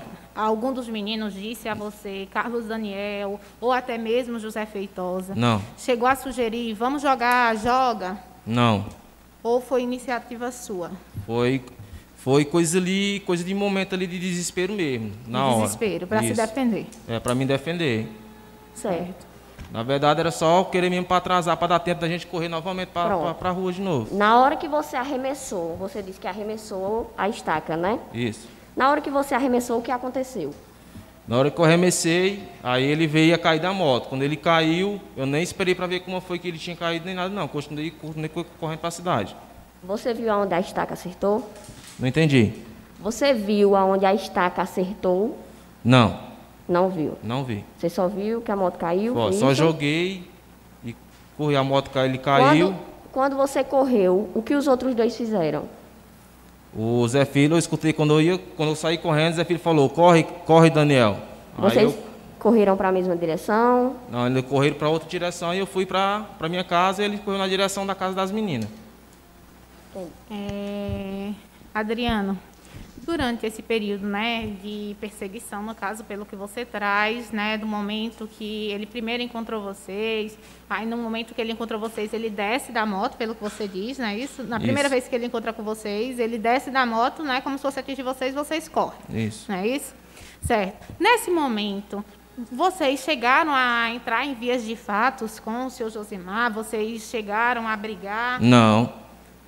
Não, no momento não que tivemos ele desceu da moto, vocês verificaram que ele estava com a faca e correram? Foi assim? Isso, exatamente. Certo. Nós não entramos em luta corporal em nenhum então momento. não houve nenhum momento. Não. Depois que você jogou a estaca, né? Você saiu correndo ou você ainda retornou ao local, Não. né? Fez alguma coisa contra, né, o senhor Josimar? Não, não retornei. Você conseguiu ver, olhar o que é que tinha acontecido naquele momento com o senhor Josimar? O não. senhor sabia Só se ele sei estava que vivo? quando ele caiu, eu continuei correndo, nem esperei pelos Não meninos. esperou saber o que tinha acontecido? senhor Não, se ele- porque ele estava armado, eu ia saber se ele não tinha só Certo. caído ali, eu ia voltar para ele poder me matar. Tá bem. Isso, inclusive, eu fiquei até preocupado quando eu cheguei na casa do, meu- do, do meu irmão, onde ele estava lá com a esposa dele. Eu pedi para eles até o local para ver se ele tinha se machucado. Ele falou: Não, Adriano, eu não vou lá porque não aconteceu. Porque eles não, entendeu? não acreditaram. Eu falei: Mas vai lá ver se ele se machucou. Aí ele pegou a moto, mas a esposa dele disse que foi lá. Disse: Não, Adriano, não tem ninguém lá. Aí eu, nossa, pois ele está atrás de mim. Ele disse, não, pois dorme na minha casa. E eu dormi na casa do meu irmão com medo, ele vinha atrás de mim. Mas na verdade eu acho que ele não foi lá, Quando, até no local. Tá. Quando a polícia foi atrás do senhor, o senhor ofereceu algum tipo de resistência? Ou o senhor já sabia o que tinha acontecido? Não, eu pensei quando ele chegou lá, porque eu estava na minha casa, no- praticamente bem pertinho da casa onde, onde- começou a discussão. Sim. Eu estava na minha casa dormindo com as portas tudo abertas. Se eu tivesse feito alguma coisa com ele, eu tinha empreendido fuga, eu tinha ido fugido, tinha ido embora. Mas não, fui dormir na minha casa. Quando eles chegaram lá, Adriano, Raimundo Jesus, eu disse, sou eu mesmo, senhor. Pode me acompanhar até a delegacia? Eu disse, posso. Tá. Aí eu fiquei pensando, ele deve ter prestado queixa para nós pagar o conserto da moto. Foi Tá o que eu certo. pensei. Tá bom, Adriano, satisfeita. Adriano, só para complementar. Só para ficar bem claro para os jurados. Você arremessou a estaca, jogou a estaca ou você golpeou como se fosse um carro? Não, eu arremessei. Você jogou. Isso. Você se recorda se do momento que você joga, ele estava de moto, foi Isso. isso? Ele estava de lado, de frente, já tinha passado? Não, ele vinha de frente. Certo. É, foi anexado ao processo um mapa do local. Eu vou lhe mostrar e vou lhe fazer. Certo. Aqui é a Vila Naí, aqui é a estrada, certo? Certo. Que, é, é, que dá acesso à cidade de Caridade. Você estava de que lado aqui? Desse lado aqui. Então, do lado esquerdo que dá acesso à Caridade. Isso. Excelência, eu posso só mostrar para os jurados? Para eles entenderem?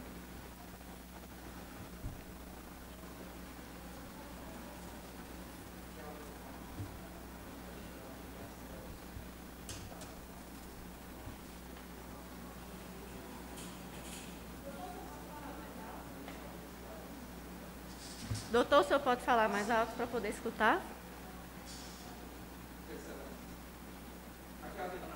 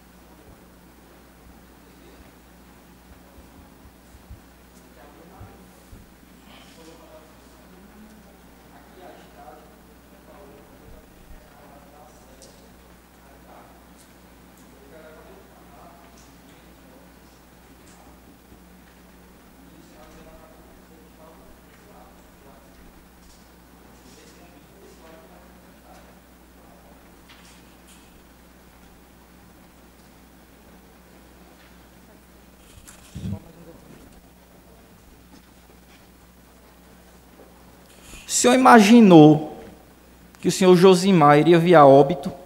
Não. Em momento nenhum o senhor Não. pensou nisso? Momento algum. O senhor jogou com a intenção de matar? Não. O senhor quis matar ele? Não. O senhor deu depoimento na delegacia? Sim. O senhor se recorda? Lá na delegacia, o senhor estava com advogado? Não. O senhor assinou o seu depoimento no final? Assinei. O senhor leu o seu depoimento lá na delegacia ou alguém leu para você? Não. Certo. Satisfeito, excelência. Sem mais pela defesa? Ok. Prontinho. O senhor pode voltar e sentar novamente ali, por favor? Vocês podem trazer os outros colegas. Alguém quer ir no banheiro?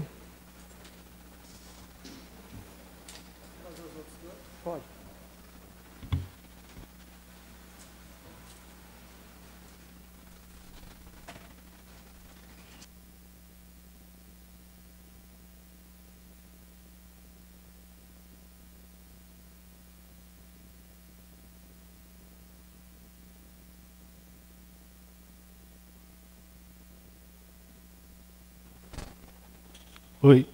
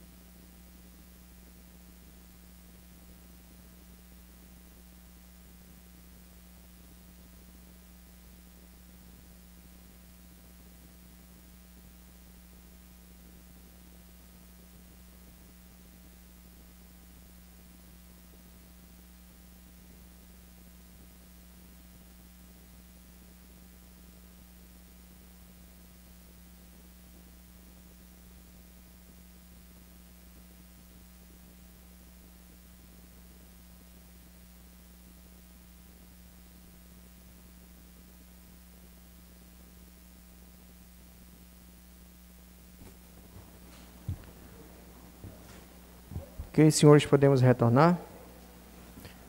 Ministério Público.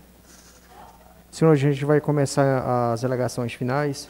É, uma hora e meia para acusação, uma hora e meia para a defesa. A defesa combine entre si a divisão do tempo, tá? Fica à vontade, doutora.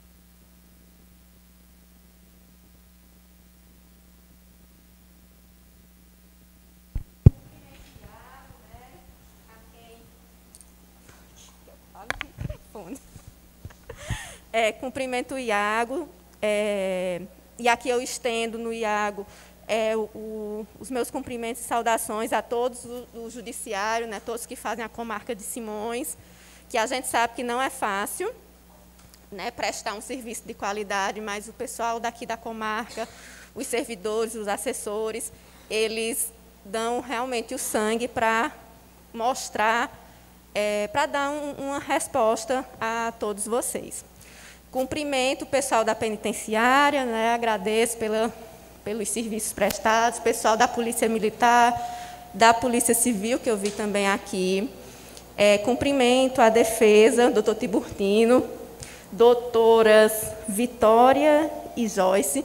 É, nunca fiz júri com vocês, mas tenho certeza que nossos debates vão ficar apenas em torno dos fatos, né, das questões jurídicas, sem ofensas, sem gritaria, sem é, é, nenhum tipo de, de coisas desse tipo, né, porque eu acho que para os jurados é, eles prezam e querem ouvir os fatos, né, nossas teses, tanto a da acusação como a da defesa, para que eles tomem a decisão, né?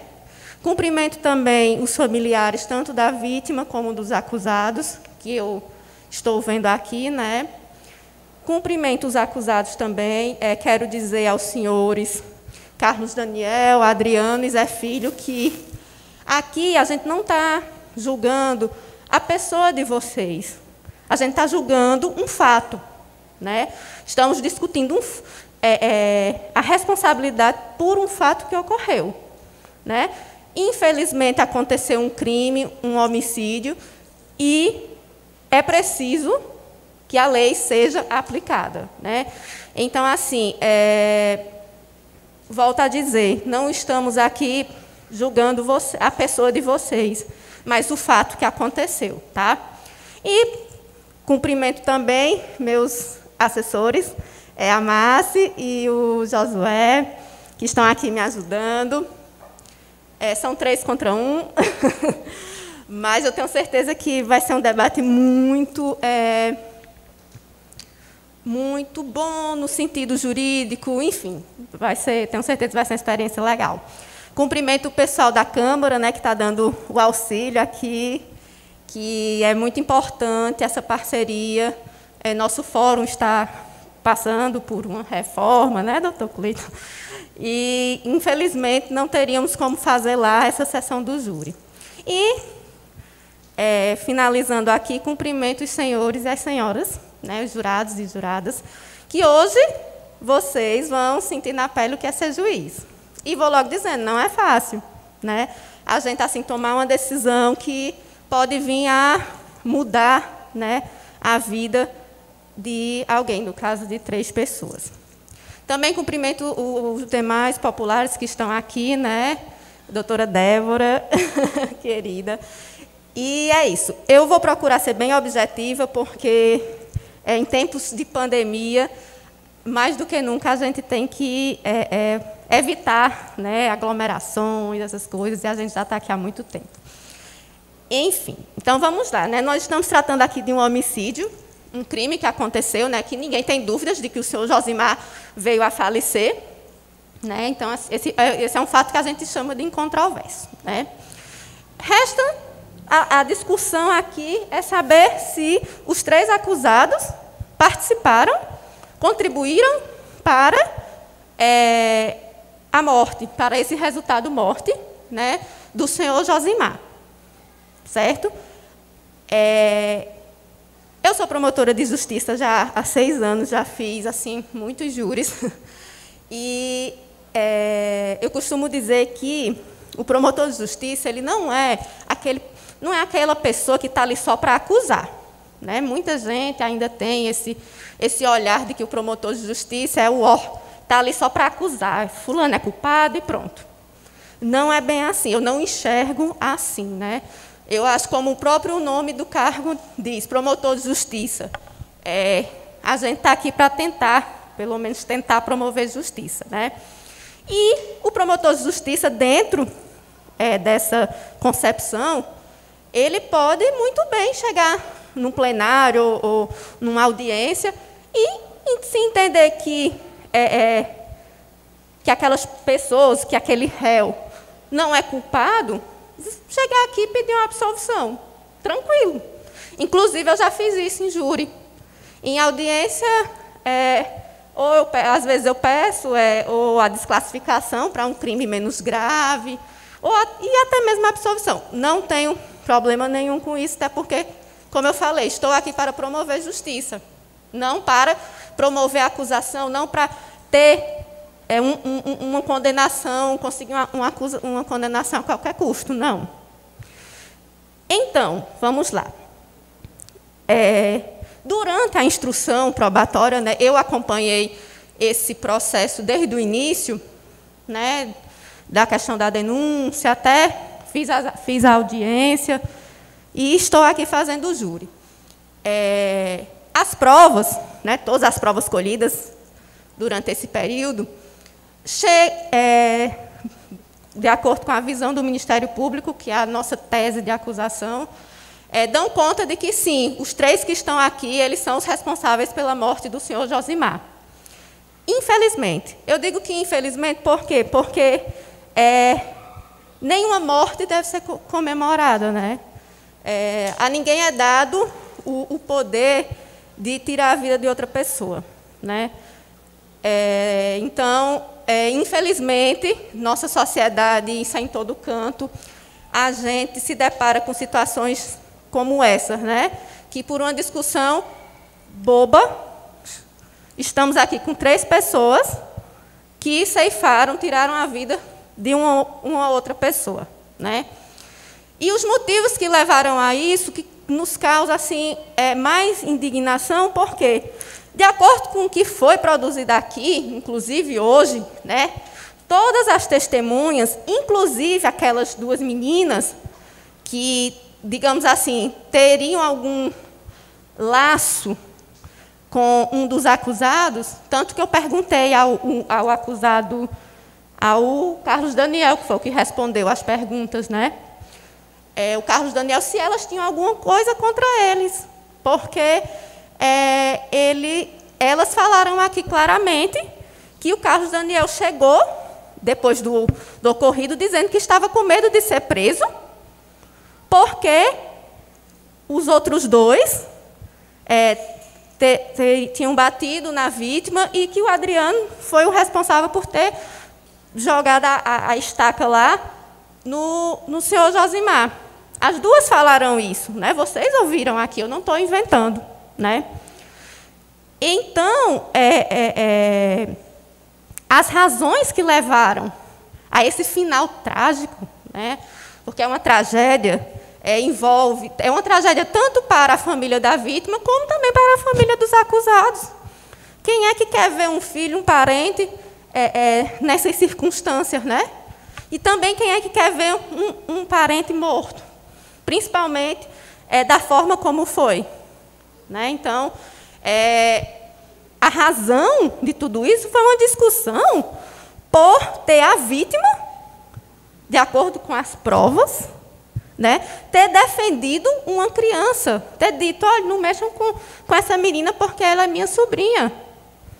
E aí gerou-se todo esse, é, é, é, é esse embrulho, toda essa confusão por uma coisa.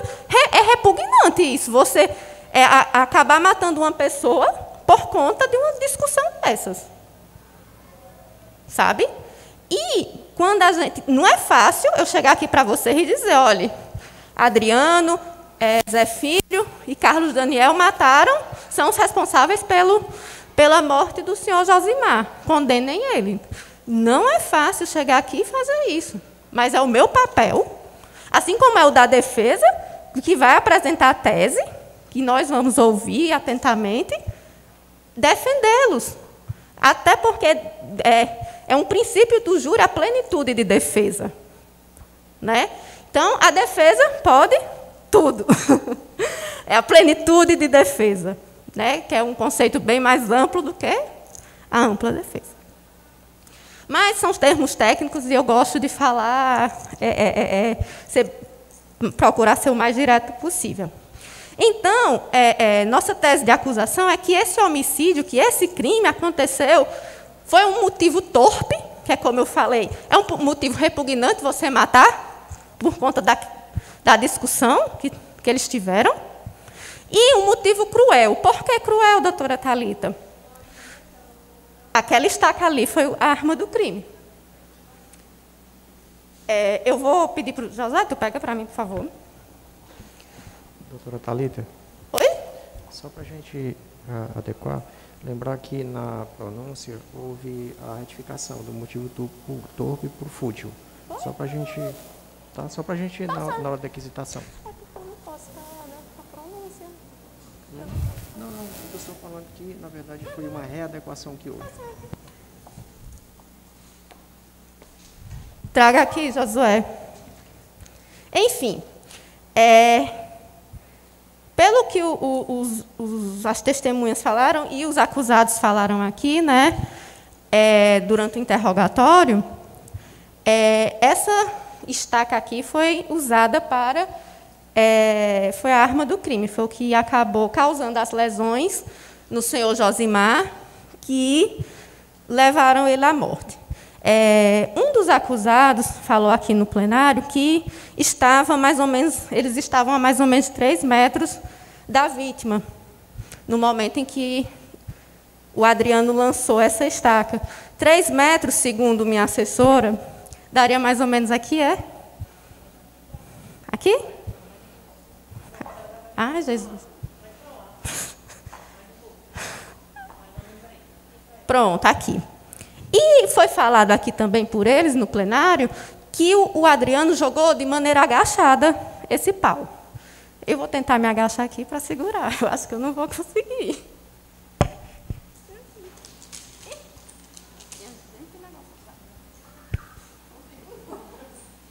Vai ter que ser uma pessoa com um atleta. Vai ter que ser um atleta, se agacha. É, fica aí. Enfim, é, é um, um, um, um, estaca um tanto quanto pesada. Que para uma pessoa é, jogar ela agachada e a três metros de distância acertar como a vítima foi acertada, é fisicamente impossível, ao meu ver. Né? E, além do, ainda que ele conseguisse, né, se ele lançasse realmente dessa forma como lançou, não causaria o estrago que causou na vítima. Eu vou mostrar aqui para vocês como que a vítima ficou. Doutor, é, são as fotos que tem no, nos autos, viu? São as fotos que tem nos autos. É porque eu não estou usando papel, aí eu salvei, tá? Deixa eu só achar aqui.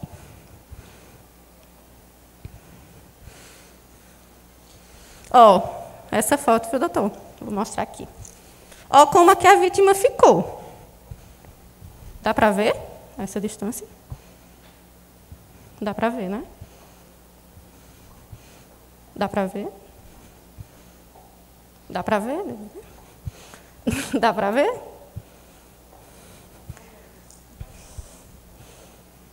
Pronto. É, então, esse foi o estado que a vítima ficou após ser acertada pela estaca. Né? E outra coisa, José, acho que não vou mais usar, não, obrigada. É, outra coisa, é, não há nenhum indício, não há nenhuma prova de que é, essas lesões da vítima foram ocasionadas por um acidente, por ele ter caído da moto, simplesmente por ter caído da moto, certo? Tanto que não há arranhões, não há nenhum sinal de uma queda de moto. Eu acho aqui que todo mundo é, já andou de moto, pilota moto, já teve conhecimento de alguém que se acidentou de moto, né? E a gente sabe que a pessoa fica né? Arranha principalmente pernas, braços, cotovelo, né? E não, nesse caso aí, foi só a cabeça. O que é compatível com a nossa tese, né? Que ele foi acertado, que, as, que essa estaca, os autores, né? Acertaram na cabeça dele. Mas, doutora, não tem sangue. É, o sangue que estava no local era um pouco sangue. Sim, era pouco, por quê? Porque, via de regra, uma pancada desse porte, desse nível na cabeça, não vai é, esparramar sangue. A lesão é interna. Vai, é, é, é, é vai danificar, digamos assim, é, é, por dentro. Entendeu? Tanto que ele ainda saiu com vida, mas quando chegou no hospital já foi desfalecendo. Então, aí está a justificativa para não ter tanto sangue no local do crime. Né? E é, outra coisa que me chama a atenção é a questão assim que é, a defesa provavelmente vai levantar aqui, que eles não tiveram a intenção de matar. Né? Mas aí eu, eu deixo um questionamento.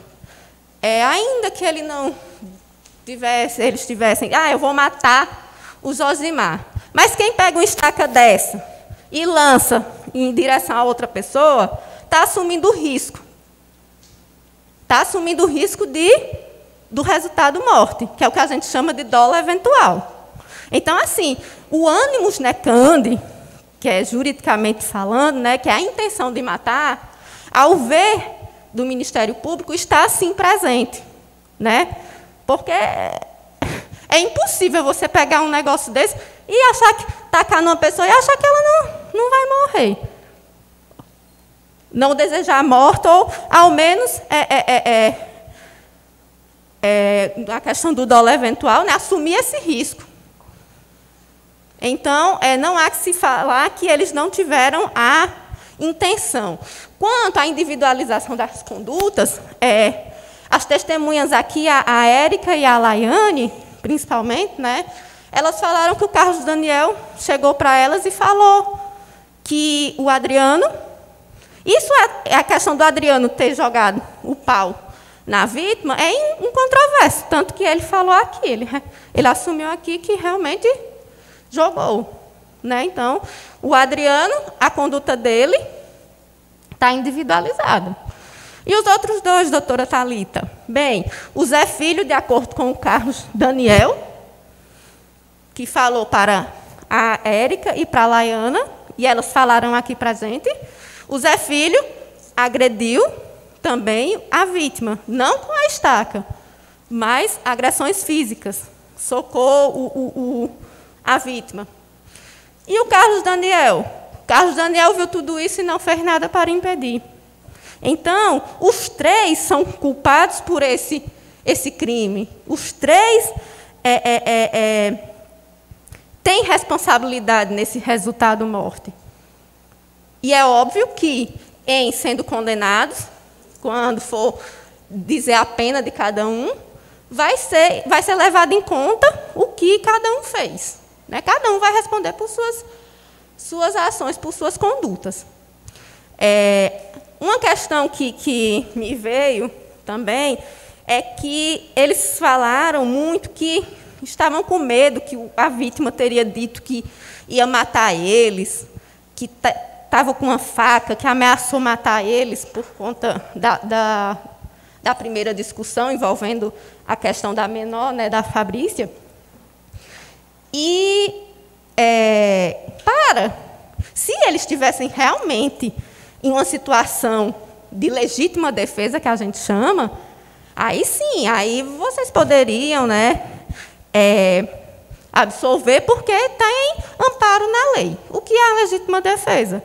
É você se defender de uma, de uma agressão injusta que está acontecendo ou está para acontecer, porém usando dos meios é, é, é, necessários, que são os meios que estão a seu dispor, de maneira razoável. Ora, primeiramente, não se tem nenhuma prova de que houve essa agressão por parte da vítima. As testemunhas disseram aqui que, em momento algum, ouviram a vítima falar que ia matar, que ia fazer isso, que ia fazer aquilo. Eu perguntei aqui a duas testemunhas se a vítima era vingativa, se a vítima era metida em confusão. E elas disseram que não, que era uma pessoa tranquila. Então, não há provas, não tem como é, a gente levar em consideração essa tese de legítima defesa, porque eles não agiram em legítima defesa. Não teve agressão é, atual ou prestes a acontecer, agressão injusta, injusta, por parte da vítima. Ainda, supondo, supondo, porque as testemunhas não confirmam, disseram que não teve nenhuma é, ameaça e que muito menos a vítima andava armada. Porque surgiu aqui que a vítima está, estaria com uma faca. As testemunhas disseram que a vítima saiu da casa sem faca, que não tinha arma, que saiu sem nada. Então, uma pessoa que está desarmada e três pessoas, é três contra um. Já, por aí, daí você já tem uma desproporcionalidade. E ainda mais com aquela estaca. Onde é que está a proporcionalidade a, a, é, a razoabilidade em você se defender. Não tem, isso aí é, é, é, é, algo que não se encaixa nos requisitos da legítima defesa. A vítima também, em momento algum, falou, é, provocou, injustamente provocou os acusados. Óbvio que é um direito deles contar a versão deles. É um direito, a plenitude de defesa. Mas a gente tem que se ater ao conjunto probatório. Será que a versão deles se encaixa com o que as testemunhas falaram? As testemunhas e a prova que tem dentro dos autos? Não é, não basta você chegar aqui e contar uma história e ficar por isso mesmo. Não. Por isso que é um, um, é um, um, o plenário do júri é uma coisa longa, é uma audiência longa. Por quê? Porque você, vocês, aliás, todos nós aqui, a gente tem que se ater ao que é dito aqui por todos, né, de testemunha, quando é tentativa vítima, e os acusados, para ver se encaixa né? É, então, não tem essa história, ah, é, ele provocou, eu matei porque ele me provocou, que aí seria um homicídio chamado privilegiado, que a pena é menor, mas não tá, não tem o requisito do privilégio. Aí que seria uma agressão injusta, uma provocação, não é nem agressão, uma provocação por parte da vítima, que a gente viu aqui que não teve. A vítima que foi provocada. Jogaram pedras na casa dele, ele saiu, os acusados foram atrás e culminou com essa tragédia. Então, não há que se falar em legítima defesa, não há que se falar em homicídio privilegiado, não há que se falar que não houve a intenção de matar, porque, volto a dizer, quem pega um negócio daquele e joga em outra pessoa, no mínimo, está assumindo o risco. Aquilo ali é pesado. É porque eu sou, eu não tenho porte físico não, mas aquilo ali é pesado. e é, outra coisa também é que eu falei, né, que não é fácil ser juiz, não é fácil estar aqui acusando. E para vocês, é, alguém aqui já participou de júri? Ninguém? Já participou? Já participou? Pronto. Então, os senhores sabem mais ou menos como é que funciona, né? Agora, os demais, a maioria, né, que nunca participaram de uma sessão, é, ao final, depois que, que a defesa falar, e porventura eu vim a falar de novo, a defesa novamente, vocês vão responder a umas perguntas, com sim e com não. Desde já, eu tranquilizo os senhores e senhoras que não tem como ninguém aqui saber como vocês votaram. O voto é secreto.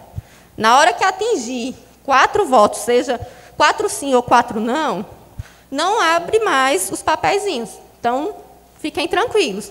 Porque antes, né, tinha que abrir todos os papeizinhos. Então, se todo mundo votasse sim, aí né, a gente sabia como você como foi votado. Mas hoje não. Então, realmente julguem, decidam de acordo com a consciência de vocês. Tá? Então, serão feitas perguntas, é, mais ou menos assim. É, no dia. Deixa eu ver aqui a data. 19 de abril de 2019, o senhor, é, o senhor Josimar foi morto. Isso aqui é incontroverso, né? Uma consequência, que é uma pena, que é uma condenação. Né? Então, aqui a gente pede que vocês votem que sim. Tá? É, não, aí talvez venha uma pergunta: vocês absolvem o, o, o, os acusados? Que se você, aqui é o seguinte: se vocês responderem sim para aqui, vocês vão estar, tá, vocês vão estar tá absolvendo, né? Eles vão sair daqui de boa e pronto. Que vocês vão, se vocês responderem que sim, é porque vocês ou entenderam que eles agiram por legítima defesa, né, que eu já expliquei que não cabe, ou que eles não são os responsáveis por essa, essas lesões. Que, infelizmente, eles são sim os responsáveis. Tá? E é aqui que a gente pede que vocês respondam que não. A gente que eu digo, o Ministério Público. Que vocês respondam que não, que não absolvemos os acusados. Em respondendo que não, é, vir, vão vir outras perguntas, né? E se vocês entenderem que ele não, eles não agiram com o, o ânimo de matar, com a intenção de matar, vocês vão estar desclassificando o crime. Ou seja, vocês não vão, é, é, aliás, vocês vão entender que eles não tiveram a, a intenção de matar e também acaba por aqui. Questão do privilégio também. Se for perguntado a vocês se eles agiram porque foram provocados injustamente pela vítima, também não. Eles não foram provocados pela vítima. Em momento algum a vítima provocou eles. Cadê a prova dessa provocação, né? E a tese da acusação. Eu vou só corrigir aqui porque eu falei do motivo torpe, mas na verdade é um motivo fútil. Isso, na prática, é só questão, é a mesma coisa, assim, questão de, de, de, de pena, digamos assim, que é o que interessa, dá no mesmo. É só questão técnica, ter, terminologia, tá? Que é o quê? Que é a questão deles terem matado por conta daquela discussão. Daquela discussão que a vítima foi defender uma criança. E eles acharam ruim e ocasionou essa bagaceira toda né? E aí aqui a gente pede que vocês respondam que sim. Que eles agiram pelo motivo fútil. E por, pelo meio, qual foi o meio que eles empregaram? Um meio cruel. Olha aquele negócio ali. Você tacando no, no rosto de uma pessoa. Meu povo, é muita crueldade. Aquilo ali. Imaginem a dor. A dor que aquilo ali causa. Uma pancada né? E então é, vai ser mais ou menos assim, né? E eu já estou para terminar. Como eu falei, né? Eu gosto de, de ser objetiva, pra, até para não dificultar tanto, é, é, para não bagunçar, porque são tantas as informações que às vezes a gente fica meio, meio que perdida, né? É, vocês podem ficar com receio de condenar, né? Porque às vezes a gente pensa, quem sou eu para julgar o próximo, né? Mas aqui vocês têm que compreender uma coisa, né? Vocês estão exercendo um papel muito importante, que é o quê? Que é o de fazer justiça, né?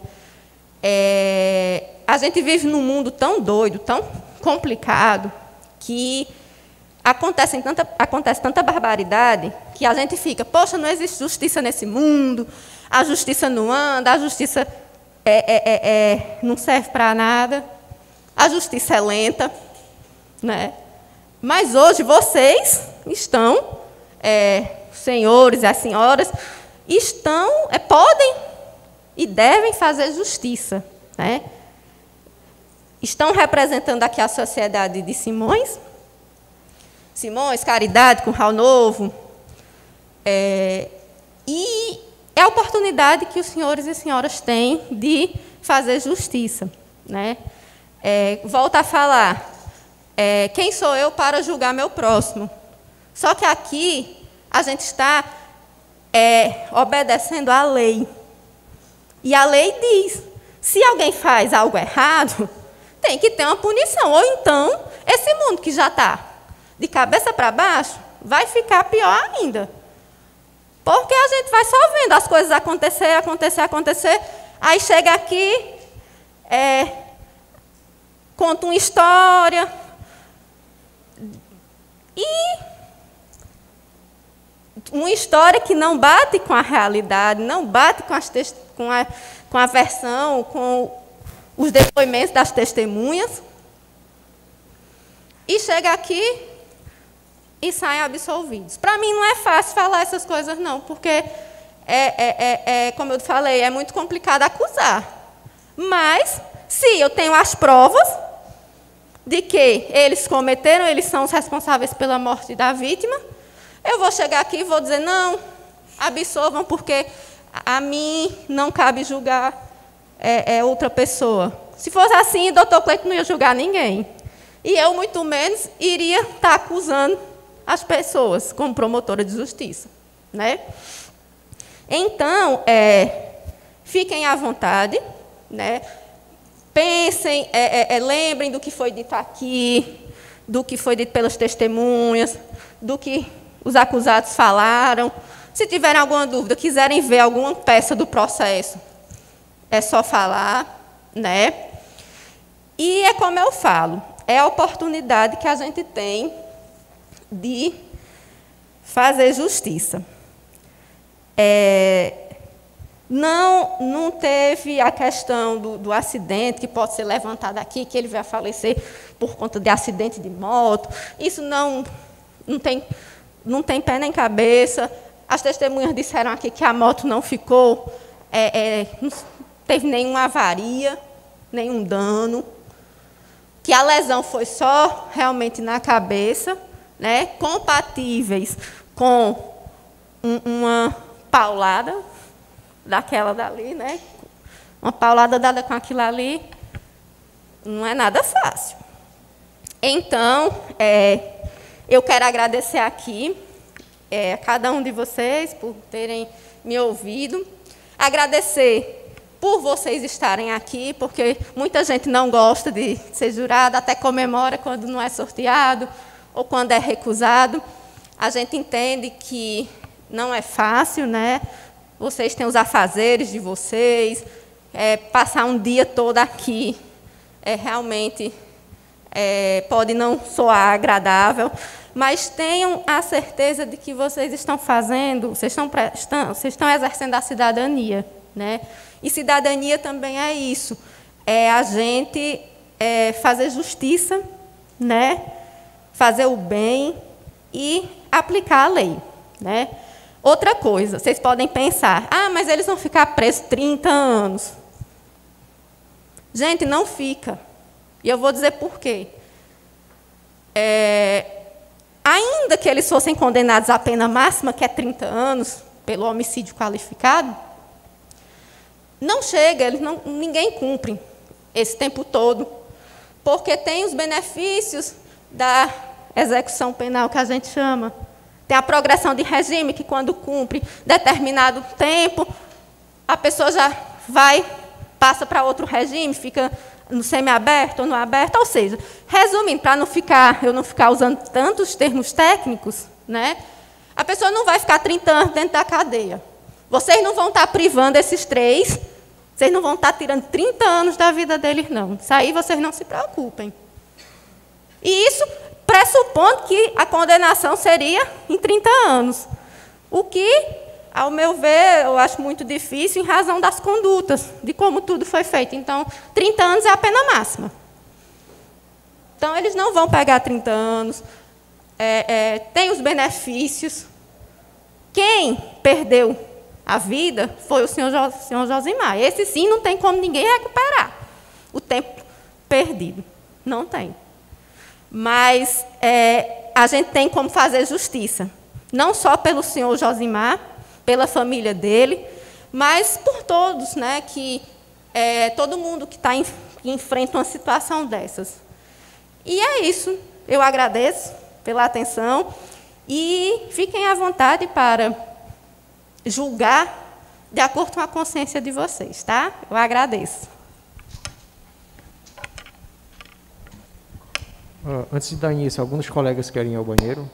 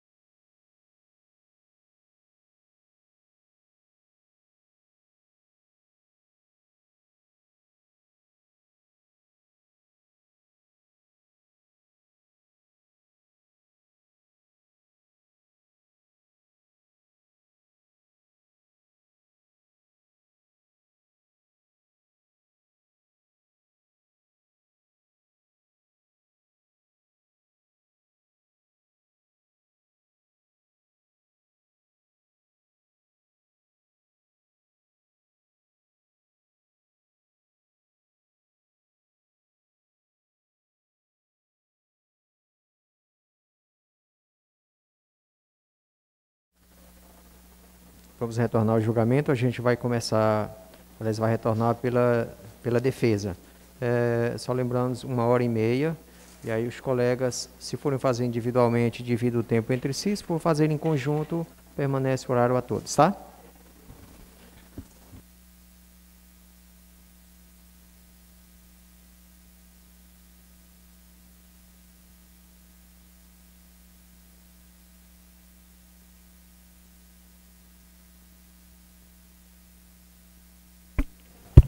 Som.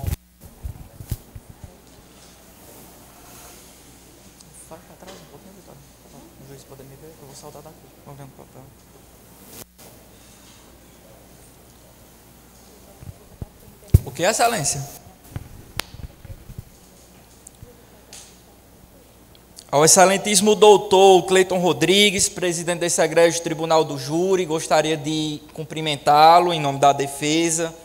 É, Vossa Excelência, hoje, na condição dos nossos trabalhos, gostaria de aproveitar a oportunidade para parabenizá-lo pela condução dos trabalhos aqui hoje, pela, pela atuação de Vossa Excelência aqui na comarca. É, é um dos primeiros processos que eu atuo aqui em Simões, mas pude notar o empenho de Vossa Excelência, a acessibilidade, sempre solícito, agradecer a recepção aqui hoje, parabenizá-lo novamente pela condução dos trabalhos aqui hoje e dizer que, de fato, Vossa Excelência honra a toga que veste. Aproveitando a oportunidade, gostaria de cumprimentar todos os servidores da Varônica aqui da comarca de Simões, na pessoa do doutor Iago. A excelentíssima representante do Ministério Público, doutora Talita Luzia, representando um dos poucos órgãos do nosso país no qual, de fato, podemos nos orgulhar, que é o Ministério Público, um órgão que tem uma atuação muito importante na nossa sociedade. Parabenizá-la também é, pela atuação em plenário, pela forma respeitosa com que Vossa Excelência tratou a defesa, tratou os acusados.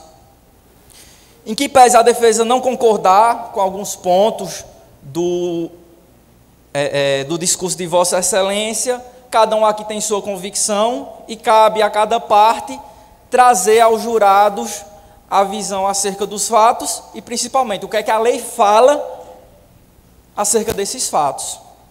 As minhas colegas de defesa, a doutora Joyce Carla, doutora Vitória, hoje me ladeando aqui na tribuna. É uma honra atuar com vossas excelências, excelentes profissionais, amigas pessoais, é motivo de muita alegria. Gostaria de cumprimentar a Polícia Penal do Piauí, que se faz aqui presente, a Polícia Militar, as forças de segurança, zelando pela nossa segurança, pela regularidade dos nossos trabalhos, aos demais membros da plateia que se fazem aqui presentes, família da vítima, família do acusado. Gostaria de saudar os acusados, o senhor Adriano, o senhor Carlos Daniel, o senhor José Feitosa. Hoje, os olhos da sociedade de Simões estão direcionados sobre os senhores. É muito difícil estar sentado nesse lugar onde os senhores estão, mas eu peço tranquilidade. Hoje nós vamos tentar esclarecer, abrir a lei, o que é que a lei fala, o que foi que aconteceu. Entendam uma coisa: ninguém está aqui para julgar quem os senhores são, e sim o que aconteceu nesse fato, certo? Por fim, gostaria de cumprimentar o Conselho de Sentença, os senhores jurados, nas pessoas dos doutores Wellington, Vitória, Kleber, senhor Gil Hermes, o senhor Bruno, a senhora Érica e a senhora Calice.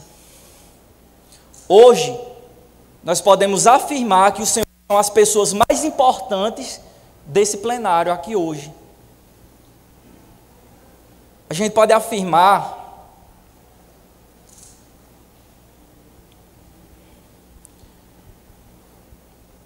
que os senhores representam a nata da sociedade de Simões.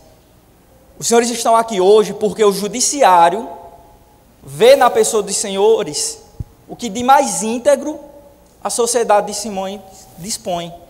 Os senhores estão aqui principalmente Porque o judiciário reconhece que durante toda a vida dos senhores, os senhores obedeceram à lei, agiram em conformidade com a lei. Hoje, vocês vão decidir o que não é o habitual para a justiça, o que não é normal. Hoje se afasta o poder de decisão do magistrado, do juiz togado, e a sociedade vem para dentro do processo julgar. Por isso que a gente afirma que o tribunal do júri é o momento mais democrático da nossa justiça.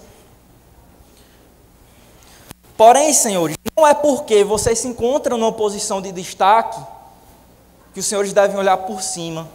É necessário descer do pedestal e, principalmente, se colocar no lugar de cada um dos olhar com os olhos deles. Essa é uma das principais lições do tribunal do júri. Como eu falei, não é o habitual, o normal é o magistrado julgar. E aí os senhores podem se questionar. Porque justamente nesse tipo de crime, nesse tipo de delito, o povo, o juiz leigo, vai decidir em que pese o homicídio, a tentativa de homicídio, serem considerados crimes cruéis, são considerados também o mais humano de todos os crimes. Por quê? Vamos imaginar a doutora Calice, como eu falei, se ela está aqui hoje, é porque ela tem uma conduta ilibada, é porque ela, ela age em conformidade com a lei. Então seria muito difícil imaginar a doutora Calice roubando, traficando, induzindo alguém a erro para obter uma vantagem indevida. Mas eu não posso fal falar isso em relação ao crime de homicídio. Todos nós temos um botão, um gatilho. Então, para cometer esse tipo de crime, eu não preciso ser uma pessoa mal, não preciso ser um bandido. Se alguém mexe com um filho meu, com uma pessoa minha, é capaz de ativar esse botão. Então, qualquer pessoa, independente de ser juiz, de ser promotora, de ser rico, de ser pobre, de nível intelectual, a depender da circunstância em que se encontra, pode se tornar autor de um crime de homicídio.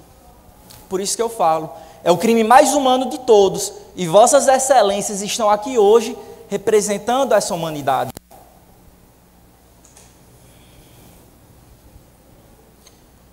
A defesa hoje vai trabalhar de uma forma diferente, de uma forma dinâmica, seguindo uma ordem lógica.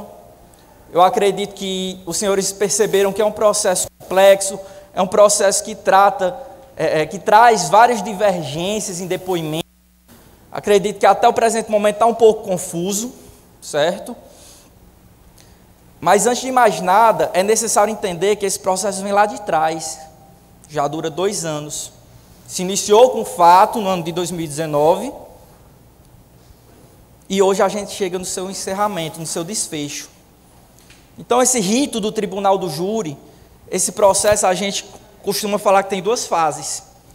Se inicia com a consumação do fato, vai se iniciar uma investigação da autoridade policial, no qual ela vai fazer diligências, vai ouvir testemunhas, vai ter um processo, vai ter uma audiência, como aconteceu, no qual as testemunhas vão ser ouvidas no juízo, e aí ao final o juiz dá uma decisão, pronunciando ou impronunciando.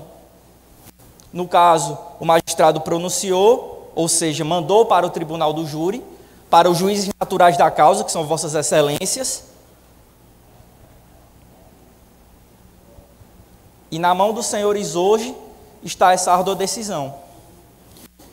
Então eu gostaria de convidar as doutora Joyce Carla e doutora Vitória para a gente trabalhar, mostrar as contradições, mostrar quais são as provas, mesmo as que talvez não sejam favoráveis para a defesa, porque o nosso compromisso aqui é com a verdade.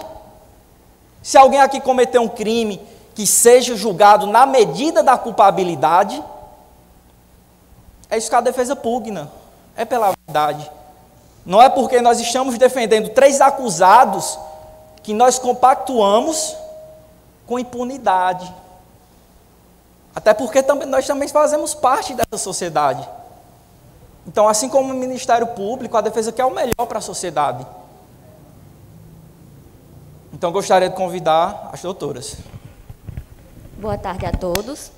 Primeiramente, eu gostaria de deixar clara a minha felicidade, a honra estar aqui nesse tribunal pela primeira vez no Tribunal do Júri e pela primeira vez nesse tribunal. Eu gostaria de cumprimentar o excelentíssimo senhor doutor juiz de direito, que, é, como o doutor Tiburtino falou, exerce tão bem a sua função. Me senti muito acolhida. Então, muito obrigada e parabéns pelo seu trabalho. Estender meus cumprimentos à digníssima representante do Ministério Público. Parabéns pela atuação. Obrigado pelo respeito. É, vamos também respeitá-la de todas as formas. E estendo aos seus colaboradores, trazendo também meus cumprimentos aos demais serventuários que aqui estão, que sem eles, com certeza, nada disso estaria acontecendo. Muito obrigada e parabéns pelo brilhantismo do trabalho de vocês. Eu gostaria de dizer o quanto estou honrada em dividir esse palco das misérias humanas com a doutora Vitória Gonçalves e o doutor Tiburtino Carvalho. É uma honra trabalhar e estar fazendo parte da bancada de defesa. Gostaria também de cumprimentar a Polícia, a Polícia Penal, Civil e Militar.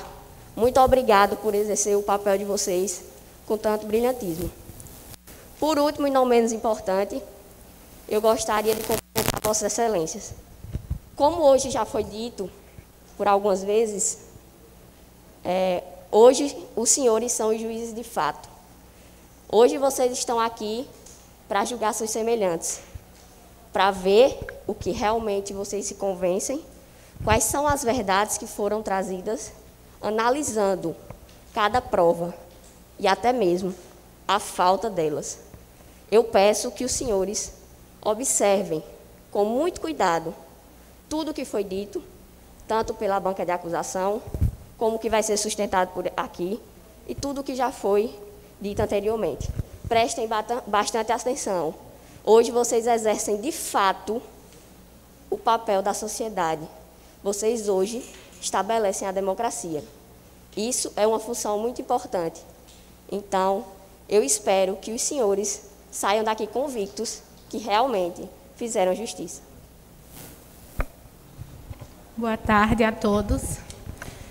É, é, com imensa satisfação né, que a defesa se faz presente nessa sessão de julgamento, a fim né, de, nesse momento, defender os interesses dos réus Adriano, Carlos Daniel e também de José Feitosa.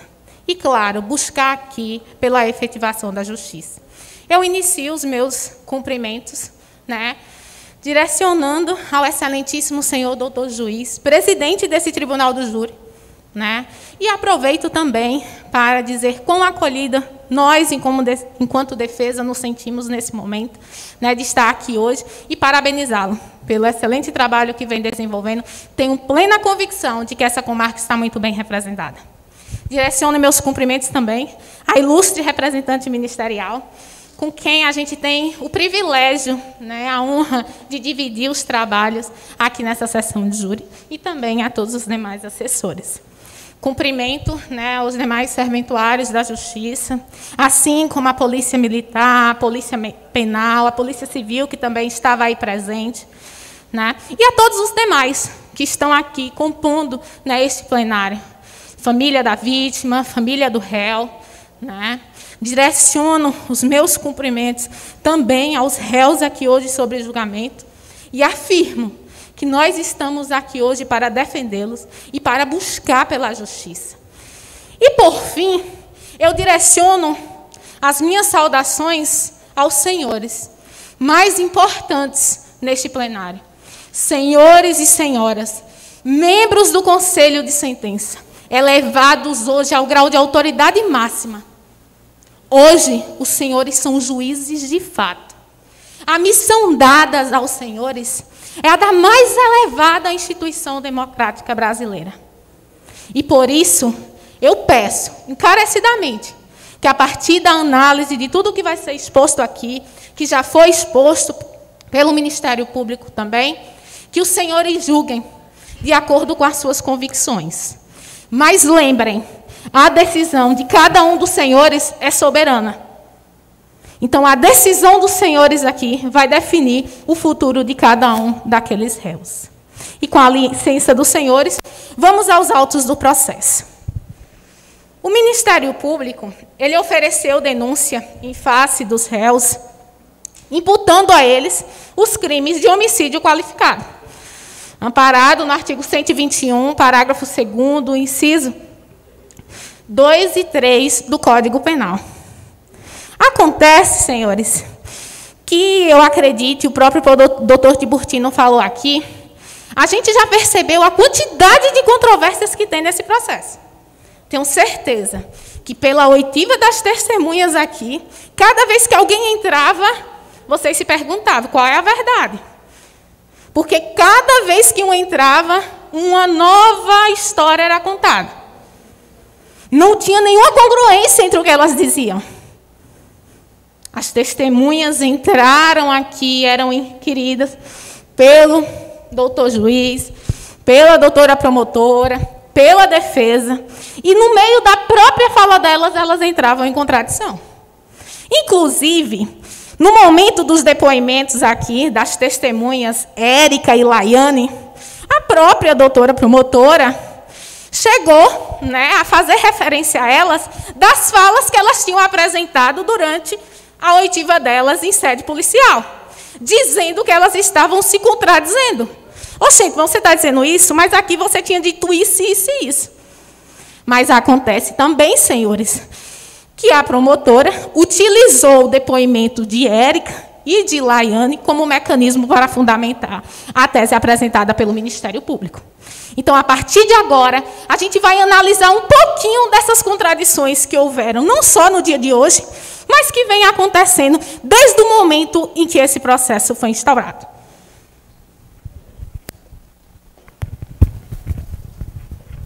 Uma das primeiras contradições que a gente não vai nem analisar o processo onde vocês não estavam presentes. Vamos falar de hoje, como a própria doutora Vitória falou. Eu acredito que tenha ficado nítido, como ela disse, que houveram contradições. E contradições geram dúvidas, certo? E dúvida não é certeza. O próprio depoimento das primeiras testemunhas, as duas mulheres, que foi a primeira e a terceira testemunha, dona a mulher do falecido, a mulher da vítima, dona Expedita, e dona Cleonice. Duas pessoas que nada tinham contra ele, certo? Muito pelo contrário. Eram pessoas que gostavam dele. A dona Cleonice deixou claro por várias vezes que era amigo, amigo íntimo. Um amigo que frequentava a casa dela. Então ela não viria aqui, como a, a doutora falou em relação ao depoimento das duas meninas, que ela falou, elas não viriam aqui, já que gostam dele, falar algo contra ele se não fosse a verdade. Elas não viriam aqui falar nada contra eles, contra, contra a vítima, se não fosse verdade. E em vários momentos elas entram em, em contradição. A dona Esperita, por exemplo, fala, e eu perguntei de forma clara e direta, algumas vezes para que os senhores não tivessem dúvidas disso. A senhora saiu de casa em algum momento e ela disse não. Eu acredito que os senhores lembram porque ela falou aqui. Ela falou em plenário. Quando a gente pergunta à dona Cleonice, ela fala que a senhora Expedita estava o tempo todo presente. Quem falou a verdade? Pelo menos uma dúvida nós temos aqui. Nós temos uma contradição. São pessoas que queriam prejudicar a vítima? Não vejo motivo para isso. Mas a contradição existiu. E nós precisamos analisar. Elas falam que no momento de ver a vítima, onde ela tinha sido alvejada, que ela estaria caída, Dona Esperita fala que foram as duas. A senhora Cleonice fala que não teve coragem de ir e não foi ao local. Então fica contraditório. Tem algumas divergências que nós precisamos sim analisar. Porque a gente não pode condenar uma pessoa se a gente não tiver uma plena convicção de que aquela pessoa é culpada. Não é isso? Como eu falei a Vossas Excelências, a gente já está chegando no minuto final do processo, no desfecho, na fase de plenário. Na fase anterior, a fase em juízo, foram ouvidas testemunhas. Algumas que não foram ouvidas aqui hoje.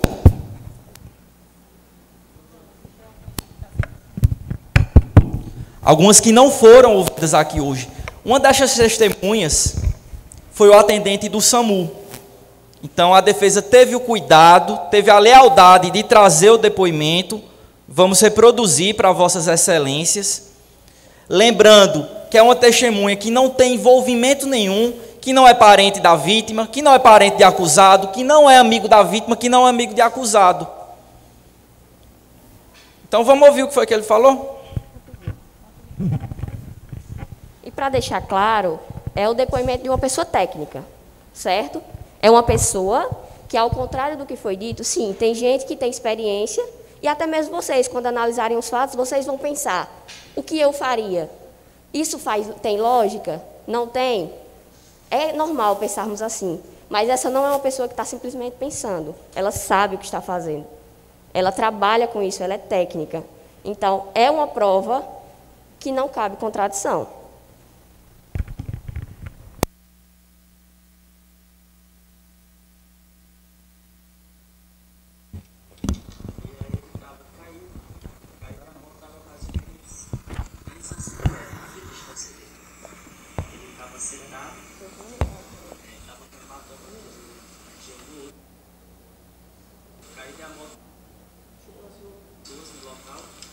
Deixa eu aumentar o volume aqui.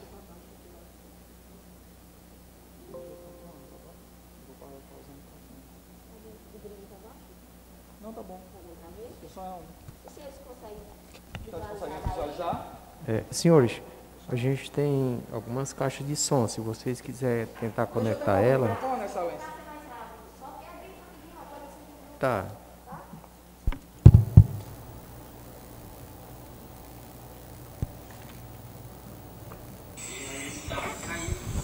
E a mais ou menos 10 a 5 metros. Conectar.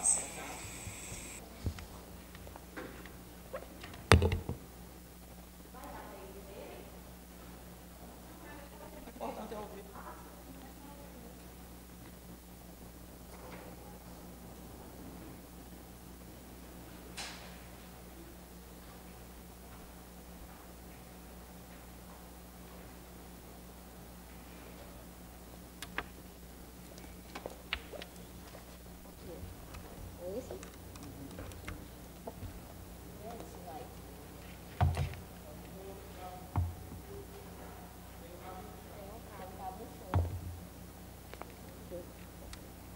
Obrigada.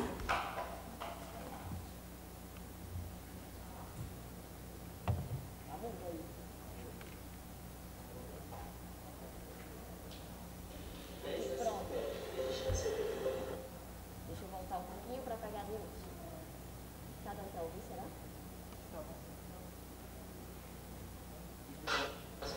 No local. E aí não se dava. Faltava mais ou menos 10 a 5 metros de distância dele. Ele estava sentado. É, quando que era uma vítima de acidente de moto, acidente motorista. E a gente chegou, já tinha algumas pessoas no local. E aí ele estava caído. Caído e a moto estava mais ou menos 10 a 5 metros de distância dele.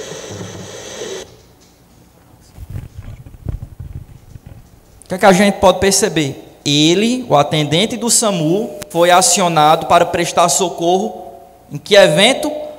Um acidente de moto. Ligaram informando que houve um acidente de moto.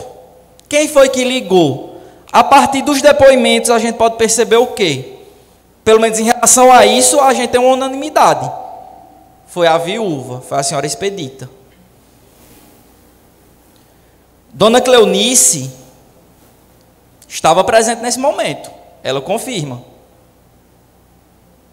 E eu perguntei para ela, Dona Expedita, então, Dona Cleonice, quando Dona Expedita voltou para ligar para o SAMU, ela já estava convicta que o senhor Josimar tinha sido vítima de uma tentativa de homicídio, sim. Então ela ali ligou para o SAMU, pediu socorro para atender o marido dela, que tinha sido vítima de uma tentativa de homicídio, sim. E aí o atendente do SAMU acaba de confirmar o quê? Não, ligaram relatando que aconteceu um acidente de moto. Continuando.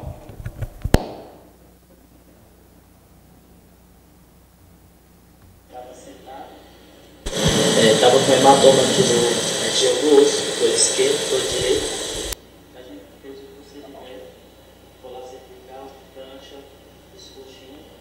Foi. E a gente faz contra esse tipo de, de acidente.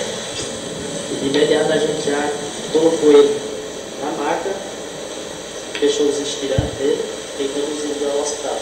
Tinha escoriações pelo corpo. Tinha um hematoma aqui nessa região aqui da pele.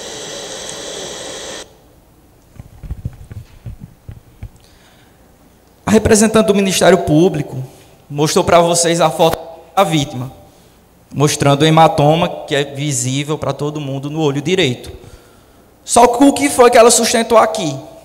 Senhores, não poderia ter sido acidente de moto, porque a vítima não tinha nenhuma escoriação.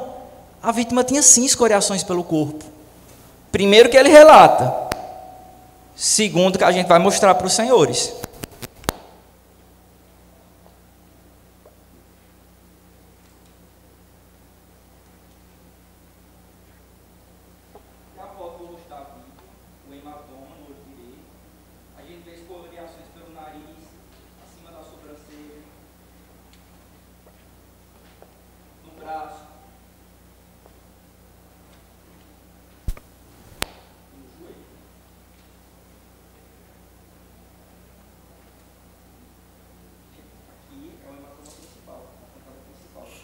escoriações no nariz, acima do olho, no braço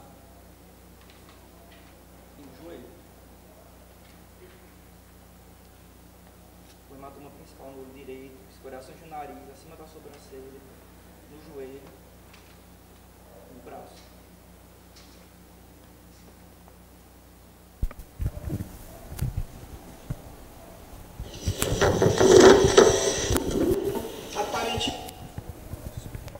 Só complementando essa parte, senhores, nós temos também os exames, o exame cadavérico e o exame traumatológico, que é assim que a vítima foi socorrida. E ambos apontam o quê? O que foi que gerou a lesão principal? Um objeto, uma força contundente. O que é isso para a medicina legal? Pancada. Pérfuro contundente. É tiro, pérfuro cortante é faca, força contundente é pancada. Isso ninguém tem dúvida. Em relação às contusões causadas por uma força contundente, nós temos o hematoma. Não a divergência, tem um hematoma no olho direito. O hematoma é quando o tecido principal, a pele, não rompe, mas os tecidos internos se rompem, gerando derramamento de sangue que vai ficar acumulado, tendo como, como consequência o inchaço e essa cor com aspecto mais escuro. Além desse hematoma, nós observamos que houve sim escoriações pelo corpo. A escoriação, diferente do hematoma, é quando a ruptura das duas primeiras camadas, a derme e a epiderme. Que é geralmente aquele arranhão quando eu coço, e principalmente quando eu é quando a gente diz que cai no chão e ralou o corpo. Ele tem raladuras pelo corpo? Os senhores acabaram de ver. E aí eu pergunto para os senhores: se eu dou uma paulada em alguém, vai gerar só uma raladura? Acho que não. Outro ponto que a doutora promotora sustentou aqui, simulou, trouxe a estaca, é que seria impossível arremessar essa estaca a uma distância de 3 metros, daqui para cá, de coca. Acredito que se eu pedir para o senhor Adriano pegar essa estaca e tentar fazer essa simulação, ele consegue. Eu não tenho dúvidas. A gente pode até fazer o teste, cada um segura para ver o peso da estaca. Outro ponto que ele falou é que a moto vinha em direção. E uma distância de 3 metros é reduzida pela velocidade da moto que vem de encontro. Então, se eu só levanto e a moto vem em direção, fatalmente a moto vai ser atingida. Só, Só um ponto, só um ponto em relação à estaca. Vocês conseguem me ouvir direitinho? A digníssima representante do Ministério Público falou várias vezes que a estaca é muito pesada. É verdade. A gente não tem dúvida, é o tamanho. Os senhores, como ela sempre fala, com a convicção, a imaginação, o meio que os senhores, os senhores vivem, os senhores acreditam que se uma pessoa pegasse aquilo ali, com vontade de matar e de bater em uma pessoa, não teria, no mínimo, cortado? Só pensem. Eu quero que os senhores analisem e imaginem se faz sentido ou não.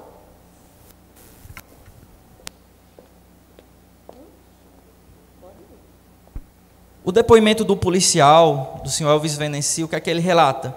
Chegou ao local, a vítima não estava mais lá, porém tinha sangue no local. Eu perguntei o horário. De 9 para 10 horas, numa estrada de chão, movimentada, um fato que aconteceu lá por volta das 3 da manhã. Será que de fato tinha sangue? Eu perguntei para as testemunhas que visitaram ele no hospital tinha sangue, tinha ponto, algum sinal no corpo, nos ferimentos, nas escoriações, que davam prova de que houve derramamento de sangue? Não. Querem ver prova maior agora?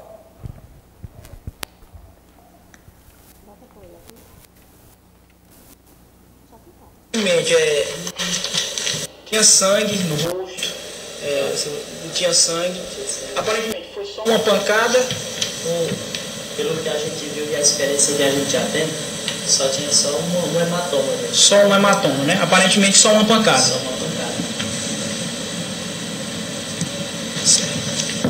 É, quando o senhor chegou lá, o senhor é, ouviu alguma história lá sobre o que, o que foi ocorrido? Não, o que a gente ouviu lá foi vítima de queda de moto. Vítima de queda de moto. É quem foi que, que, que comunicou? É, essa questão da vítima, que ela é vítima de queda de moto. Então, no dia, na hora lá, eu não soube quem foi que fez a ligação, né? Da Central de Terezinha. A Central entrou em contato com a gente e falou que tinha acontecido um acidente que a vítima estava inconsciente. É, as, as escoriações que o senhor viu, né? O senhor disse que foi um. Tinha um hematoma na, aqui nessa lateral, né? Da, do, como é que a gente chama? Do tórax, né? Na lateral do tórax, né? E um hematoma no rosto, era isso? É, essas lesões são compatíveis com, com acidente, com queda de moto? Pela sua experiência? Sim. Uhum. Porque devido estava sendo capacete, né? Estava sendo Uhum. capacete. Uhum. E devido a pessoa cai, tem a tendência de bater primeiramente no rosto, né? Uhum. E, e tinha sangue no local? Não, eu não precisei sangue no local. Não viu, né? A cabeça estava inchada ou o senhor só viu os hematomas? Só os hematomas. Ah, O senhor que fez a condução dele na ambulância? Pois É, na ambulância o senhor teve a oportunidade de verificar, assim, é, com bastante nitidez as lesões? Foi a gente, quando dentro do carro, ele fez uma obscurativa Uhum. em cima do local do talo, fez a compressa e de imediato a gente já conduziu ao hospital. Uhum, mas o senhor não viu o inchaço, só viu os hematomas. Ro- roxo, né? Roxo ou avermelhado? Roxo que na, na prática a gente chama por olho de guaxinim, né? É essa parte aqui Uhum, que é roxo. é roxo. Né? E o hematoma na. Quando o senhor encontrou ele lá, ele estava em que posição? Estava posicionado, deitado, o senhor se recorda? Estava sentado, sentado com a mão assim, apoiando o corpo. Sentado? E as costas estavam apoiadas aonde? Então ele estava sentado com a mão assim, e tinha uma pessoa que eu não me recordo, Queiroz já é. Porque, Ah, já tinha alguém com ele, né? Quando o senhor chegou. Al- Mas alguém estava apoiando ou botaram ele numa cadeira? Ele estava sentado no chão? sentado no chão. E tinha alguém com ele? Com a mão apoiada? Certo. Tá bom, você? Ele esteve no local do fato, conversou com as pessoas que lá estavam. Qual era a principal pessoa que estava ali? Dona Expedita. E por que nesse momento ninguém relatou para ele que o senhor Josimar tinha sido vítima de tentativa de homicídio? Fica o questionamento. Inclusive, deixando claro mais uma vez, no momento da ligação, que ela disse que chegou, ouviu na casa vizinha dizendo que tinham dado pauladas nele. Ela disse que ouviu isso. E logo após, ela foi ligar para SAMU. E aí liga para SAMU em Teresina e diz: Venha socorrer meu marido por acidente de moto. Bom, senhores jurados, o intuito desse momento inicial aqui era exatamente fazer um confronto para vocês poderem entender de fato como foi que se deu toda essa perspectiva na manhã de hoje. Nós já deixamos aqui comprovado de que houve contradição. Nós, inclusive, optamos por não utilizar as falas da senhora Cleonice e da senhora Maria Expedita nos demais interrogatórios delas, para a gente não tornar isso cansativo. Porque só hoje aqui elas conseguiram fazer isso.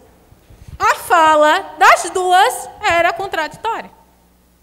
Ou seja, duas pessoas que eram ligadas à vítima, que uma era viúva e a outra era uma pessoa que trouxe, Dona Cleonice falou aqui que era muito amiga, né, inclusive se emocionou falando. Ou seja, duas pessoas que tinham uma relação direta com a vítima trouxeram versões distintas. A própria irmã da vítima disse aqui que, na época, várias histórias foram inventadas, inclusive por parte deles. Ela falou isso. Do mesmo jeito que inventaram do lado de lá sobre a questão do sentimento do medo, né, que ela estava sentindo, ela disse que também foram inventadas histórias do sentido contrário. Ou seja, da família da vítima em relação aos demais. Nesse sentido, senhores, fica evidente, inclusive pela análise, porque aqui nós trouxemos uma pessoa técnica. Não é mais um policial falando sobre escoriações, não são advogados, nem a promotoria, falando de algo que a gente desconhece. Que, de fato, o conhecimento que a gente tem é da medicina legal, mas a gente não tem formação específica para isso. E é por isso que a gente fez questão de trazer aqui o depoimento do SAMU. Por quê? A gente fez questão de trazer. Primeiro, para dizer para vocês, mais uma vez, as controvérsias existentes no caso.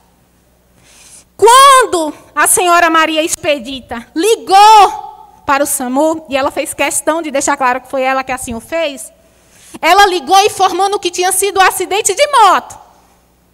Porque foi isso que o SAMU narrou aqui, ela deixou claro que foi ela que, ela que ligou. Se foi um acidente de moto, como é, ela não imaginava que poderia ter sido, se ela informou que era acidente de moto naquele momento, ela não correlacionava, porque ela disse que teve toda uma discussão anterior, que viu que os meninos, que ele saí, os meninos saíram e ele saiu atrás, então ela não imaginava que poderia decorrer daquilo. Qual foi o intuito da senhora Maria Expedita dizer naquele momento? No momento do nervosismo, ela exatamente falou a verdade. Ligou para o SAMU e disse: foi um acidente de moto. E foi isso que foi sustentado. Tanto é que em nenhum momento a senhora Maria Expedita foi atrás da polícia. Quem foi atrás da polícia foi Fabiana, irmã dele, que ouviu dizer o que tinha acontecido naquele dia. Deixou claro aqui hoje que não presenciou nada. Quando chegou no hospital, que foi encontrar o irmão dela, foi que ficou sabendo da situação e tentou se inteirar. Mas em nenhum momento ela ouviu, ou seja, ninguém das pessoas que estavam envolvidas teve interesse de procurar a polícia, sendo parente da vítima, viúva, ou até mesmo amiga, né, tão próxima como a senhora Cleonice aqui estabelecia. Então, o intuito nesse momento é dizer para vocês o seguinte: quantas versões existem nessa história? Todo mundo que entra diz uma coisa diferente, mas nesse momento a gente vai precisar chegar numa conclusão. E qual o mecanismo que a gente pode utilizar para chegar numa conclusão nesse momento? Utilizar a lógica. Pegar, por exemplo, um depoimento como esse, que não é de familiar, que não é de ninguém ligado, nem à vítima, nem aos réus, e tentar encaixar qual é a história que faz mais sentido. Os senhores tiveram a oportunidade de ouvir os réus aqui. Doutor, uma parte, me permite? Sim. É, qual é a formação do, do rapaz, da testemunha que a senhora colocou ali? Ele é técnico? É, do SAMU, ele trabalha no SAMU. Ele trabalhou em quê? Qual cargo dele, a função? Não sei lhe dizer. Ah. E ele também não está aqui, mas para trabalhar no SAMU, com certeza ele tem competência para isso. Não, porque, sim, né? Mas é porque pode ser um motorista. Um motorista é o Mas se foi ele que acompanhou, a doutora não ouviu quando ele disse que foi ele que acompanhou? Sim, eu vi, só que ele pode ter acompanhado como motorista. O SAMU não tem um motorista? Então qual é o conhecimento? E ele, o motorista tem competência para botar na maca? Que ele disse. Eu estou só lhe perguntando qual é a qualificação Certo. técnica dele. Não é porque a doutora continuou perguntando eu só estou continuando. A senhora falou que ele é um, um técnico diferente Isso. de nós, então eu queria saber qual Não, é, eu falei exatamente, gente, da questão do técnico. Tranquilo. E aí, reforçando a pergunta que a promotora trouxe, só para a gente deixar bem claro. Eu, por exemplo, não tenho competência, né, nem poderia ser contratada para trabalhar no SAMU e estar tá lá socorrendo uma vítima. Até porque, boa pergunta, inclusive, interferência. O que é que a gente aprende na autoescola? O que é que a gente aprende quando a gente vai para a autoescola? Se você tiver um acidente com a vítima ferida, não toque nela, não é? Liga por quê? Porque, inclusive, se eu mexer no corpo da vítima, ela pode ter complicações. Então, o motorista do SAMU, primeiro, o SAMU ia socorrer uma ocorrência só com o motorista. Como é que o motorista ia pegar o corpo, inclusive, né, precisando, sozinho, colocar lá sem nenhuma competência para isso? Não, gente, aí é de fato, a gente, na verdade, quando, inclusive, trazer um questionamento desse, entender, né, colocar em jogo que vocês não têm entendimento sobre a função de um órgão, inclusive, que é tão importante né, na sociedade como a função que o SAMU tem exercido. Doutora, só para deixar claro em relação à parte da representante do Ministério Público, a, a mesma afirmou aqui que o tempo inteiro estava em todos os atos do processo. Inclusive, nesse dia que ele foi ouvido, o senhor pode confirmar, Excelência, que foi no dia da audiência de instrução e ela estava presente, então ela teve a oportunidade Sim, estava assim, eu não estou de- questionando de o depoimento dele, não. Inclusive, acredito que eu indaguei. Não, eu não tô- eu só não estou- questionando, Eu só não. estou perguntando por que, que as senhoras falaram que o conhecimento técnico, eu só estou perguntando qual é o cargo dele, Não, porque eu eu, realmente não recordo. Ele, ele, ele aqui. falou no, no depoimento dele que ele era socorrista do SAMU e que, inclusive, foi ele que colocou o paciente na maca e acompanhou ele dentro da ambulância, podendo ver as escoriações. Bom, gente, então qual o intuito? Como eu disse, é a gente chegar a uma narrativa. Então, o que é que acontece? Em nenhum momento o réu Adriano negou que de fato ele se valeu daquela estaca. Em nenhum momento ele disse assim: não, não fiz. Não é isso que a gente quer afirmar aqui, não. De forma nenhuma. A gente quer entender, chegar numa conclusão de como isso pode ter acontecido, levando em consideração todas as contradições que a gente teve aqui hoje. Então, Adriano, ele é categórico na fala dele. Que, de fato, utilizou né, de uma estaca para poder se defender naquele momento. Então, senhores, se a gente for fazer uma análise lógica de todos os depoimentos que aqui estiveram presentes hoje, com certeza os senhores vão me dizer que a fala do Adriano é a fala que se mostra mais verdadeira. É só os senhores refletirem. Primeiro, porque, como a gente disse, em nenhum momento a gente está querendo dizer aqui, olhe, não, não houve nada, foi, colocaram eles na circunstância, porque não.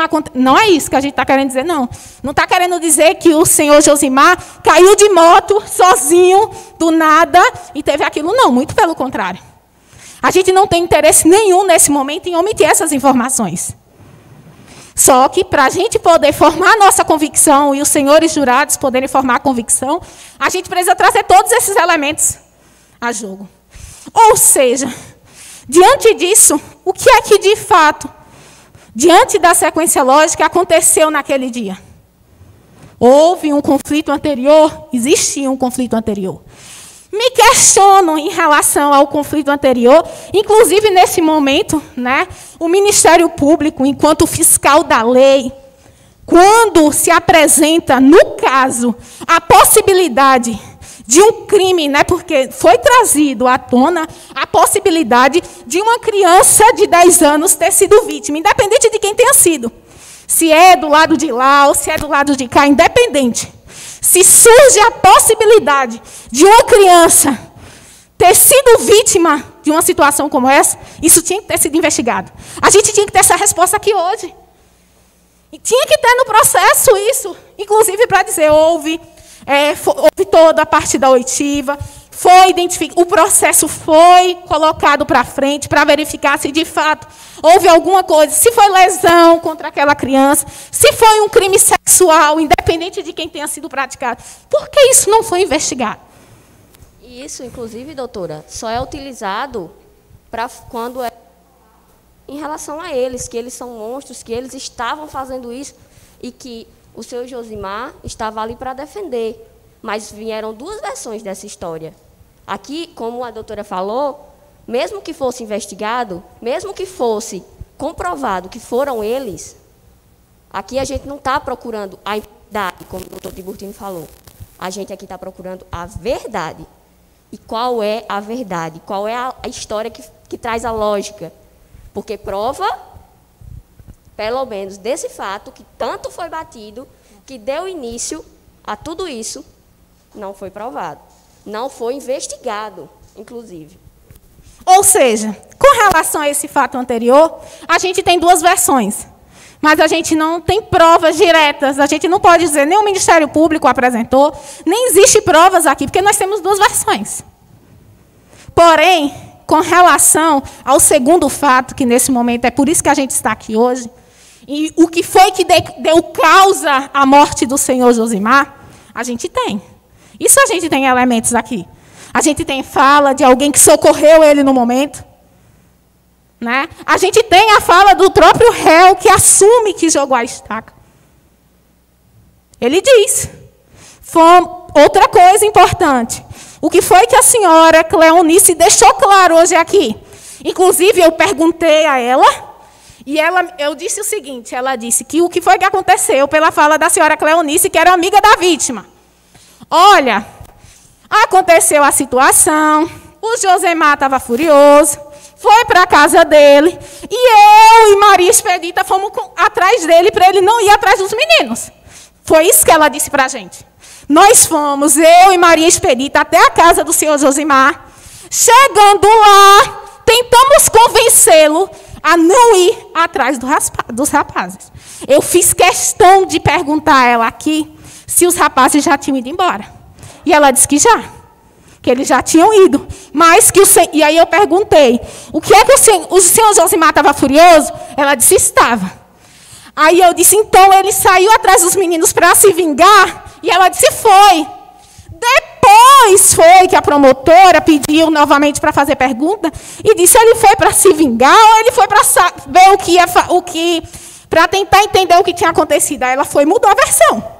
Mas quando eu perguntei a ela, e os senhores ouviram, que não foi outro momento, foi hoje, ela disse que tinha ido lá para tentar evitar que ele fosse atrás deles.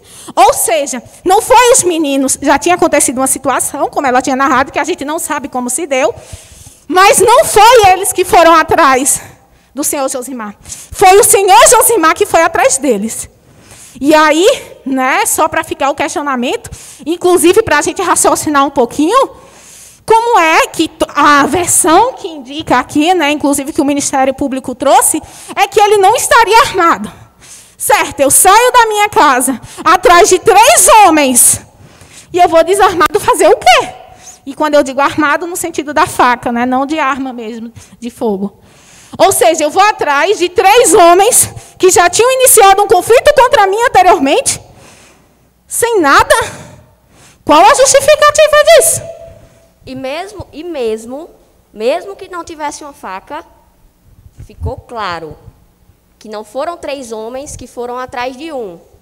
Foi um que foi atrás de três. Isso não fica em controvérsia, não. Todas as testemunhas, todas, falaram a mesma coisa. E ele não foi a pé, ele foi de moto. Ele pensou nisso. Tentaram impedi-lo e mesmo assim ele foi. Uma pessoa que está com medo, uma pessoa que está sendo vítima, não vai atrás de três pessoas. Naquele momento foi que começou a acontecer. Como a própria Claunice disse, os meninos não estavam mais lá. Não era, não era hora que ninguém estava gritando com ele, não era hora que ninguém estava ameaçando ele. Ele não foi atrás para se defender. Se defender de quê? De quem? Ele foi atrás deles por quê? Fiquem com esse questionamento. E, e uma coisa é clara: ele saiu de moto, ele não saiu a pé, não. Tanto que a moto estava no local, mo todo, isso todo mundo, eu acredito ter ficado claro. Ele não estava lá a pé, ele estava lá de moto. E ele vai e volta atrás desses meninos várias vezes. Não é uma coisa imediata. Ele fica fazendo isso o tempo todo, atrás até encontrá-los. Então, senhores, a versão que a gente acredita ser mais lógica e que a gente sustenta aqui hoje, nesse momento, é exatamente de que toda essa situação fática aconteceu, né? E que, de fato, o senhor Josimar saiu da sua casa para ir atrás dos, dos rapazes, para tirar satisfação, para se vingar, o que quer que seja. Né? Mas ele saiu da sua casa com esse intuito. Ele perseguiu eles e que, naquele momento, Adriano, diga-se de passagem, como foi deixado bem claro aqui, Adriano, depois de todo o processo de perseguição que já tinha acontecido, ele encontra com eles, desce da moto para ir atingi-los. Então, o que é que eles fazem? Corre. Claro que ele não vai. Se ele está próximo, ele vai querer correr junto mesmo. Ele não vai voltar para pegar a moto. Então, o que foi que ele fez e que foi trazido aqui hoje? Ele corre atrás deles, a pé mesmo. Só que chega um momento que o que é que eles fazem? Pulam a cerca. E quando eles pulam a cerca, ele decide o quê? Não pular, até porque eles são três. Né? Talvez eles podiam ficar escondidos, ele não conseguia ver, até porque era de noite. E aí ele retorna para pegar a moto. Então, tudo isso faz sentido. E mais uma vez, Adriano é claro quando ele disse: naquele momento a gente achou que ele tinha ido embora. Cessou, ficou tudo em silêncio, a gente achou que ele tinha ido embora. Mas não. Quando a gente pula a cerca de volta, que ele percebe que a gente tinha pulado, o que é que ele faz? Liga a moto e vai. Então, naquele momento, o que é que Adriano fez? E nesse momento, claro, a gente precisa deixar claro. Foi Adriano que fez. Né? A própria promotora sustentou de que quem, quem jogou a estaca foi ele, e ele assumiu aqui. Foi ele que fez. Então, nesse momento, é muito importante a gente deixar claro que ele fez como mecanismo de defesa. E já já a gente vai conversar melhor sobre isso. Mas antes, a gente precisa analisar a culpabilidade de cada um desses agentes. Primeiramente, é importante a gente analisar a culpabilidade de um a um. Vamos falar primeiro dos dois irmãos, certo? Como a doutora Vitória sustentou, quem jogou a estaca foi Adriano, a gente não está negando isso, inclusive ele falou em plenário, certo? O que os outros dois fizeram? O Zé Feitosa, que são dois irmãos, correram. Correr é crime? Eu fiz direito, sou advogada e eu nunca vi isso no ordenamento. Nem jurídico, nem brasileiro, nenhum. Correr não é crime, certo? Em um momento que uma pessoa está lhe ameaçando, que vem atrás de você, que não tem como, três pessoas a pé, irem atrás de uma pessoa de moto. Uma pessoa de moto que foi atrás de três pessoas. Então, no momento que uma pessoa está lhe perseguindo, o que é que você vai fazer? Correr? Correr com medo. E foi o que eles fizeram. E como eu disse, correr não é crime. É importante que a gente entenda que para que alguém seja culpado de algo, ele tem que atuar como autor, coautor ou partícipe. De alguma forma, auxiliar ou fazer algo para aquela ação. Ter uma ação dolosa, com intenção de fazer algo. Eles nem tiveram ação, muito menos dolosa. Eles não jogaram estaca, eles nem triscaram na estaca, eles não combinaram, não deu tempo para isso, eles estavam assustados dentro do mato.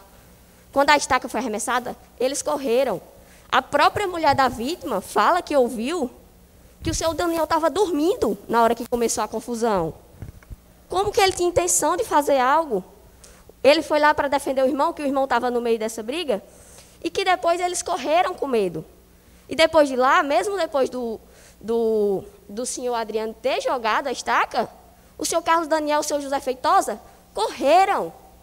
Correram. Não tem indício nenhum, prova nenhuma, trazendo que eles levaram, que, o, que a vítima levou soco, que ele foi espancado. Como eu bem disse, se três homens, com um homem caído no chão, com uma estaca daquele tamanho, quisesse matar, eles teriam matado. Porque enquanto ele estava na moto, ele até estava em vantagem. Mas quando ele caiu, por que, que eles não foram lá e bateram? Aonde é que tem? Qual o laudo, qual a prova que mostra que eles foram agredidos? Que, que a vítima foi agredida? Fala, ah, ele tinha vários hematomas. Não tinham vários hematomas. Ele tinha escoriações da queda e ele tinha um hematoma.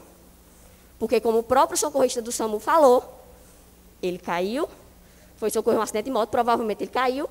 A primeira coisa que se bate é a cabeça e ele estava sem capacete. Mas não tem hematoma de murro, de chute, de faca, de pedra. E muito menos de uma estaca de mais de um metro de altura. Vocês acham mesmo que se eles quisessem bater no senhor Josimar com aquela estaca ali, eles não teriam, no mínimo, cortado ele? O socorrista disse que quando chegou ele estava sentado, que ele respondia aos comandos. Como é que eles tinham lá a intenção de matar? Eles foram para lá emboscá-lo? Ou qualquer coisa do tipo. Usaram um meio cruel. Eles estavam se defendendo. E a única coisa que os dois irmãos fizeram foi correr. Em que crime nós podemos enquadrá-los? Nenhum, senhores. Os senhores hoje aqui têm a função de fazer justiça. E mais, vocês têm a função de fazer cessar injustiças. Esses irmãos estão presos há dois anos. Dois longos anos. Por mais que a promotora tenha dito que quando a gente fica muito tempo, não é o resto da vida, não queiram passar um dia numa prisão. Muito menos sem ter feito nada. Eles estão há dois anos longe da família, longe dos seus empregos, e o pior, de forma injusta. Porque nada, eles não fizeram absolutamente nada para estarem lá. Eles correram e foram vítimas ele, não, a gente aqui não afirma que não aconteceu uma tragédia. Aconteceu. Se a gente está aqui é porque uma tragédia aconteceu. Aqui é um palco de tragédias. Mas eles não fizeram, eles não deram causa a isso. Eles, os dois irmãos, nada. Não tiveram uma, uma ação sequer para machucar, de qualquer forma que seja, o senhor Josimar. Então, por quê? que eles estariam respondendo por homicídio qualificado. Isso faz sentido para os senhores? Duas pessoas como essa, porque correram, estarem respondendo por esse crime. Eu tenho convicção que hoje, e outra, nossa lei maior, a Constituição Federal, traz o princípio de que ninguém será considerado culpado enquanto não for provado. Os senhores têm plena convicção que ficou comprovado que eles fizeram algo para que essa tragédia acontecesse. E mais, na lei penal traz um indúbio pro réu. Que, ou seja, na dúvida, é a favor do réu. Porque é muito melhor a gente chegar absolver um culpado do que condenar um inocente. E eu tenho plena convicção que se os senhores não se convenceram de uma culpa real, porque ela não existiu, os senhores não sairão daqui hoje com o peso de condenar pessoas que nada fizeram, pessoas que são completamente inocentes, que estavam no lugar errado e na hora errada. Bom, senhores, com a fala da doutora Joyce, né, eu acredito que fica muito claro que o senhor Carlos Daniel, bem como que o senhor José Feitosa, não contribuíram para o resultado que aqui hoje a gente discute. Né? Eu acredito que pelas falas das próprias testemunhas, porque todas as testemunhas, todas disseram que eles, inclusive, que o senhor Carlos Daniel estava dormindo com seu filho recém-nascido, que foi chamado. Então, assim, o tempo todo isso é trazido à tona de que ele não estava. E o próprio Adriano também deixou claro aqui, e a gente já percebeu pelas informações trazidas, de que não houve vias de fato naquele momento. Né? O próprio socorrista do SAMU deixou claro de que não tinha nenhum, naquele momento, não tinha nada que desse a entender de que tinha havido socos ou vias de fato. Que, na verdade, tudo indicava que teria sido uma queda de moto, que, como a gente viu, ocasionada em decorrência da porrada que a moto recebeu, né, que foi recebida, porque a estaca foi jogada, isso é verdade. Então, na verdade, agora eu vou me ater né, levando em consideração que a gente de fato acredita e traz aqui elementos que excluem os dois irmãos né, do crime, a gente precisa agora falar qual é o tratamento que a nossa legislação dá para a situação que aconteceu com o senhor Adriano. O que é que a nossa lei prevê? E aí, primeiro, a gente já percebe o excesso do Ministério Público ao ter denunciado pelo crime de homicídio qualificado. Por que eu estou dizendo isso? Porque a nossa legislação traz para a gente, inclusive, se fosse para a gente falar, e a gente vai falar primeiro da conduta, e depois a gente fala dos motivos que geraram. Mas se for para a gente trazer a conduta à tona, a gente teria naquele momento, inclusive pela fala né, do Adriano e dos demais, principalmente do Adriano nesse momento, que é quem a gente está tratando, de que em nenhum momento o intuito era matar o senhor Josimar. Até porque, se o fosse, ele teria voltado, teria dado um monte de paulada e só sairia dali quando ele tivesse morto. Então, a gente precisa entender que existe uma diferença. Nós temos duas tipificações diferentes no nosso Código Penal. Nós temos o crime de homicídio, previsto no artigo 121. Né? E nesse momento, a denúncia oferecida foi homicídio doloso, ou seja, exatamente quando eu mato com a intenção de matar mesmo. Ou seja, o resultado aconteceu porque eu quis que ele acontecesse. Ou seja, eu dei causa ao resultado querendo. Mas a nossa legislação, ela também traz para a gente a previsão do crime de lesão corporal com resultado morte que é diferente do crime de homicídio. Lesão corporal com resultado morte é exatamente o crime que define a conduta daquele que quer lesionar, mas que acaba dando causa à morte sem querer. Ou seja, sem a intenção de matar ele. A pessoa tem a intenção de lesionar, mas o resultado morte acaba advindo a título de culpa. E aí, só para os senhores entenderem melhor, o nosso ordenamento ele diferencia crime culposo de crime doloso. O que é crime doloso? É exatamente quando eu tenho a intenção de matar, ou como a, a, própria promotora trouxe aqui, você assume o risco de matar. Mas você assume o risco de matar quando você, quando a gente traz dolo eventual, é importante deixar claro aqui que a pessoa ela visualiza o resultado e ela sabendo daquele resultado ela vai lá e faz mesmo que não fosse a intenção direta dela.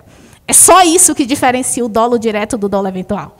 Que é diferente dos crimes culposos. Ou seja, no crime doloso é aquele que eu estou com a intenção de matar alguém, eu vou lá, pego uma arma, dou três, quatro, cinco tiros e pronto, acabo com a vida da pessoa. Porque essa era a minha intenção. Esse era o meu ânimo, era matar. Isso é homicídio. Lesão corporal seguida de morte é um crime pré-doloso que isso significa dizer? É um crime que o agente da causa, a conduta a título de dolo, mas o resultado mais grave, ele advém a título de culpa. Ou seja, ele advém da negligência, da imprudência, da imperícia, que é isso que é culpa. Então, se fosse para a gente ter tipificado, para o Ministério Público ter tipificado e denunciado, não era para denunciar por homicídio. Era para ter feito a denúncia por lesão corporal seguida de morte, prevista no artigo 129, parágrafo 3 do Código Penal. Ou seja, o agente teria a intenção de lesionar, se essa de fato, que de fato naquele momento era a defesa, mas já, já a gente vai falar sobre isso, mas a morte adveio posteriormente, sem que essa fosse a intenção. Por que eu trago isso? Porque vários elementos nos fazem entender que, na verdade, foi isso que aconteceu. O que é que acontece? Que foi que o socorrista do SAMU disse: não, ele estava sentado. Ou seja, ele não morreu na hora. Não, ele foi para o hospital. No hospital, ele estava no próprio laudo, traz que ele estava respondendo aos comandos. Né? Ou seja, ele não morreu imediatamente. Ele vai morrer bem depois. Ainda foi feita a questão da transferência. Então, assim, se o intuito fosse matar, como o homicídio prevê, ele teria iniciado e ele teria finalizado ali. Então, se é para falar de crime, se é para falar de tipificação da conduta praticada pelo senhor Adriano, a gente teria aqui uma lesão corporal com resultado morte e não um homicídio. Primeira coisa, esse é o elemento. Agora que a gente já entende que, na verdade, e outra coisa importante, as pessoas perguntam, gente, mas não gerou morte de qualquer jeito? Sim, mas se toda morte desse causa um homicídio, não tinha por que o legislador ter criado crimes diferentes. Se o legislador e se o nosso Código Penal traz previsões diferentes quanto aos dois crimes, é porque existe diferença. Homicídio é uma coisa, lesão corporal seguida de morte é outra coisa. Mas depois que a gente entende que não foi homicídio e que foi lesão corporal com resultado morte, a gente precisa se perguntar o porquê.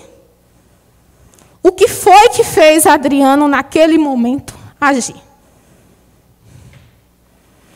E aí a gente traz os elementos das falas aqui até então apresentadas, inclusive que a gente já reforçou que as testemunhas disseram que o senhor Josimar saiu em direção aos três rapazes. Então isso torna evidente que naquele momento foi o senhor Josimar que foi até eles, não eles que foram até o senhor Josimar. E isso deixa claro que naquela situação eles estavam coagidos. Naquela situação, eles estavam, e no caso o Adriano, agiu como um mecanismo de defesa. E aí, claro, quando a gente fala de mecanismo de defesa, não tem como a gente não citar a nossa legislação. Se a gente pegar o artigo 25 do Código Penal, vocês vão ver que existem situações que a nossa legislação nos permite agir. Como assim, doutora? Tem situações que a nossa legislação permite eu matar, permite eu lesionar e que isso não configura crime. Sabe por que isso não configura crime? Porque tem algo faz com que a previsão legal não seja obedecida. Ou seja, são situações em que a legislação diz: nesse caso, se você agir, mesmo praticando uma conduta que é típica, como no caso de lesionar alguém, isso não é crime. Por que não é crime? Porque nessa situação eu te permito agir. E é isso que está previsto no artigo 25. Uma das possibilidades, porque tem outras, que a lei nos permite agir, é amparado pela legítima defesa. E o artigo 25 diz que age em legítima defesa quem, usando moderadamente os meios necessários, repele injusta agressão atual ou iminente a direito seu ou de outro. O que isso significa dizer? Que para que a legítima defesa ela seja reconhecida, esses requisitos eles precisam estar presentes. E aí a gente vai analisar cada um deles. O que é agressão injusta? É exatamente uma agressão que, de algum modo, coloca em risco um bem, um bem jurídico tutelado. É uma agressão que coloca em risco um direito nosso. É uma lesão que coloca em risco a nossa vida, a nossa integridade física. Ou seja, naquela situação, pelas falas aqui apresentadas, está mais do que claro de que eles estavam diante de uma agressão injusta. Que foi o senhor Josimar que foi até eles. Não eram eles que estavam até, atrás do seu Josimar. Então, a agressão injusta, diferente do que o Ministério Público sustenta, existia sim. Eles estavam diante de uma agressão injusta que era atual, né, que estava acontecendo. E o mais importante da legítima defesa, inclusive para não configurar o excesso, diz que você tem que utilizar os meios necessários. O que são meios necessários? São os meios que você tem disponível no momento para agir. Porque nem todo momento eu estou com a arma, nem todo momento eu estou com a faca. E pode ser que em uma determinada situação que eu esteja desprovida de qualquer coisa, minha vida seja colocada em risco e eu precise agir. Então, o que a lei diz? Que naquela situação, os meios que se o meio que você utilizou foi o meio que estava à sua disposição, isso configura a legítima defesa. E no mato, a única coisa que o Adriano tinha era exatamente a estaca. Era a única coisa que ele podia utilizar para se defender. Ah, o Adriano se excedeu? Não. Por que o Adriano não se excedeu? Que a gente falaria em excesso se o senhor Josemar tivesse sido morto naquele local, com um monte de paulada. Aí sim, teria sido excesso. Porque o que é excesso, gente? Excesso é quando a agressão injusta ela acaba. O que é que a lei diz? Se eu estiver sofrendo uma agressão injusta, ou seja, se minha vida está em risco, e de alguma forma eu jogo uma pedra, eu faço alguma coisa e eu consigo cessar aquela agressão injusta, tudo que eu fizer depois é excesso. Mas na situação, não. Na situação, o que a gente tinha era exatamente o único meio disponível, que era a estaca. Então, o que foi que ele fez? Ele utiliza a estaca como um meio de defesa.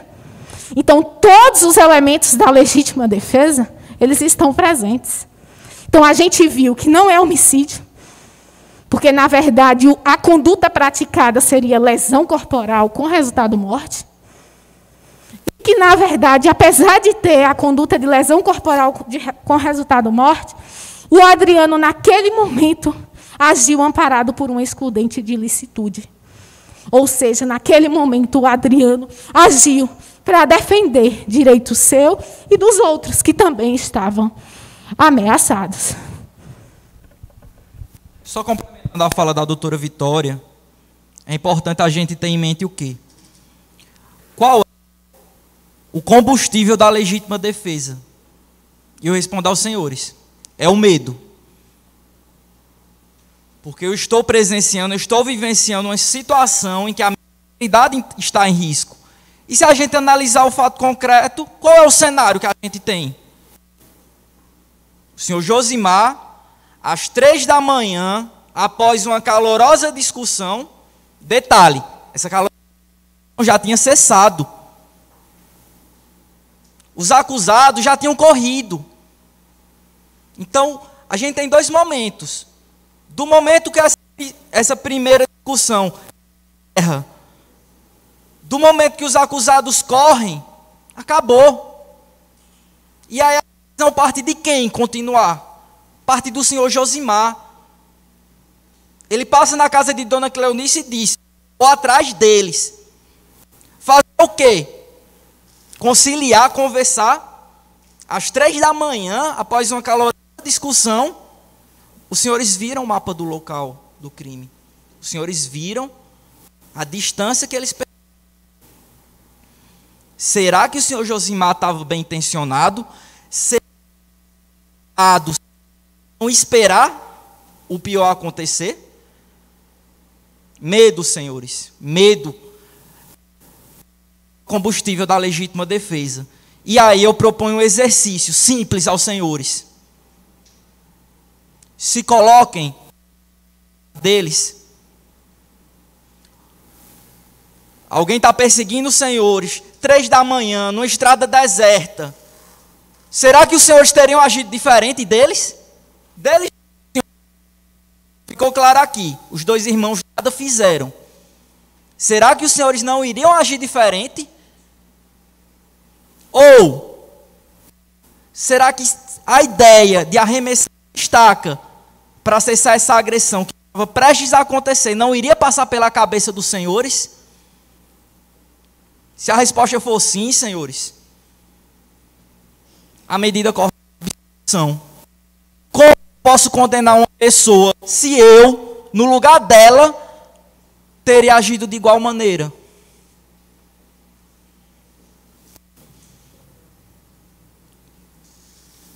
Relembrando a denúncia, relembrando a sustentação da doutora promotora, no qual ela traz um homicídio qualificado. E aí a gente precisa entender o que são, de fato, qualificadoras. O homicídio simples traz uma pena há 20 anos. Existem situações, existem, existem circunstâncias que agravam, que elevam essa pena, tornando ele qualificado. Por exemplo, emprego de veneno, quando eu sou mandante. A pena que era de 6 a 20, no qualificado passa a ser de 12 a 30. Percebam quanto ela aumenta. E aí a promotora, nesse momento do processo, chega aqui dizendo que motivo fútil é a mesma motivo torpe, senhores. Aqui não está brincando, não. Aqui tá, a gente está tratando de vida real. A gente, no final desse plenário, vai decidir o futuro, os próximos anos de vida desses três homens. Uma parte, doutor, me permite? Sim, é, eu não falei que era a mesma coisa no sentido, no, signif no significado, mas para fins de pena. Só deixando, só corrigindo. Só respondendo, Excelência, a senhora não sustentou, a senhora não explicou o que é o motivo fútil, não explicou o que é motivo torpe. Doutor, dentro do, da minha concepção da tese, eu expliquei. Fique à vontade para explicar. E eu só estou fazendo é, essa parte para dizer ao senhor que, em momento algum, eu quis, se eu falei, estou é, me corrigindo. Mas o sentido que eu quis falar foi com relação à pena. Que tanto faz, se for motivo fútil ou torpe, a pena é a mesma, Correto. como o senhor bem sabe. Só continuando, senhores. O que é motivo fútil, o que é motivo torpe? Motivo fútil é um motivo desproporcional. E a gente tem que analisar o motivo. O que é um motivo desproporcional? É eu ir num bar, vou lá no bar, a cerveja está quente, porque a cerveja está quente, eu dou um tiro. O motivo torpe é o quê? O motivo torpe é o motivo vil, é o motivo que gera repugnância da sociedade, é um motivo que infringe a moral. É, por exemplo, um irmão que, com a intenção de ficar com a herança da família, mata o outro irmão. Aí a gente não tem desproporcionalidade entre o motivo e a conduta a gente tem um fato, um motivo que gera repugnância. E aí eu pergunto aos senhores: qual foi o motivo? O motivo que impulsionou a ação do Adriano para lançar essa estaca? Foi o medo. Foi o medo. Ele estava na iminência de sofrer uma agressão, ele estava sendo perseguido. E eu faço a pergunta aos senhores: nessa situação, a gente tem um motivo torpe? A gente tem um motivo fútil? Ficou demonstrado que não. A segunda qualificadora que o Ministério Público traz aqui é o meio cruel. E aí a gente precisa interpretar o que é que a lei fala de motivo cruel, de meio cruel. É até engraçado a gente falar meio cruel, mas todo homicídio é cruel. Um tiro gera sofrimento, uma facada gera sofrimento. Só que o que acontece? O que é que o legislador quis falar por motivo cruel? Motivo cruel para a lei, senhores, é um motivo que gera sofrimento demasiado. Ou seja, eu posso matar com uma facada. Porém, em vez de dar uma facada no local letal, eu inicio dando várias facadas numa região não letal, para antes da morte eu gerar um sofrimento.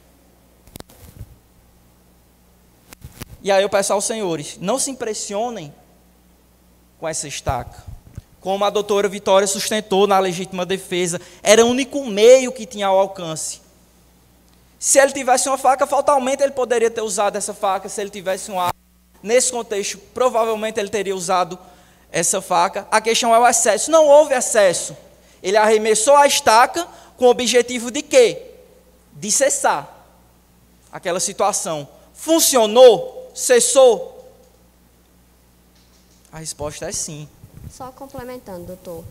E mesmo que fosse uma faca, uma arma que causaria dor, que machucaria, continuaria configurando a legítima defesa. Porque o que fala é o meio moderado e que a gente tem acesso no momento. É isso que configura a legítima defesa. Não é se o instrumento é grande.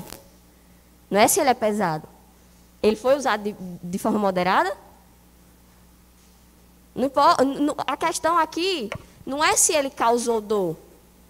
Claro que causou dor. Qualquer outro instrumento causaria dor.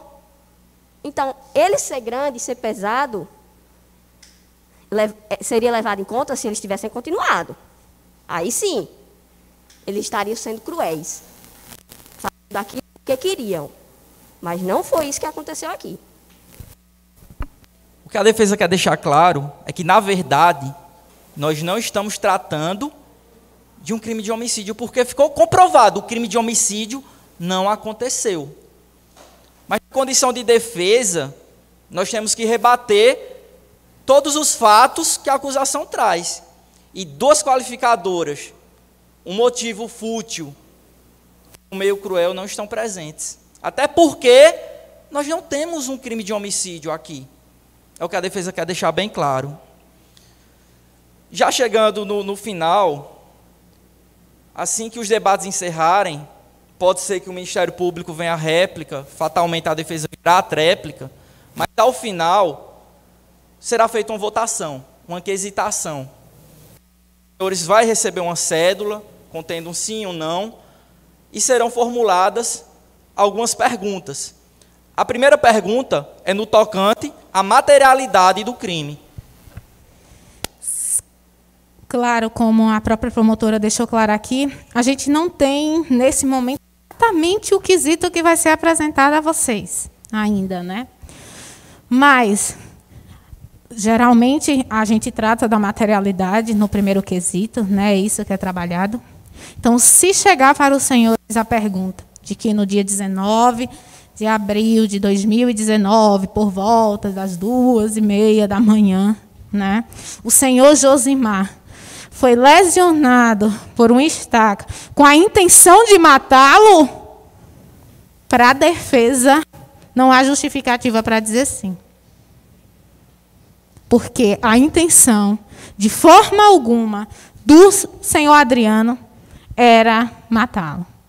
Com relação à autoria delitiva, que também vai ser questionada aos senhores, se foi o senhor Adriano, se foi, se eles concorreram ou não para o delito, a gente já deixou claro aqui que não houve participação do senhor José Feitosa, nem do senhor Carlos Daniel vai ser levantado também para os senhores se se tratava naquele momento de uma lesão corporal com resultado morte ou se se tratava do delito de homicídio.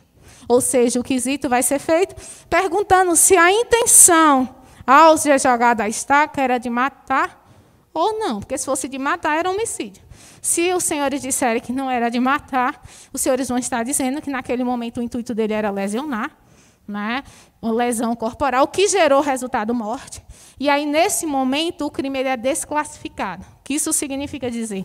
Os senhores tiram a competência dos senhores e aí é o juiz quem vai decidir. Certo? Tendo em vista que lesão corporal com resultado morte não é de competência do tribunal de júri. E também vai ser questionados aos senhores, antes das qualificadoras, se os senhores absolvem os réus. E a defesa vem aqui pleitear que os senhores absolvam. Os dois irmãos, por entender que eles não concorreram para o crime, que eles não praticaram nenhum ato direcionado ao resultado que a gente teve com o senhor Josimar. E com relação ao Adriano, que de fato ele jogou a estaca, mas ele jogou a estaca porque era o único meio que ele dispunha naquele momento como mecanismo de defesa. E que, portanto, ele agiu em legítima defesa. E se ele age em legítima defesa, qualquer um de nós que agir em legítima defesa também deve ser absolvido. Que a nossa lei assim estabelece. Então, posteriormente, vai ser quesitado ainda as qualificadoras para finalizar, e aí vai ser perguntado aos senhores se de fato o crime foi praticado com motivo fútil. Os senhores vão dizer que sim ou não. A defesa sustenta que não. E, por fim, se foi praticado com meio cruel ou insidioso, e a defesa também sustenta que não, porque seria meio cruel ou outro meio insidioso, se naquele momento eles tivessem permanecido né, ali, ó, batendo, batendo, batendo. Mas não, foi o Adriano jogou a estaca, acabou atingindo né, a moto, e o senhor Josimar, ele cai, como a gente percebe pelas imagens do processo, ele fere o braço esquerdo, ele fere os dois joelhos e também o rosto, claro, em decorrência da queda e da pancada, que com certeza não é uma pancada pequena. Né? Então, essa é a quesitação, e é isso que a defesa vem trazer para vocês. Que na primeira quesitação, se os senhores entenderem conforme a defesa, que os senhores digam não. Apenas para encerrar, excelências, eu queria só fazer referência a uma das grandes obras que a gente tem acerca de conduta moral, de conduta ética não em termos religiosos, que é a nossa Bíblia. Eu queria só citar uma passagem, a passagem de Abraão, no qual Deus pede que ele sacrifique o seu filho, e assim ele aceita e faz. Por mais difícil que fosse para ele matar, sacrificar o seu filho, ele entendeu o quê? Que era a decisão certa a tomar. Era a lei da época dele. E assim ele fez, ele obedeceu. E quando ele estava prestes a desferir o golpe mortal, o anjo impede. O que eu quero pedir aos senhores hoje é que tomem a decisão difícil. É a decisão certa. Assim como Abraão aceitou, acatou, seguiu a lei da época dele, a única coisa que a defesa pede e espera dos senhores hoje é que os senhores obedeçam a nossa lei. Como eu falei lá no início, se os senhores estão aqui hoje, é principalmente porque a justiça brasileira entende que durante toda a vida dos senhores, os senhores agiram em conformidade com a lei, os senhores obedeceram à lei. E a defesa só pede isso. Hoje, mais uma vez, obedeçam à lei, por mais difícil que seja, mas é o justo, a defesa pede, a defesa suplica, façam justiça e, principalmente, deem fim a uma injustiça que já dura dois anos, que é a prisão de dois inocentes que nada fizeram. É só isso que a defesa pede hoje. Agradecemos a atenção dos senhores. Muito obrigado.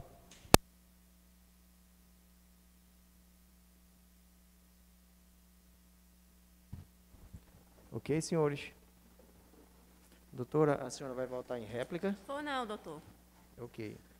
É, senhores jurados, vocês têm algum questionamento para que a gente possa fazer? Tente fazer algum esclarecimento, porque por acaso vocês têm alguma dúvida? Não? Ok. É, então a gente vai, vai fazer a aquisitação e vai para a parte do julgamento. Eu peço que os colegas presentes aguardem lá fora, os, os acusados aguardem em outra sala. Quando a gente, após o julgamento, a gente abre as portas novamente para a gente conversar, tá?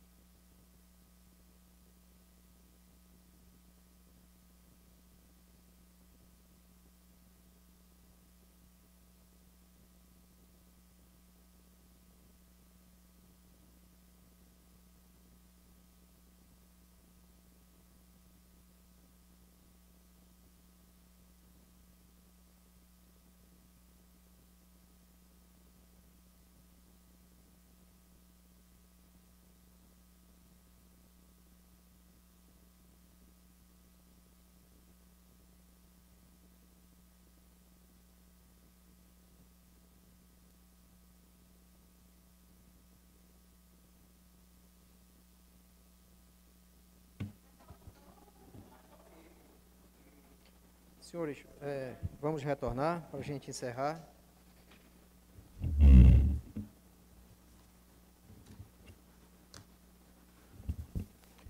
Eu vou fazer a leitura da, da sentença, partir para os agradecimentos e encerrar a sessão.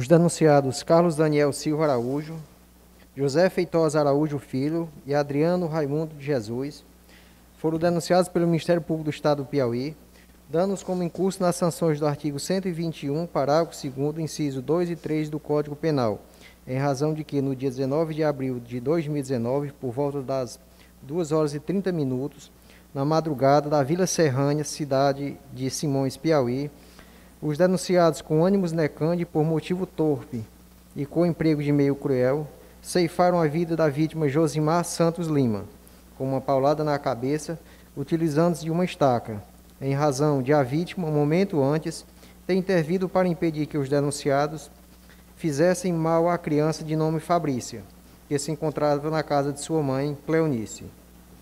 O processo seguiu seu trâmite normal, com a devida instrução processual, culminando com a sentença de pronúncia dos acusados no tipo previsto no artigo 121, parágrafo 2 incisos 2 e 3 do Código Penal, e submissão dos acusados a julgamento pelo Egrégio Tribunal do Júri desta comarca. Em plenário, a acusação sustentou e pediu a condenação dos réus nas penas do homicídio qualificado. A defesa sustentou a tese de desclassificação, negativa de autoria, homicídio privilegiado e inexistência de qualificadoras.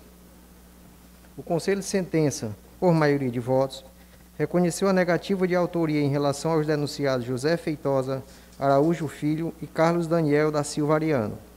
No tocante ao acusado Adriano Raimundo Jesus, após reconhecer a autoria e materialidade, desclassificou, desclassificou o crime para o tipo diverso da competência do júri, respondendo negativamente ao quarto quesito, atraindo a competência do juiz singular. Compreendo não estar presente a excludente da ilicitude e legítima defesa, pois, pelo que consta dos autos, o denunciado, momento antes do crime, foi até a residência da vítima, quando este já estava na sua residência, e após, ao se encontrarem em um lugar ermo e escuro, aproveitou-se do momento em que a vítima passava em sua motocicleta e arremessou contra este um pedaço de madeira, fazendo com que caísse ao chão, sofrendo escoriações pelo corpo que foram a causa da sua morte, não havendo qualquer registro comprovado de que praticou este comportamento para se defender. Vejo que nesse caso se deu com a presença do motivo fútil, considerando que o fato ocorreu em razão de discussões havidas anteriormente entre as partes, o que se mostra desproporcional com a conduta realizada. Sendo este o veredito do Conselho de Sentença soberano, absolvo os denunciados José Feitosa Araújo Filho e Carlos Daniel Silva Ariano e condeno o réu Adriano Raimundo de Jesus nas sanções do artigo 129, parágrafo 3 do Código Penal Brasileiro. Atento aos critérios individualizadores da pena, passo a dosá-la em estrita observância ao disposto no artigo 68 caput do Código Penal em relação ao denunciado Adriano Raimundo de Jesus. Pela análise das circunstâncias judiciais contempladas no artigo 59 do Código Penal, tem-se que a culpabilidade do denunciado é reprovável, visto que agiu com dolo, com vontade de produzir o resultado, tendo plena convicção e discernimento da ação típica e de suas consequências. Todavia, nós que o dolo do seu comportamento é típico e normal à espécie, razão pela qual nada havendo a levar a reprimenda legal acima do mínimo estabelecido pelo legislador. Não há registro nos sistemas eletrônicos de outras condenações criminais contra o réu, sendo tecnicamente primário. As circunstâncias foram normais ao tipo. O motivo do crime foi fútil, conforme mencionado anteriormente. Em relação à conduta social, nada a considerar nos autos. As consequências do crime foram normais ao tipo, registrando-se, por fim, que a vítima nada contribuiu para o resultado fatal. Desta forma, considerando as circunstâncias analisadas individualmente, fixo a pena base para o delito de lesão corporal seguido de morte perpetrado pelo denunciado contra a vítima em quatro anos e seis meses de reclusão. ausentes circunstâncias atenuantes e agravantes, bem como causas de aumento e diminuição de pena. Assim sendo, tornam a pena definitiva em quatro anos e seis meses de reclusão.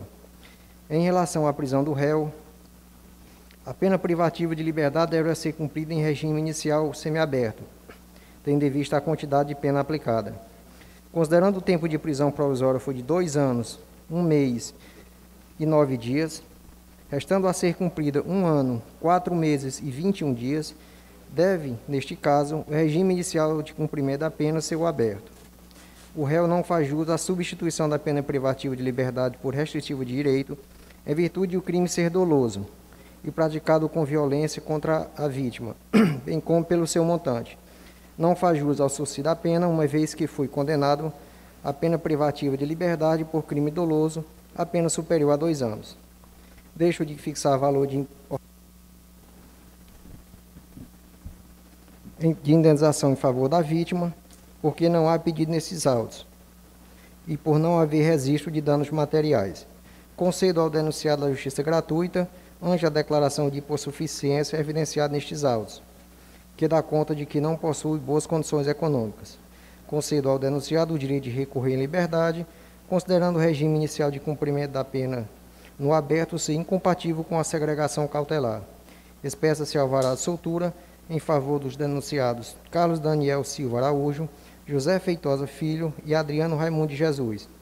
Oportunamente após o trânsito em julgado da sentença, lance o nome dos réus nos culpados, comunique ao TRE e expressa guia de execução definitiva, com, completando sua guia de execução provisória, conforme se encaminhado.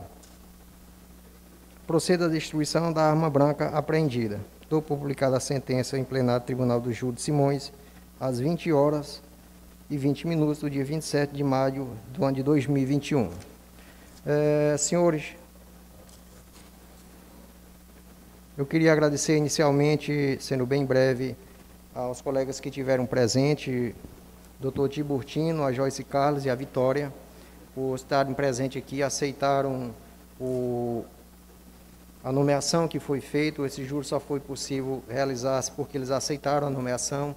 A gente sabe que foi muito rápido o tempo de, do convite e aceitação com o motivo do dos réus e a manifestação de vocês foi um tempo exíguo para formular a defesa.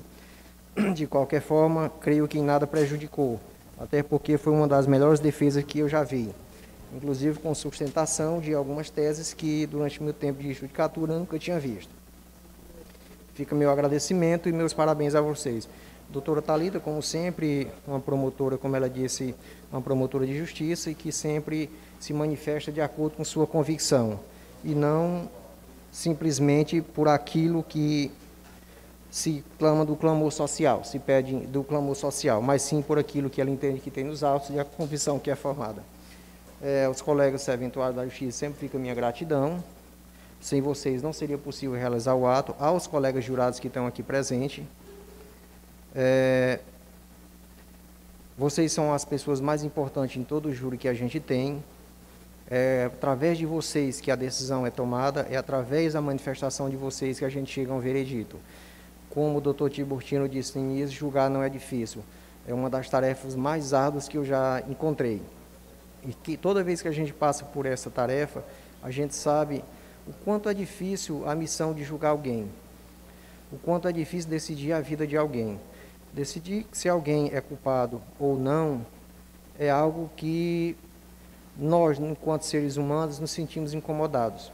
certeza ou provavelmente vocês se sentiram, assim como também a gente se sente todos os dias. É uma coisa que a gente não acostuma. Mas, como a doutora Thalita disse, há fatos sociais que a gente tem que julgar. Ah, nós, enquanto sociedade, somos nós que temos que colocar controle nos atos. E comparecer a um júri é, em matérias em que o nosso legislador constituinte disse que cabe à sociedade julgar é uma forma de exercer, inclusive, a cidadania. Me parece uma decisão acertada, porque quando se leva a júri, se leva a júri situações graves. E situações graves é a sociedade local que tem que julgar. Então, é, não é um desejo da gente que isso aconteça, é um desejo do legislador. Foi assim que o legislador quis. Não é que a gente queira levar isso para vocês, a gente está obedecendo a norma. E fico feliz porque o acerto ou o desacerto é tomado por maioria. São sete juízes que estão tomando uma decisão. Fica meu agradecimento a vocês.